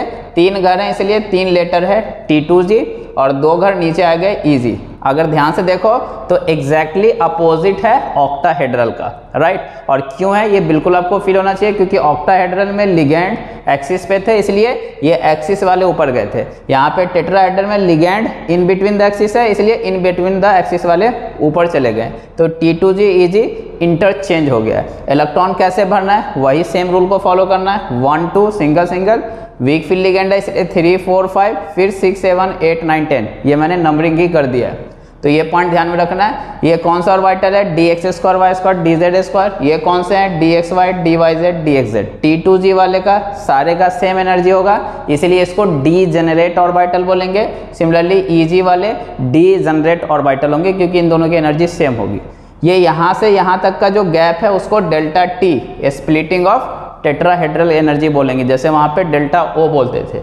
तो यहाँ पे मैंने वही चीज़ समझाने की कोशिश किया है कि डी एक्स वाई देखो इन बिटवीन द एक्सिस आ रहे हैं लिगेंड भी इन बिटवीन द एक्सिस है। इसीलिए ये दोनों क्लोज होने की वजह से जो कोलिजन होगा, वो उसका इफ़ेक्टिव होगा तो वो ऊपर चले जाएँगे। नेक्स्ट अगर स्क्वायर प्लेनर हुआ तो तो स्क्वायर प्लेनर में आपके जो लिगेंड है वो एक्स वाई एक्सिस पे राइट और इसीलिए आप सोच सकते हो तो फिर जो ये डी ऑर्बिटल है, इसमें पहले, चूँकि ये एक्स वाई एक्सिस पे it is a special case of octahedral तो पहले मैंने ऑक्टाहेड्रल की तरह स्प्लिटिंग कराया। टी टू जी वाले तीन नीचे ई जी वाले दो ऊपर राइट और इसमें फर्दर स्प्लिटिंग होती है। क्यों होगी? क्योंकि ईजी में जो आपका D X square Y square और डी जेड स्क्वायर है तो यहाँ पे D X square Y square exactly ligand के सामने आ गया। क्यों? क्योंकि लिगेंड भी एक्स वाई डायरेक्शन में एक्स वाई एक्सिस पे और ये भी आपका एक्स वाई एक्सिस पे। तो इसलिए एनर्जी में सबसे ज़्यादा हाइक इसमें आ जाएगा। इसलिए सबसे ऊपर आपका रहेगा D X square Y square फिर डी एक्स वाई वाले डेट मीन्स चूँकि हमारा लिगेंड भी एक्स वाई प्लेन में है तो इसलिए एक्स वाई वाला जितना भी ऑर्बिटल होगा उसको ऊपर करना है, और एक्स स्क्वायर वाई स्क्वायर को क्यों सबसे ऊपर किया? क्योंकि वो तो सामने ही आ गया। उसके बाद जेड वाले सब आएँगे, अगर आप ध्यान से देखो तो। तो ये इसको कैसे समझ सकते हो? वेरी सिंपल बिल्डिंग बनाना है आपको. बिल्डिंग का जो न्यू होना चाहिए, वो मज़बूत होना चाहिए स्ट्रांग होना चाहिए। इसलिए पहले दो ऑर्बिटल एक लेवल में, दोनों की एनर्जी सेम फिर उससे ऊपर डी जेड स्क्वायर फिर उससे ऊपर डी एक्स वाई फिर उससे ऊपर D X square Y square मतलब बिल्डिंग का ये दो घर हो गया बेस को मज़बूत किया, फिर उससे ऊपर एक, फिर एक फिर एक. तो इसलिए देख सकते हो इसका एनर्जी का गैप बहुत ज़्यादा है, जिसको हम डेल्टा एस पी से रिप्रेजेंट करेंगे. तो इसलिए इस पे बेस क्वेश्चन कैसे पूछे जा सकते हैं? तो पहला तो ये कि डेल्टा टी, डेल्टा ओ में ये रिलेशन आपको याद रखना बेटा, बहुत इंपॉर्टेंट है। डेल्टा टी दे देगा तो डेल्टा ओ निकालना है, डेल्टा ओ दे देगा तो डेल्टा टी निकालना वेरी सिंपल वी नो कि डेल्टा ओ बड़ा है, इसलिए delta T four by nine times small number multiply क्या टाइम्स ऑफ़ डेल्टा ओ है।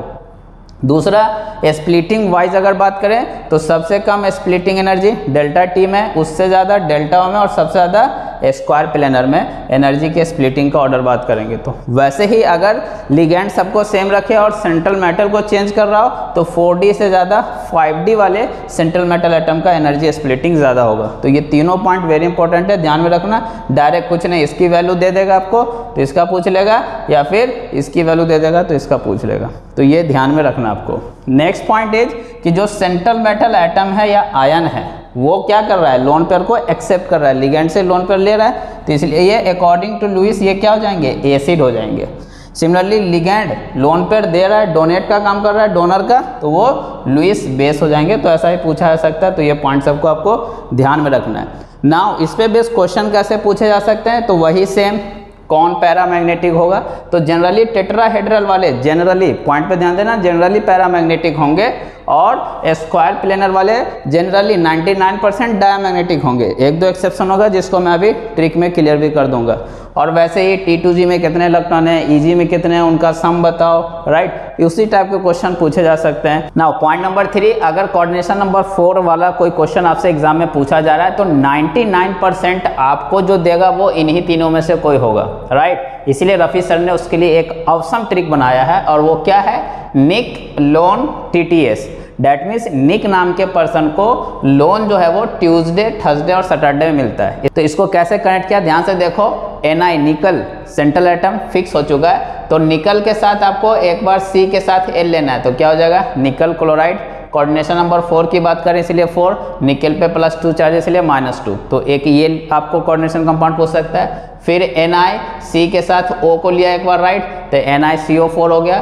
फिर एन आई सी के साथ एन को लिया तो N I C N four तो देखो, इसमें मैंने कनेक्ट कर दिया आपका कोऑर्डिनेशन कंपाउंड को। Nick lone T T S का मतलब क्या है? Tetrahedral tetrahedral square planar right तो ये पॉइंट बहुत ध्यान में रखना है। और फिर इसमें पैरामैग्नेटिक डायमेटिक को भी ट्रिक से मैंने कनेक्ट किया है कि आपको कैसे करना और ये चीज़ यहीं पे लगाना है। ट्रिक है बेटा तो यहीं पे लगाना है ये वाला पॉइंट ये वाला।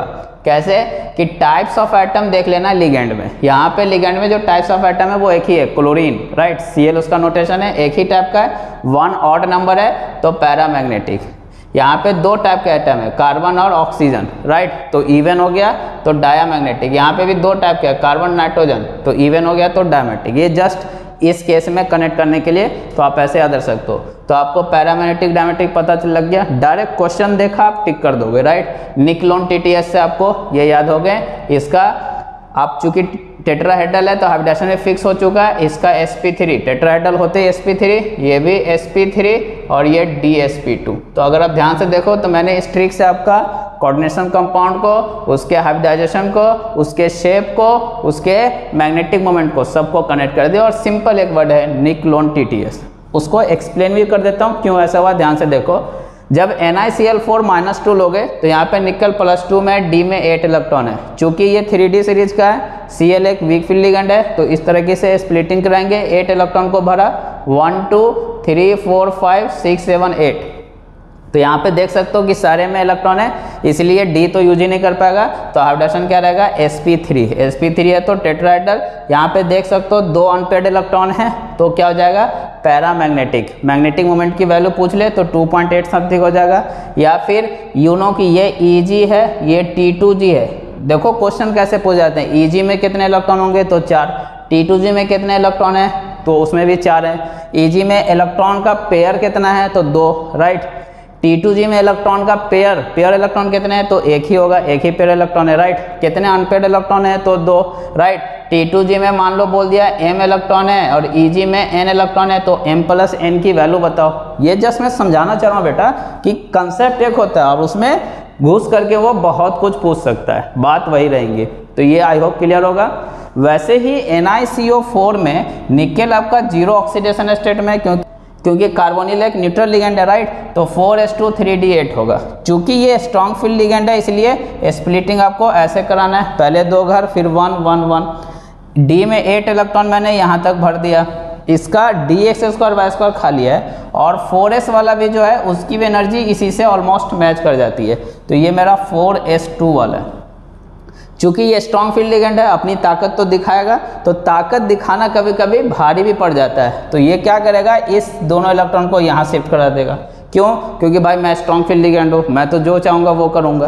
तो इस करने के चक्कर में क्या हो गया? आप ध्यान से देखो, ये वाला यहाँ जाएगा तो एस खाली हो जाएगा। इसलिए hydration S P three S P three होते ही टेट्राइडल सारे इलेक्ट्रॉन पेड है इसमें, कोई भी अनपेड नहीं है तो डायमेटिक म्यू ज़ीरो और similarly N I C N four में निकेल अगेन प्लस टू में है राइट तो डी एट हो गया, चूँकि सी एन एक स्ट्रॉन्ग फ़ील्ड लिगेंड है निकेल थ्री डी सीरीज़ का, इसलिए ये सब सोच रहे हैं। फोर्टी फाइव डी का होगा तो सोचते भी नहीं राइट डायरेक्ट स्क्वायर प्लेनर तो डी में एट इलेक्ट्रॉन है, उसको फिलअप किया तो आपका ये वाला खाली रह गया। इसलिए आप, ये डी यूज़ होगा पहले तो आप hydration D S P two square planar सारे इलेक्ट्रॉन पेड हैं तो म्यू ज़ीरो और डायामैग्नेटिक तो इसलिए ध्यान रखना 99 परसेंट क्वेश्चन अगर कोऑर्डिनेशन नंबर फोर से बॉन्डिंग से पूछा जा रहा है तो बेटा यहीं से होगा।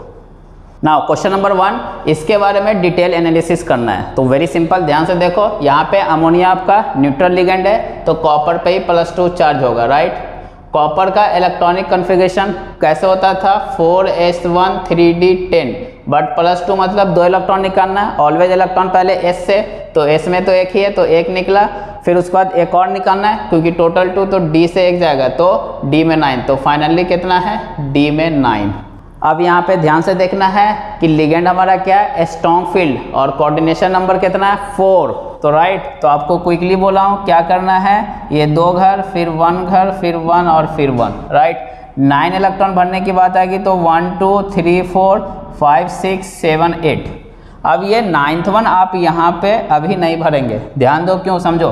चूँकि ये एक स्ट्रॉन्ग फ़ील्ड लिगेंड है तो फोर एस वाले हैं यहाँ पे और फिर फोर पी वाले होंगे राइट ये तो आपका थ्री डी का था, ये फोर एस और ये four p strong field ligand है, अभी बताया, वो अपना तो दिखाएगा ताकत तो वो दिखाना कभी कभी भारी पड़ जाता है तो यहाँ पे भी इसको भारी पड़ जाएगा, इसको शिफ्ट कर देगा वो यहाँ। क्यों?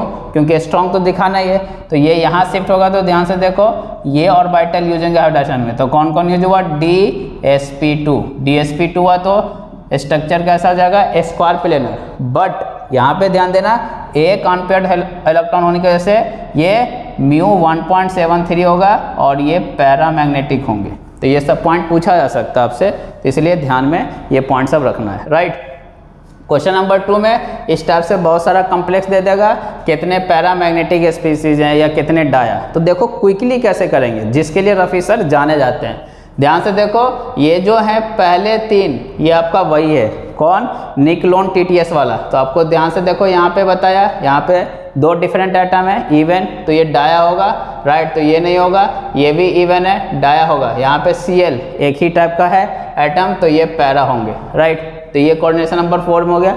सिक्स में आपको बता रखा हूँ कि सिक्स में सब के सब पैरा हैं except d six strong field ligand and d ten right तो यहाँ पे ध्यान से देखो तो यहाँ पे माइनस फोर है तो आयरन पे प्लस टू है। डी सिक्स और स्ट्रॉन्ग फिलिगेंड है तो यही आपका डाया होगा, पैरा नहीं होगा।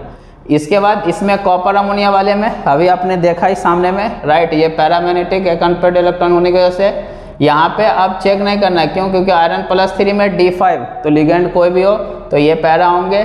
यहाँ पे अगेन वीक फिल लिगेंड है प्लस टू डी सिक्स तो है, लेकिन वीक फिल लिगेंड है तो ये पैरा होंगे। तो पैरा वाले ध्यान से देखो वन टू थ्री फोर तो आंसर क्या हो जाएगा? फोर ये पी वाई क्यू क्वेश्चन सब मैंने लिया है। तो इसलिए बेटा ध्यान से देखो रफ़ी सर कैसे एकदम ईजी वे में कर रहे हैं।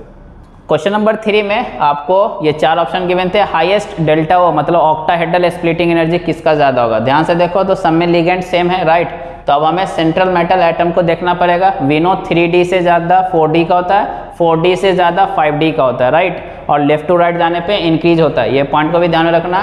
तो ध्यान से देखो, ये कार मोटर ये दोनों एक ही ग्रुप के हैं। तो क्रोमियम के नीचे मॉलिबिडेनम है। तो इन दोनों में तो क्लियर है कि इसका होगा।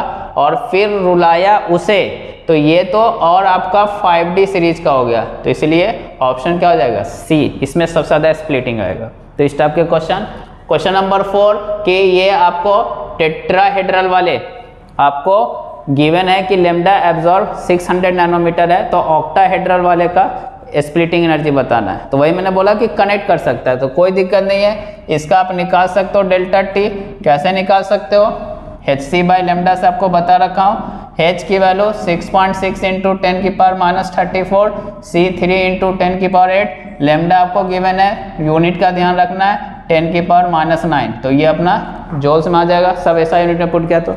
डेल्टा टी आ गया। मुझसे क्या पूछा जा रहा है? डेल्टा आपको रिलेशन बता रखा हूँ। Delta t four by nine times of delta o. तो इसीलिए मैं क्या लिख सकता हूँ? Delta o is equal to nine by four times of delta t. Nine by four delta t इसको पुट कर दो। Six point six into ten की power minus thirty four three into ten की power eight divided by six hundred into ten की power minus nine अब कुछ बच्चे यहाँ तक पहुँचने के बाद कैलकुलेशन में डरते हैं। नहीं डरना बेटा, ध्यान से देखो टेन की पावर माइनस ट्वेंटी वन बनाना है। उसके आगे कुछ नंबर होगा ऑप्शन है अपने पास। ध्यान से देखो कैसे करेंगे। ये दो ज़ीरो से, इसका दो कम किया तो सिक्स नाइन ऊपर गया तो कितना हो गया? फिफ्टीन फिफ्टीन में से थर्टी फोर हटाना है तो राइट तो ये सब कट जाएँगे और कट पीट के कितना बचेंगे? टेन की पावर माइनस नाइनटीन अब आपके पास क्या क्या बचा है? ध्यान से देखो, इसको अप्रॉक्स एट पकड़ लो। तो ये टू ये 6.6 है, ये 1.1 और ये 3 राइट क्योंकि इसको भी कैंसिल कर दिया मैंने। तो ये इतना बचा, लेकिन हमें 10 की पावर माइनस ट्वेंटी में चाहिए। तो 100 से मल्टीप्लाई डिवाइड करेंगे तो वो 10 की पावर माइनस ट्वेंटी तो सिर्फ़ ये नंबर हमें चेक करना है। तो ध्यान से देखो, ये two three the six six into hundred six hundred something तो 600 से बहुत ज़्यादा होगा। 600 हंड्रेड इंटू है। तो कितना के आसपास आ जाएगा ये? सेवन फिफ्टी के आसपास आ जाएगा। राइट ये तो हो ही नहीं सकता, बहुत आगे है और ये कम है। तो इस टाइप से आप कर सकते हो।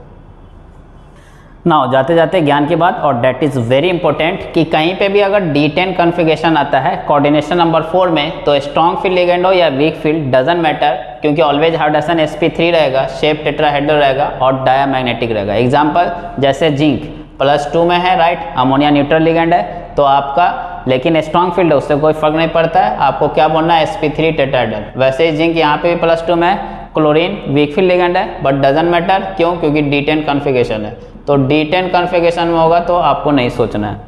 पॉइंट नंबर टू कि क्रिस्टल फ़ील्ड थोड़ी ऑलमोस्ट सारी चीज़ को एक्सप्लेन करती है। ये जितना भी आपको बताया, सब क्रिस्टल फ़ील्ड थोड़ी का ही एप्लीकेशन है। लेकिन प्रॉब्लम कहाँ पे आ गई उसको? कि ऑर्डर ऑफ़ स्पेक्ट्रोकेमिकल सीरीज़ नहीं बता पा रही है। जैसे कार्बोनिल और सी एन माइनस में। अगर ध्यान से देखा जाए तो इस पर माइनस चार्ज है तो इसका ज़्यादा होना चाहिए स्प्लिटिंग लेकिन एक्चुअल में किसका है? इसका, जो आपको याद भी करवा रखा हो, अमोनिया डी इंडीपी नाइट्रो सुने किसकी? उस वाले ट्रिक से। तो ये एक्सेप्शन है। तो ये कभी अगर पूछ ले तो ध्यान रखना कि ऑर्डर सिर्फ़ नहीं बता पाता, बाकी सारी चीज़ें इससे एक्सप्लेन होती है। और पॉइंट नंबर थ्री थोड़ा रटने वाला पॉइंट है, लेकिन इन्फॉर्मेशन बेस्ड है, जो आपको ध्यान में होना चाहिए। क्लोरोफिल जिसकी वजह से प्लांट के जो लीफ हैं, वो ग्रीन कलर के होते हैं, उसमें मैग्नीशियम का कॉम्प्लेक्स है। राइट? तो डेट मीन्स एस ब्लॉक के एलिमेंट भी कोऑर्डिनेशन कंपाउंड बना सकते हैं। तो ये ध्यान रखना विटामिन बी ट्वेल्व में कोबाल्ट होते हैं anti cancer agent platinum cisplatin भी बोलते हैं उसको। हम ज्योमेट्रिकल आइसोन में बात भी करेंगे तो प्लेटिनम उसमें सेंट्रल मेटल होता है। और रोहिडियम वाले जो हैं, इसको बोलते हैं विल्किंसन कैटलिस्ट तो इसके बारे में थोड़ा अगर आप याद रख सको तो याद रखना।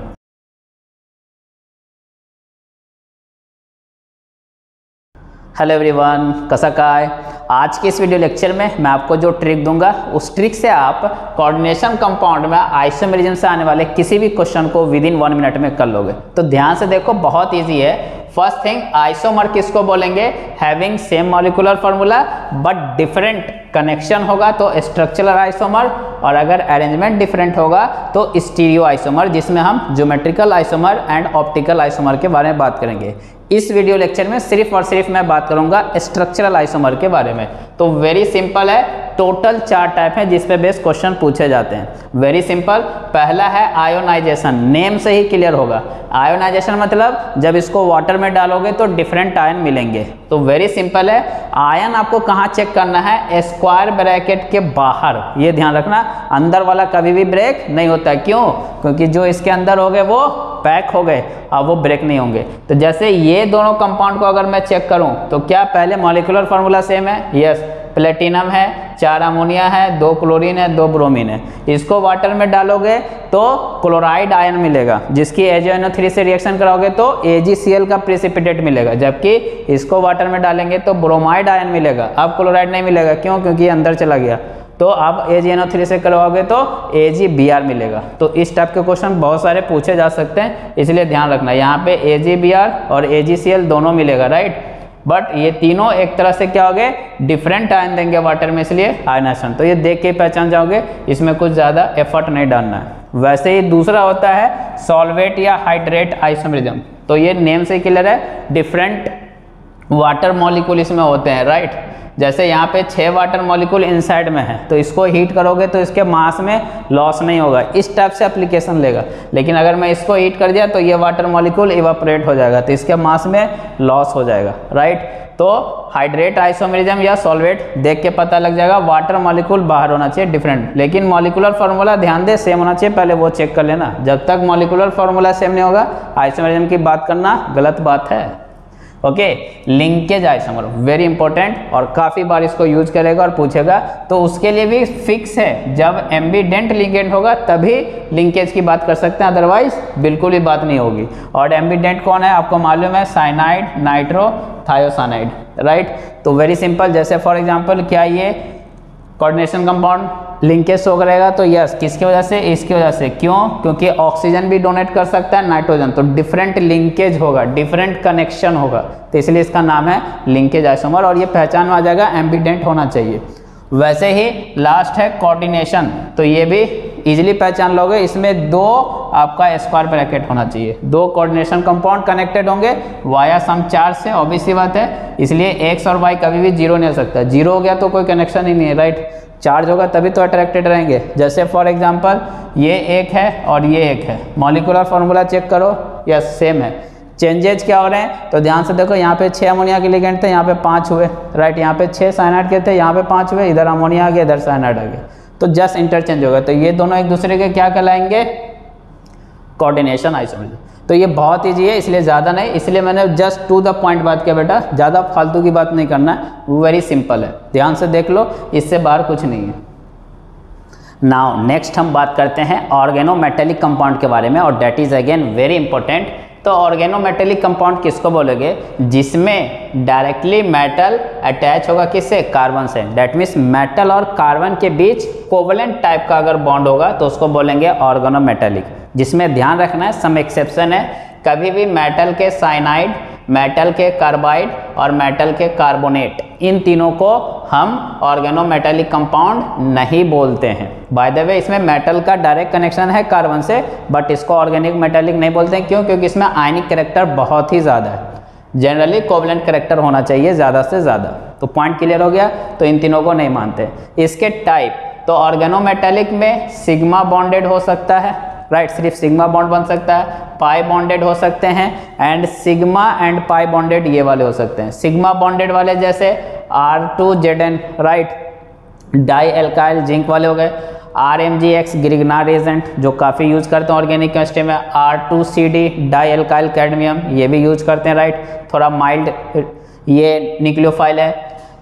टेट्रा, इथाइल लेड, जहाँ पे लेड और कार्बन के बीच बॉन्डिंग है एंटी नॉकिंग एजेंट बोलते हैं। Similarly T I C L four ये ऑर्गोनोमेटिकली नहीं है, लेकिन एलमोनियम वाले जो है कार्बन से अटैच है। Ziegler Natta catalyst polymerisation reaction में यूज़ होता है तो ये ध्यान रखना। तो इसमें ध्यान से देखो, सब में सिग्मा बॉन्ड बना हुआ है मेटल और कार्बन के बीच, इसलिए इसको बोलेंगे सिग्मा बॉन्डेड और ये सब के सब क्या आपके ऑर्गेनोमेटेलिक कंपाउंड है। ध्यान रखना, चार ऑप्शन दे करके पूछा जा सकता है। सिमिलरली पाई बॉन्डेड वाले में इंपॉर्टेंट है जीएस सॉल्ट बोलते हैं उसको राइट जहाँ पे प्लेटिनम आपका हो गया तो डेफिनेटली कोऑर्डिनेशन नंबर फोर है तो स्क्वायर प्लेनर तीन क्लोरीन है, और एक एल्किन का डबल बॉन्ड यहाँ पे पाई बॉन्ड डोनेट होता है। इसलिए पाई बॉन्डेड बोलते हैं, इस तो ध्यान से देखो ऐसे क्वेश्चन में आपको नंबर ऑफ़ सिग्मा बॉन्ड पूछा जा सकता है राइट टोटल सिग्मा कितने हैं? तो काउंट करो वन टू थ्री और ये फोर ये तो प्लेटिनम के हो गए एल्किन के फो, फोर हो जाएँगे चार हाइड्रोजन वाले एट और ये दो बॉन्ड में एक सिग्मा होता है एक पाई होता है राइट तो टोटल नाइन हो जाएँगे। इस टाइप से आपको पूछा जा सकता है।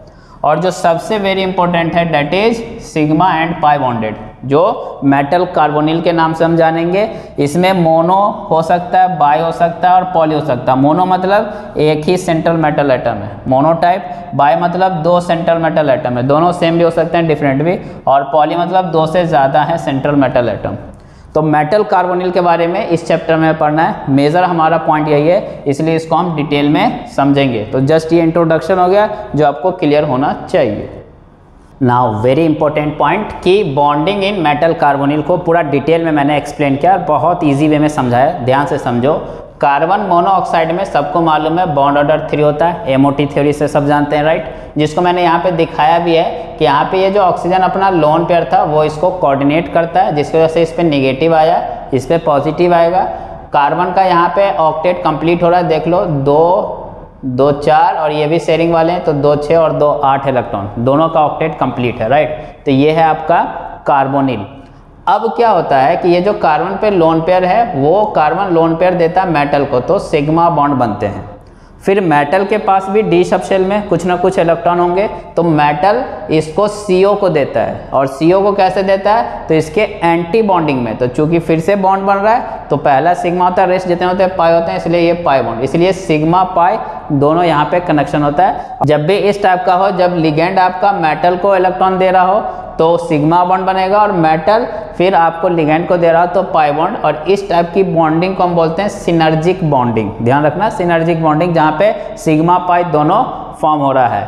राइट डोनेशन वही पॉइंट है यहाँ पे। Donation of lone pair of electron ligand जो है वो मेटल को दे रहा है। राइट और कैसे दे रहा है? तो मेटल के पास वैकेंट ऑर्बिटल होना चाहिए, तभी दे पाएगा, इसलिए डी ऑर्बिटल लेते हैं। Similarly donation of d electron metal के पास जो अपना डी इलेक्ट्रॉन है, वो देता है लिगेंड को। और लिगेंड को कहाँ पे देगा? तो anti bonding molecular orbital में। जैसे सीओ का मैंने एमओटी डायग्राम बनाया जो कि सबको मालूम होता है। मैं लास्ट वाला दिखाया हूँ। तो ये पाई होते हैं, ये सिग्मा टू पी जेड ये पाई स्टार वाले हैं राइट ये खाली है। तो मेटल ने जो इलेक्ट्रॉन दिया है, वो कहाँ जा रहा है? पाई स्टार वाले में, ये भी पूछा जा सकता है। सीओ के कहाँ जा रहा है? पाई स्टार वाले में। तो ये पॉइंट आपको क्लियर होना चाहिए। बॉन्डिंग कैसा होता है, वो भी समझाया है कि जब कार्बन आपका लोन पर देगा मेटल को तो सिग्मा बॉन्ड बनेंगे। फिर मेटल जब कार्बन के एंटी बॉन्डिंग में डालेगा तो पाई बनेंगे और दोनों को फिर एक साथ दिखाया कि ये सिग्मा है और ये वाले जो है वो पाई हैं। तो इस टाइप की बॉन्डिंग को सिनर्जिक बॉन्डिंग बोलते हैं। तो ये तो सबको समझ में आ जाता है, इसका अप्लीकेशन कैसे लेगा वो? तो वेरी इंपॉर्टेंट यहीं पे है, ध्यान से देखो बेटा, कि मेटल पे अगर नेगेटिव चार्ज इंक्रीज होगा तो डैट मीन्स मेटल के डी ऑर्बिटल में ज़्यादा से ज़्यादा इलेक्ट्रॉन है तो बॉन्ड ऑर्डर जो कार्बोनिल का होगा कार्बन और ऑक्सीजन के बीच का वो कम होगा। कैसे? ध्यान से देखो और समझो कि मेटल पे निगेटिव इंक्रीज होने मतलब इसमें ज़्यादा से ज़्यादा इलेक्ट्रॉन हो रहा है। तो ये ज़्यादा से ज़्यादा इधर बॉन्डिंग करेगा तो ये जो त्रिपल बॉन्ड है, ये इधर की तरफ़ शिफ्ट होंगे राइट बात समझ में आ गई? तो ये बॉन्ड इधर की तरफ़ शिफ्ट होता जाएगा मतलब ये ट्रिपल तीन बॉन्ड हो सकता है, दो बॉन्ड में कन्वर्ट होने की कोशिश करेगा। तो इसलिए मैंने लिखा है कि मेटल पे निगेटिव बढ़ेगा तो बैक बॉन्डिंग बढ़ेगी। तो ये अगर इधर की तरफ़ बॉन्ड बढ़ा रहा है तो ये बॉन्ड ऑक्सीजन की तरफ़ शिफ्ट हो जाएगा, ये दोनों इलेक्ट्रॉन इसलिए बॉन्ड ऑर्डर कार्बन और ऑक्सीजन के बीच का कम होगा तो बॉन्ड लेंथ क्या हो जाएगा? ज़्यादा हो जाएगा। इस टाइप के बहुत क्वेश्चन पूछे गए, ध्यान रखना। और वाइस वर्षा उल्टा अगर इधर कम हो रहा है इलेक्ट्रॉन तो ये बॉन्डिंग इधर की तरफ़ बढ़ेगी तो इसका बॉन्ड ऑर्डर बढ़ेगा बॉन्ड लेंथ कम होगा और इसका इधर की तरफ़ बॉन्डिंग होने से कार्बन और मेटल के बीच का स्ट्रेंथ बढ़ेगा राइट क्वेश्चन कैसे पूछे जा सकते हैं? एक यहाँ पे मैंने आपको एग्ज़ाम्पल भी लिया है M N C O six plus charge है C R C O six V C O six minus है। तो सब में अगर आप ध्यान से देखो तो अगर मेटल और कार्बन के बीच बॉन्ड का पूछा जा रहा है कि किसमें ज़्यादा ऑर्डर होगा तो डेफिनेटली सबसे ज़्यादा थ्री में होगा। क्यों? क्योंकि वेनेडियम पे क्या गया? माइनस तो माइनस आने की वजह से ज़्यादा से ज़्यादा बैक बॉन्डिंग होगी राइट तो मेटल और कार्बन के बीच बॉन्ड बढ़ेंगे। तो अगर मेटल और कार्बन के बीच का बॉन्ड का पूछा जा रहा है? तो सबसे ज़्यादा थ्री में फिर उससे कम टू फिर उससे कम वन क्यों? क्योंकि यहाँ पे मेटल पे नेगेटिव है, यहाँ पे क्रोमियम पे ज़ीरो है, यहाँ पे मेटल पे पॉजिटिव है। वैकेंसी है राइट वेरी सिंपल इसका उल्टा कार्बन और ऑक्सीजन के बीच पूछा जाए। इसलिए क्वेश्चन को केयरफुली रीड करना है। कार्बन और ऑक्सीजन के बीच का पूछा जाएगा तो ध्यान से देखो माइनस वाले में क्या होगा? ज़्यादा से ज़्यादा मेटल डोनेट कर रहा होगा तो ये बॉन्ड इधर की तो कार्बन ऑक्सीजन का क्या हो जाएगा? कम हो जाएगा बॉन्ड ऑर्डर तो सबसे कम किसमें होगा? थ्री में। इसलिए वन सबसे ज़्यादा, फिर टू फिर थ्री तो इस टाइप के क्वेश्चन पूछे जा सकते हैं। ध्यान देना वेरी इंपॉर्टेंट है नाउ नेक्स्ट ऑर्गोनेमेटेलिक कंपाउंड में स्ट्रक्चर के बारे में बात होंगी तो सबका जो बेसिक पॉइंट है और जो रफ़ी सर का ट्रिक है वो ये है कि आपको सेंट्रल मेटल एटम का जो नियरेस्ट नोबल गैस होगा, उसके इतना इलेक्ट्रॉन कर देना है। चूँकि मैंने बता ही रखा है, इसमें 100 परसेंट आपका सेंट्रल मेटल एटम कौन होगा? 3D सीरीज़ का। तो उसका नियरेस्ट नोबल गैस कौन हो गया? क्रिप्टन उसका एटॉमिक नंबर कितना? 36 तो आपको देखना है कि उसका E A N effective atomic number 36 हो रहा है कि नहीं। बस यही पॉइंट है, ध्यान देना। ई ए एन को 36 कर देना है। कैसे? ध्यान से देखो। NiCO4 क्या इसमें 36 हो रहा है? निकेल का खुद का इलेक्ट्रॉन कितना हो गया? 28 एटॉमिक नंबर कोई चार्ज नहीं तो 28 और ये चार बॉन्ड बनाया, हर बॉन्ड का दो लेना आपको। तो 28 प्लस एट कितना हो गया?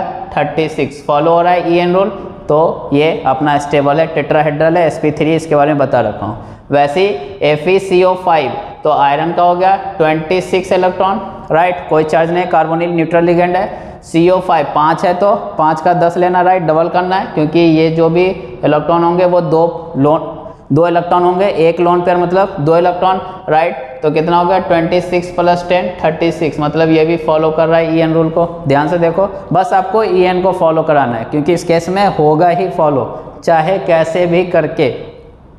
इसका स्ट्रक्चर ट्राइगोनल बाइपिरामिडल हो गया एस पी थ्री डी हाइड्रेशन क्योंकि फाइव वाले हैं right similarly C R C O six chromium कितना हो गया ट्वेंटी फोर राइट और यहाँ पे छः हैं तो प्लस ट्वेल्व हो जाएँगे। सिक्स का डबल ट्वेल्व तो total electron thirty six again देखो नियरेस्ट नोबल गैस छः हैं तो ऑक्टाहेड्रल हो जाएँगे। तो इस सब में फॉलो हो रहा है। वो केस जहाँ पे फॉलो नहीं होगा तो क्या होगा? ध्यान से देखो, जैसे M N C O five तो मैग्नीज का ट्वेंटी फाइव और सी ओ पाँच है तो दस तो कितना हो गया? थर्टी फाइव अब इसको क्या करना है? थर्टी सिक्स तो इसके पास दो रास्ते हैं। थर्टी सिक्स कैसे कर सकता है? एक इलेक्ट्रॉन गेन कर करके। इसलिए क्या कर लेगा ये? माइनस। तो राइट तो इसलिए ये एक अच्छा क्या हो जाएगा? ऑक्सीडाइजिंग एजेंट ऑक्सीडाइजिंग वो होते हैं जो अदर को ऑक्सीडाइज करें इट सेल्फ रिड्यूस हो। तो पूछा जा सकता है। चार ऑप्शन दे दिया which is better oxidising agent तो कभी भी एम इस फॉर्म में रहेगा ही नहीं बेटा। या तो वो इस फॉर्म में चला जाएगा। To complete the noble gas configuration इसलिए मैंने बोला कि कार्बोनिल के केस में always E N rule follow होता ही है। और नहीं तो डायमर बना लेगा। अगर ऐसा नहीं किया तो डायमर बनाएगा दो मॉलिक्यूल तो क्या हो जाएगा? M N two C O ten यहाँ पे होगा। इसका स्ट्रक्चर वेरी वेरी इंपॉर्टेंट है। बट स्ट्रक्चर बनाने में फिर से वही पॉइंट ध्यान रखना है कि आपको दोनों मैग्नीज का इलेक्ट्रॉन कितना कर देना है? थर्टी सिक्स तो अभी मैं स्ट्रक्चर की बात करूँगा। वैसे M N C O six है तो यहाँ पे ट्वेंटी फाइव प्लस ट्वेल्व कितना हो गया? थर्टी सेवन अब ये इलेक्ट्रॉन एक इलेक्ट्रॉन निकालना चाहेगा तो इसलिए ये कहाँ चला जाएगा? प्लस में। तो ये एक अच्छा क्या हो जाएगा? रिड्यूसिंग एजेंट तो again M N C O six exist नहीं होगा। ऐसा भी क्वेश्चन पूछा जा सकता है which can not exist which is better oxidising agent which is better reducing agent सबका वही फंडर है कि 36 करना है। चूँकि 37 हो गया तो एक इलेक्ट्रॉन लूज करेगा। तो इसलिए एक अच्छा रिड्यूसिंग एजेंट होगा। या तो ऐसे कर सकता है, वैसे ही C O C O four cobalt है राइट दोनों को सेम मत समझ लेना, ये कोबाल्ट है, ये कार्बोनिल है। तो कोबाल्ट का हो गया 27 और इसका 8 दैट इज़ 35 अगेन इसको एक इलेक्ट्रॉन चाहिए तो माइनस कर सकता है। तो अगेन ये एक अच्छा क्या हो जाएगा? आपका ऑक्सीडाइजिंग एजेंट राइट या फिर ये भी क्या कर सकता है? डायमर में चला जाए राइट फिर से इसका स्ट्रक्चर इंपॉर्टेंट है। कितने ब्रिज लिगेंड होंगे? एवरीथिंग पूछा जा सकता है। तो अब हम बात करते हैं स्ट्रक्चर के बारे में। नाउ नेक्स्ट इसके structure that is very important M N two C O ten के स्ट्रक्चर कैसे बनाएँगे? तो आपको अगर नहीं मालूम है तो आपको सिंपल एक पॉइंट बताया है नियरेस्ट नोबल गैस जैसा इसका इलेक्ट्रॉन हो जाना चाहिए। मैग्नीज में कितना इलेक्ट्रॉन आपको मालूम है? 25 इसको कितना चाहिए? 11 इलेक्ट्रॉन 36 होने के लिए राइट तो कैसे होगा? ध्यान से देखो तो ये CO कितने हो गए? पाँच, क्योंकि दस हैं तो पाँच इसको पाँच इसको। तो कितना हो जाएगा? 35 तो इसलिए एक मैग्नीज मैग्नीज के बीच बॉन्ड बना देना है, ये शेयरिंग वाले हो जाएँगे। तो कितना हो जाएगा? 36 कैसे? मैंगनीज का 25 था तो 24 अभी तक बॉन्डिंग नहीं किया है, और 25th वाला एक एक बनाया है तो ये दोनों में काउंट होंगे। तो अभी कितना हो गया ये 26 ये, और ये 10 CO के एक बॉन्ड मतलब दो इलेक्ट्रॉन राइट तो 36 हो गए, इसके भी 36 अब इस पे बेस्ट क्वेश्चन कैसे पूछेगा कि इसमें कितने ब्रीजिंग कार्बोनिल है? तो एक भी कार्बोनिल ब्रीजिंग नहीं है ज़ीरो आंसर हो जाएगा।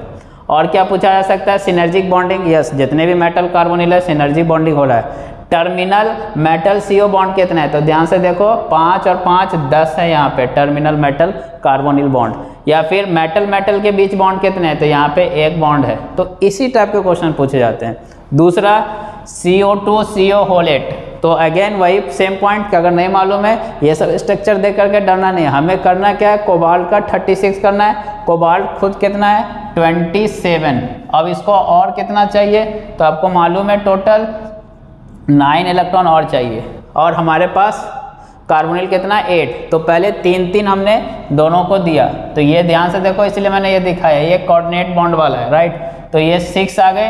तो ट्वेंटी सेवन प्लस सिक्स कितना हो गया? थर्टी थ्री अभी भी तीन इलेक्ट्रॉन कम पड़ रहा है तो कोबाल्ट क्या करेगा? 27 में से 24 इलेक्ट्रॉन को तो बॉन्डिंग में यूज़ नहीं करेगा, तीन इलेक्ट्रॉन को करेगा। और तीन इलेक्ट्रॉन से तीन बॉन्ड तो अब ये दो दो इलेक्ट्रॉन काउंट होंगे राइट तो छः इलेक्ट्रॉन हो जाएँगे। तो ध्यान से देखो वही चीज़ क्या है। कोबाल्ट ये सिंगल सिंगल दिखाया है। तो 27 था, अभी इसका 24 जो बॉन्डिंग में यूज़ नहीं हुआ, और तीन इलेक्ट्रॉन को ये दिखाया, जो कि 27 हुआ।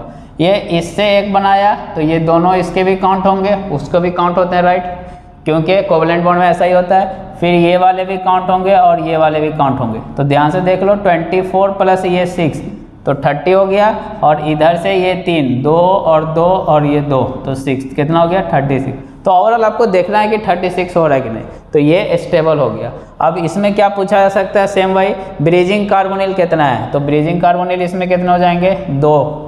सिनर्जिक बॉन्डिंग हो रही है? Yes terminal metal carbonyl bond कितना है? तो टर्मिनल तीन और इधर तीन तो छः हो जाएगा उसका आंसर मेटल मेटल के बीच बॉन्ड है? यस है. वन मोटल मेटल बॉन्ड है.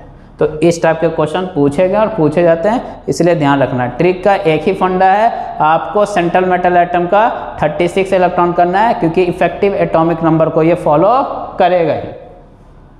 और जाते जाते ज्ञान की बात डेट इज़ वेरी इंपॉर्टेंट कि निकेल प्लस टू को अगर पहचानना हो सॉल्यूशन में कि निकेल प्लस टू का आयन है कि नहीं तो आप डाईमिथाइल ग्लाइऑक्साइम डाल दें। डाईमिथाइल ग्लाइऑक्साइम का मतलब क्या है? सी डबल बॉन्ड एन पे ओ OH जो होता है, उसी का हेच हटा करके माइनस आया।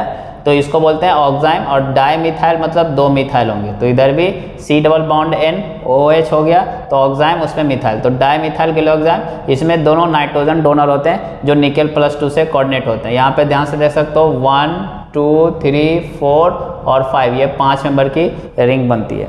तो N I D M G two इसका कलर ध्यान रखना है ब्लड रेड कलर होता है राइट खून जैसा कलर तो वेरी इंपॉर्टेंट कहीं पे भी निकल प्लस टू को पहचानना और डायमिथल के लिए एग्ज़ाम डालो। अगर रेड कलर आ रहा है तो डेफिनेटली वही है हंड्रेड परसेंट तो इसलिए ये सॉल्ट एनालिसिस में यूज़ भी होगा इंपॉर्टेंट है।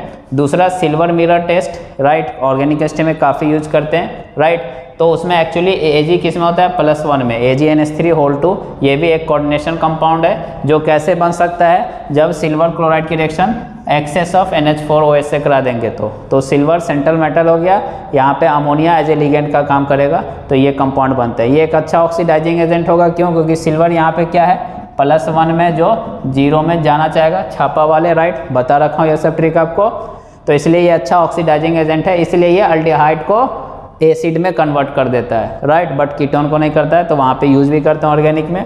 वैसे ही एक फेलिंग सोल्यूशन है राइट जिसमें एक्चुअली कॉपर प्लस टू में होता है राइट और ये वाला एक बिग कॉम्प्लेक्स होता है। यहाँ पे ध्यान से देखो, दो एसिड ग्रुप है इसमें और दो ओ OH है। तो यहाँ से ये बाइडेंटल लिगेंड का काम करता है, यहाँ और यहाँ से। तो अगेन इसमें इंपॉर्टेंट पॉइंट क्या? कॉपर प्लस टू से कहाँ पर जाता है? प्लस वन में। ये भी क्या यूज़ होता है? ये भी अल्डिहाइड को ऑक्सीडाइज कर देता है एसिड में राइट ऑनली कीटोन को नहीं। तो ये दोनों यूज़ होते हैं ऑर्गेनिक केमिस्ट्री में। तो यहाँ पे उसका इंपॉर्टेंस था।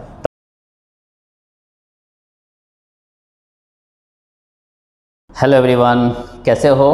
आज की इस वीडियो लेक्चर में मैं आपको जो ट्रिक दूँगा, उस ट्रिक से आप कोऑर्डिनेशन कंपाउंड में स्टीरियो आइसोमर से आने वाले किसी भी प्रॉब्लम को विद इन वन मिनट कर लोगे। तो इसलिए ध्यान से देखना इस ट्रिक को और ध्यान से समझना इस ट्रिक को, क्योंकि बहुत सारे बच्चों को लगता है कि ये वाला जो पार्ट है वो बहुत टफ है, या इसमें ये पर्टिकुलर पैटर्न को याद रखना पड़ता है, ऐसा कुछ भी नहीं है। ट्रिक का पॉइंट सबसे पहले समझ लें कि स्टीरियो आइसोमर का मतलब क्या है कि डिफरेंट अरेंजमेंट होगा स्पेस में डिफरेंट ओरिएंटेशन होगा लिगेंड का तो वो स्टीरियो आइसोमर में काउंट होते हैं राइट तो हमारे पास जो सिलेबस में पढ़ना है, एक कोऑर्डिनेशन नंबर फोर एक coordination number six right coordination number four में आप पहले चेक कर लो कि हाइब्रिडेशन क्या है। अगर एस पी थ्री होगा तो टेट्राहेड्रल शेप होगा और अगर डी एस पी टू होगा तो स्क्वायर प्लेनर जिसके बारे में बॉन्डिंग में अच्छे से ट्रिक दे रखा हूँ। एक बार अगर आपको पता लग गया कि sp3 है टेट्राहेड्रल है तो उसमें कभी भी gi पॉसिबल ही नहीं होगा। तो gi सोचना नहीं उसमें। ऑप्टिकल आइसोमर पॉसिबल है, अगर चारों के चारों लिगेंड क्या होने चाहिए? डिफरेंट होना चाहिए। तो ये पॉइंट क्लियर हो गया। तो यहाँ पे बहुत कम पॉसिबिलिटी है। सिमिलरली अगर स्क्वायर प्लेनर आ गया तो O I optical isomer possible नहीं है, क्योंकि प्लेन ऑफ़ सिमेट्री आ जाएगा। जी आई पॉसिबल है। और कैसे होंगे तो उसका हम डिस्कस करेंगे। पहले एक ओवरव्यू कहाँ होगा, कहाँ नहीं होगा। वैसे ही कोऑर्डिनेशन नंबर सिक्स है तो जी आई पॉसिबल है और ओ आई भी पॉसिबल है। कैसे होगा, वो भी मैं आपको ट्रिक दूँगा। यहाँ पे शॉर्ट फॉर्म लिखा हुआ है G I geometrical isomer O I optical S I stereo isomer जिसमें जोमेट्रिकल ऑप्टिकल दोनों काउंट होते हैं। सी एन यहाँ पर कोऑर्डिनेशन नंबर है। तो पहले तो ये पॉइंट क्लियर होना चाहिए अच्छे से। ट्रिक में जाने से पहले सम ऑफ़ द नोटेशन की बात करते हैं, जो एग्ज़ाम में प्रॉब्लम में दिए भी जाते हैं। इसलिए ध्यान से समझना वेरी सिंपल मोनोडेंटेड लिगेंड को हम small letter A B C D से रिप्रेजेंट कर सकते हैं। और वैसे ही बाई डेंटेड लेटर को कैपिटल लेटर से, और चूँकि इसमें दो डोनर आइटम होंगे तो इसलिए दो बार दिखाना है। अगर सेम डोनर है तो ए ए बी बी सी सी ऐसा यूज़ कर सकते हो। और अगर डिफरेंट डोनर आइटम है तो A B B C C D X Y इस टाइप का कोई भी कॉम्बिनेशन यूज़ करोगे। जस्ट ये बताने के लिए कि डिफरेंट डोनर आइटम है। फॉर एग्ज़ाम्पल जैसे P T C L four तो यहाँ पे पी टी सेंट्रल मेटल हो गया तो एम क्लोरीन एक मोनोडेंटल लिगेंड है तो स्मॉल लेटर को भी यूज़ कर लो, और उसके नंबर चार है तो ए फोर आप चाहो तो इसको ऐसे भी दिखा सकते हो एम सी फोर ऐसा भी दिखा सकते हो राइट ओनली थिंग इज़ कि वो पता लगना चाहिए कि मोनोडेंटल लिगेंड है स्मॉल लेटर से पता लग गया, और वो सेम टाइप के चार हैं तो चार आपने दिखा दिया. फॉर एग्ज़ाम्पल यहाँ पे तो पी टी एम हो गया राइट क्लोरीन दो है, अमोनिया दो है। दो डिफरेंट टाइप के तो दो लेटर यूज़ करो। A two B two C two D two ऐसा कुछ भी यूज़ कर सकते राइट तो ये स्टैंडर्ड नोटेशन हो गया। वैसे यहाँ पे ध्यान से देखो सी एल है एक, अमोनिया है दो नाइट्रो एक है। ध्यान देना बेटा, ये टू मत ले लेना, ये एन ओ टू पूरा है और बी आर टू है। तो कैसे? एम ए एक हो गया राइट बी टू डिफरेंट क्यों यूज़ कर रहे हैं? क्योंकि ये सब डिफरेंट लिगेंड है। ये सी मान लिया तो ये फिर डी टू ऐसा। राइट कोई भी अल्फ़ाबेट आप यूज़ कर सकते हो। ऐसा ज़रूरी नहीं कि आप सीरियल ऑर्डर में जस्ट समझाने के लिए ये।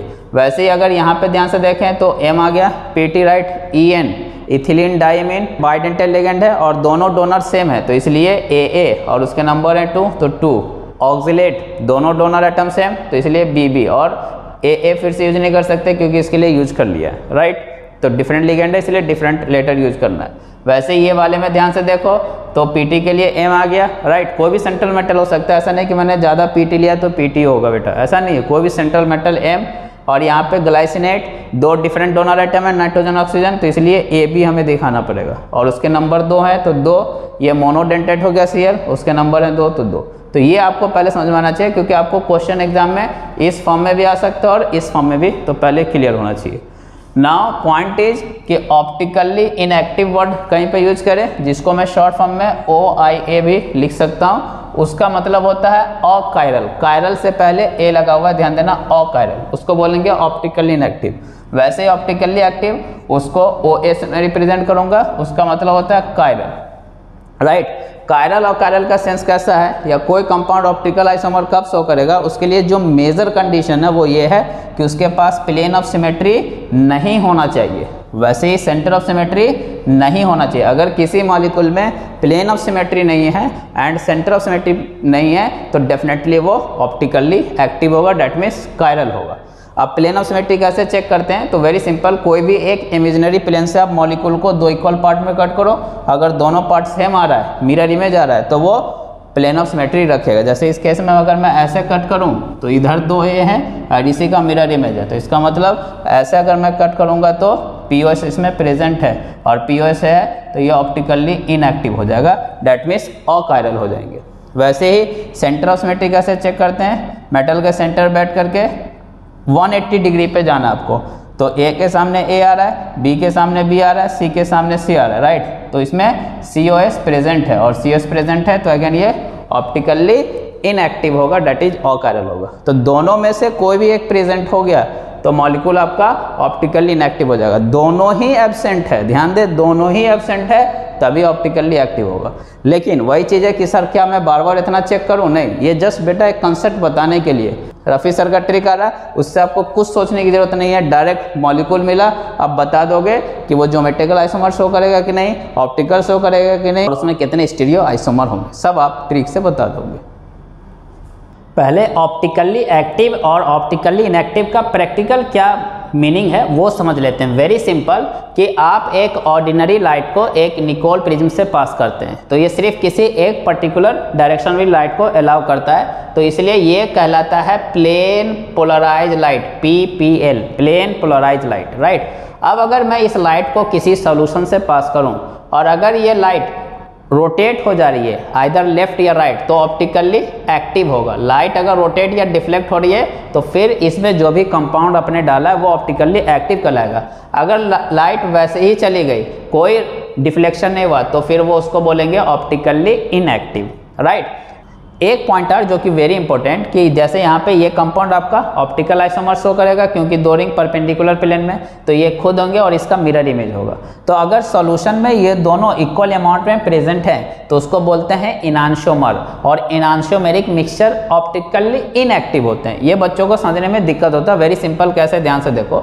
सोल्यूशन में अगर ये दोनों इक्वल अमाउंट में है तो क्या करेगा? अगर ये राइट रोटेट करने की कोशिश किया तो ये वाले लेफ़्ट करेंगे दोनों अपोजिट डायरेक्शन में, इसलिए नेट अमाउंट क्या हो जाएगा? कैंसिल हो जाएगा। तो आपको ये लाइट रोटेट होती हुई दिखेगी नहीं, इसलिए आपको लगेगा कि ऑप्टिकली इनएक्टिव है। बट एक्चुअल में अगर दोनों को इंडिविजुअली अगर कर दो और उसके बाद लाइट पास करो तो फिर वो ऑप्टिकल आइसोमर होगा। तो इसलिए इनांशियोमेरिक मिक्सचर जो होते हैं, वो ओवरऑल ऑप्टिकल इनएक्टिव होते हैं। डेट डजेंट मीन कि आपका कंपाउंड इनएक्टिव है राइट क्यों? क्योंकि इंडिविजुअल लेंगे तो ऑप्टिकली एक्टिव होंगे। तो इस बात पे ध्यान देना, बहुत बच्चे कंफ्यूज रहते हैं, जो कि मैंने क्लियर कर दिया।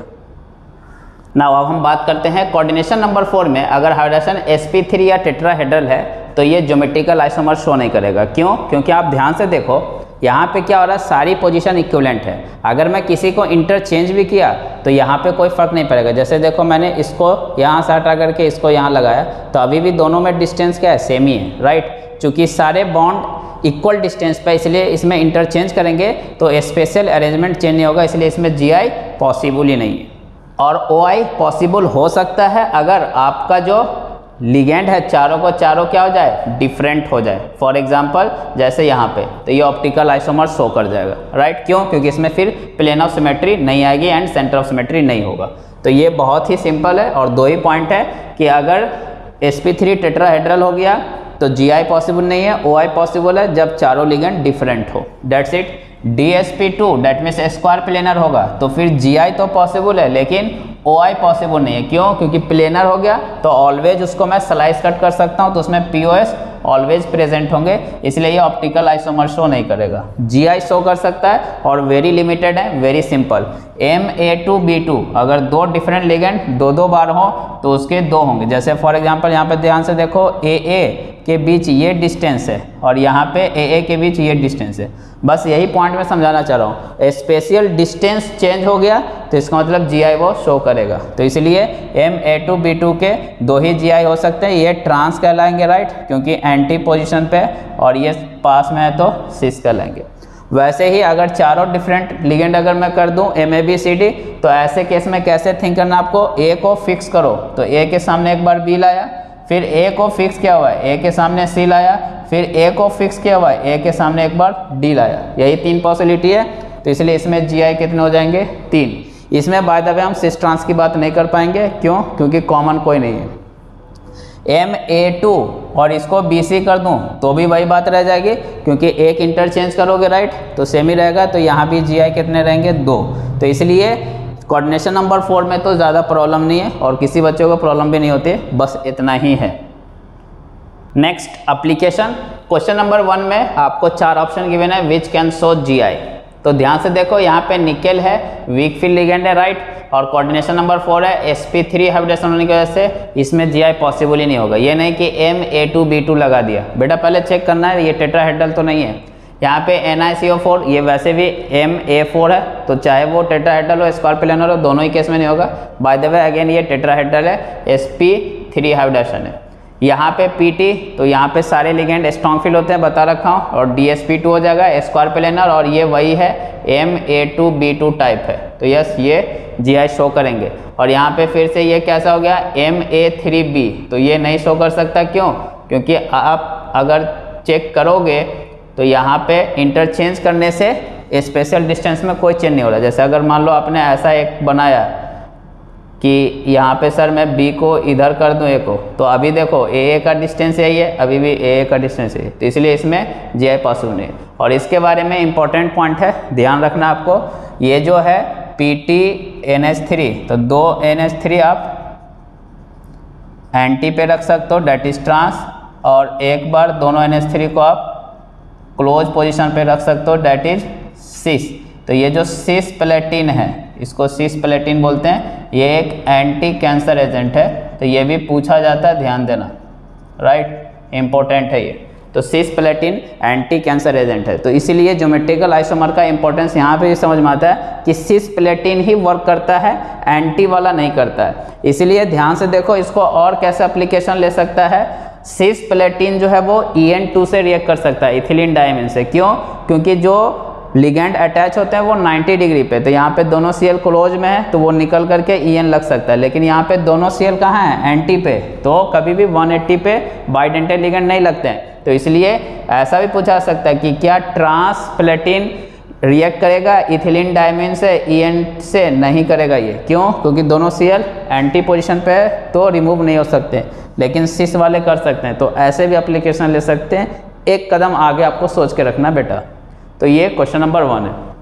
क्वेश्चन नंबर टू में नंबर ऑफ़ आइसोमर अब आइसोमर बोल दिया मतलब ज्योमेट्रिकल भी थिंक करना आपको ऑप्टिकल भी। बाय द वे यहाँ पे ध्यान से देखो तो कोऑर्डिनेशन नंबर कितना आ गया? फोर कैसे? बाइडेंटेलिगेंट टू और मोनोडेंटेट है तो two plus two four coordination number four है। अब यहाँ पे ध्यान से देखो पीटी हो गया।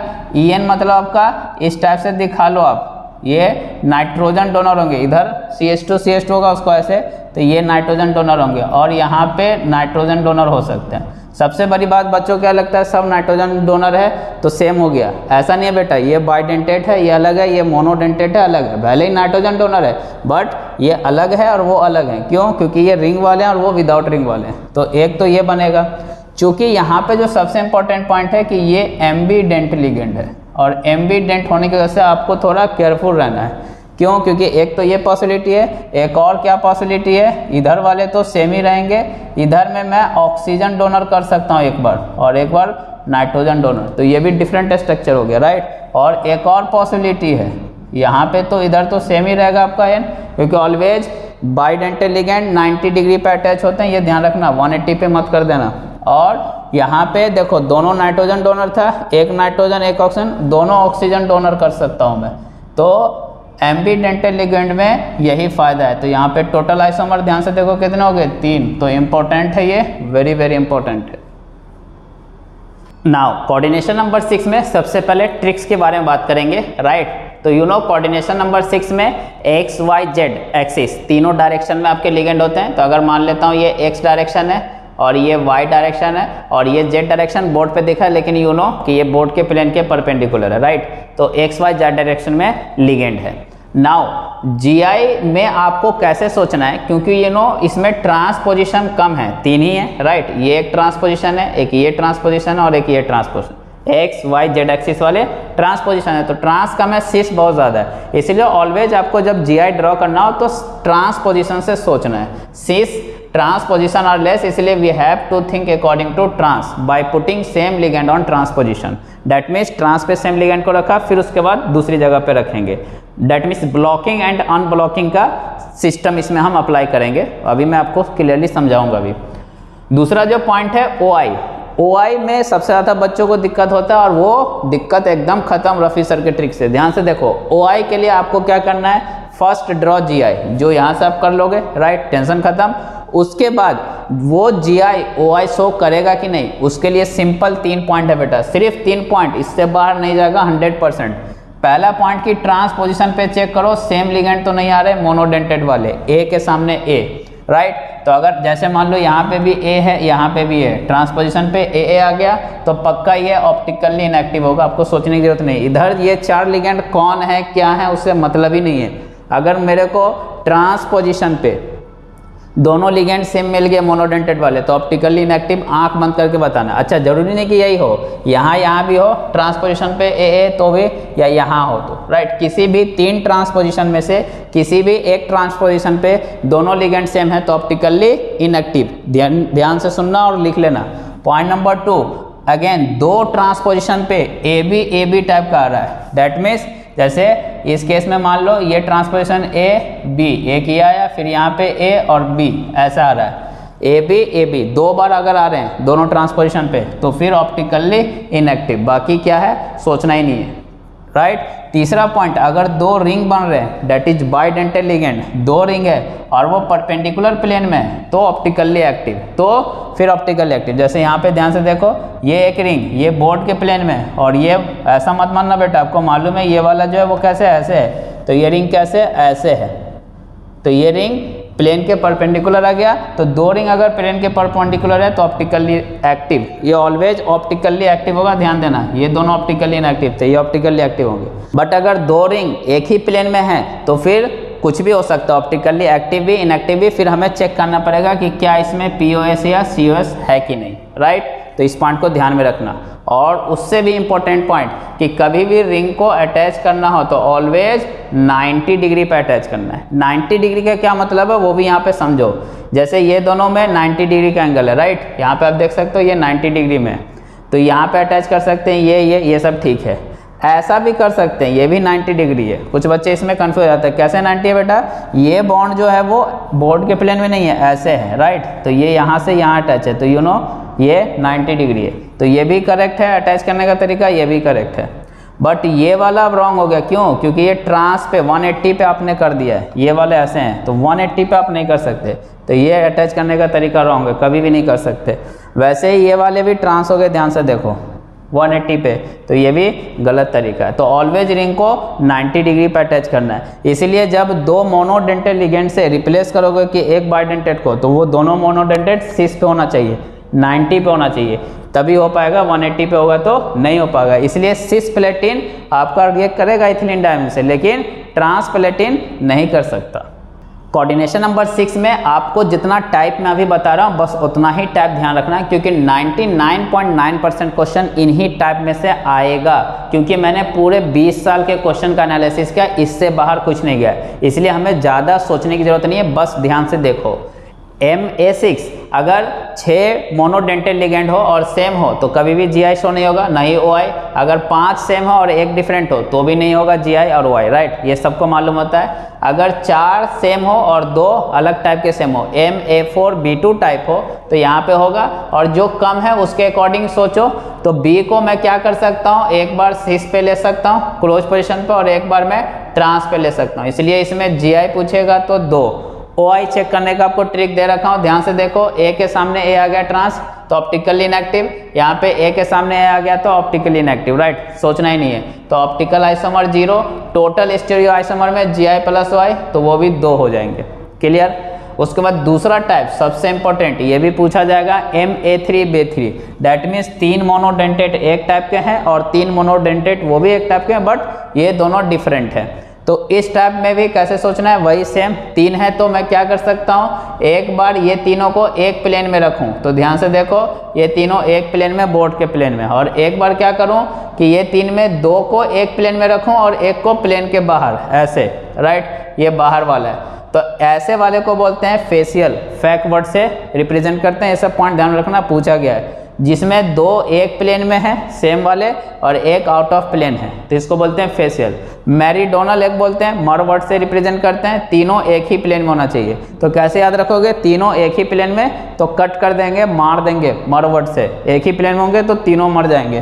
तो मर। ऐसा आपको ध्यान में रखना है। नाउ ज्योमेट्रिकल आइसोमर तो दिख रहा है, दो हो जाएगा। ऑप्टिकल चेक करना, बहुत ईजी ध्यान से देखो कि आपको A B A B combination आ गया। तो गया ये ऑप्टिकल इनएक्टिव यहाँ पे बी के सामने भी आ गया ट्रांस पे एक ही आना चाहिए, बस, ये भी गया तो ये भी ऑप्टिकली इनएक्टिव हो जाएँगे। तो ऑप्टिकल आइसोमर ज़ीरो इसलिए स्टीरियो आइसोमर कितने हो जाएँगे? दो। तो मोनोडेंटेड में बेटा आपको इतना ही ध्यान रखना है एम ए सिक्स नहीं शो करेगा एम ए फाइव भी नहीं करेगा M A four B two G I दो होंगे, और M A three B three meridional और फेशियल ये ध्यान रखना है। बस, इतना ही ध्यान रखना है ninety nine point nine percent इससे बाहर नहीं जाएगा। बाइडेंटेड में एम ए ए थ्री वाला ध्यान में रखना है। तो यहाँ पे बाइडेंटेड लिगेंड है तो ध्यान से देखो, तीन रिंग, सब 90 डिग्री पर अटैच करना है। तो ध्यान से देखो ये रिंग और ये रिंग परपेंडिकुलर प्लेन में हो गई ट्रिक का वो पॉइंट लग गया तो ये ऑप्टिकल आइसोमर शो कर जाएगा राइट क्योंकि कायरल हो गया एक तरीके से, इसमें प्लेन ऑस्मेट्री नहीं है तो ये एक खुद होंगे और एक इसका मिरर इमेज होगा। तो ज्योमेट्रिकल तो शो ही नहीं कर पाएगा, क्यों? क्योंकि सारे लिगेंड या डोनर आइटम सेम है इसमें राइट तो GI नहीं होगा। तो ऐसा भी हो सकता है कि GI शो नहीं करे ओ शो करे, और ऐसा भी हो सकता है कि GI शो करे, लेकिन OI शो नहीं करे। इसलिए ये सब पॉइंट स्टेटमेंट वाले पे भी ध्यान रखना है। तो ऑप्टिकल आइसोमर दो जाएँगे, एक ये खुद, एक इसका मिरर इमेज ऑप्टिकली एक्टिव होगा और स्टीरियो आइसोमर अगेन पूछेगा तो दो। तो ये एक ध्यान में रखना, ये इंपॉर्टेंट है। कई बार तो यही मिलेंगे आपको। दूसरा जो सबसे ज़्यादा इंपॉर्टेंट है, वो ये वाले मिलेंगे। दो बाइडेंटेड लिगेंड और दो monodentate M A A two और ए टू तो यहाँ पे आप कैसे थिंक करेंगे? वेरी सिंपल मोनोडेंटेड को एक बार मैं क्या कर सकता हूँ? ट्रांस पोजिशन पे रख सकता हूँ। तो जैसे ही आपने ट्रांस पे रखा तो दोनों रिंग आपका एक ही प्लेन में आ जाएगा राइट और ए के सामने ए आ रहा है। तो optically inactive optical isomer check करने का तो झंझट ही खत्म कर दे उस ट्रिक से। तो इसीलिए ये वाला जो मॉलिक्यूल है वो क्या आ जाएगा? अकायरल, क्योंकि इसमें प्लेन ऑफ़ सिमेट्री आ जाएगा। जीआई पूछे, इसका तो दो हो सकता है। एक बार ए ए को मैंने कहाँ रखा? ट्रांस पे, और एक बार ए को मैं कहाँ पे रख सकता हूँ? सिस पे राइट तो ये ट्रांस वाले हो गए। ये कौन सा है आपका? ट्रांस है जो कि ऑप्टिकली इनएक्टिव है। तो जीआई दो हो जाएँगे। राइट ध्यान दो, ये जो सीस वाला है, ये अब ऑप्टिकली एक्टिव हो जाएगा। कैसे? यहाँ पे दो रिंग ध्यान से देखो परपेंडिकुलर प्लेन में आ गया। दे रखा होगा आपको ट्रिक दो रिंग परपेंडिकुलर प्लेन में आ जाए तो कुछ चेक करने की ज़रूरत नहीं है, ये ऑप्टिकली एक्टिव होगा, ये और इसका मिरर इमेज इसलिए ये कायरल होंगे ये दोनों तो ऑप्टिकल आइसोमर दो होंगे। अब स्टीरियो आइसोमर दो प्लस दो चार मत कर देना। यहीं पे बच्चों को कन्फ्यूज़न होता है, इसलिए मैंने ऐसे प्रॉब्लम लिया है। दो प्लस दो चार नहीं कर देना। क्यों? क्योंकि ज्योमेट्रिकल आइसोमर में ये है और ये है। राइट और ऑप्टिकल में ये है और ये है। राइट तो आप क्या करो? दो प्लस दो चार में मतलब एक को दो बार काउंट कर लो। हमको एक ही बार काउंट करना है। तो इसलिए जी आई ये वाला एक है, ये ओ आई नहीं है। तो ये एक काउंट होगा। ये जी आई है और ओ आई भी है। तो दोनों में से कोई एक काउंट करो राइट तो इसलिए जब कोई ज्योमेट्रिकल आइसोमर ऑप्टिकल भी शो करे तो ऑप्टिकल वाला ही ऐड कर लो।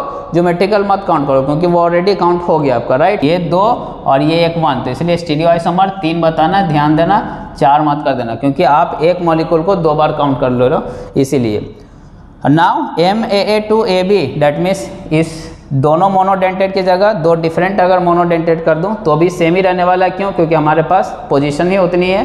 तो इसलिए इसमें भी आपका जी आई दो होगा ओ आई दो होगा, और एस आई तीन ही होगा। तो बेटा जितना इतना बताया ना, बस इतना ही ध्यान में रखना है। और आप देख सकते हो, आपके लिए ओआई चेक करना तो बहुत ईजी है। वो जो तीन पॉइंट है, उससे बाहर नहीं जाएगा। जीआई ड्रॉ करने में भी आपको पॉइंट समझाया है कि आप ट्रांसपोजिशन को ब्लॉक कर करके सोचो तो आपको ईजिली बन जाएगा।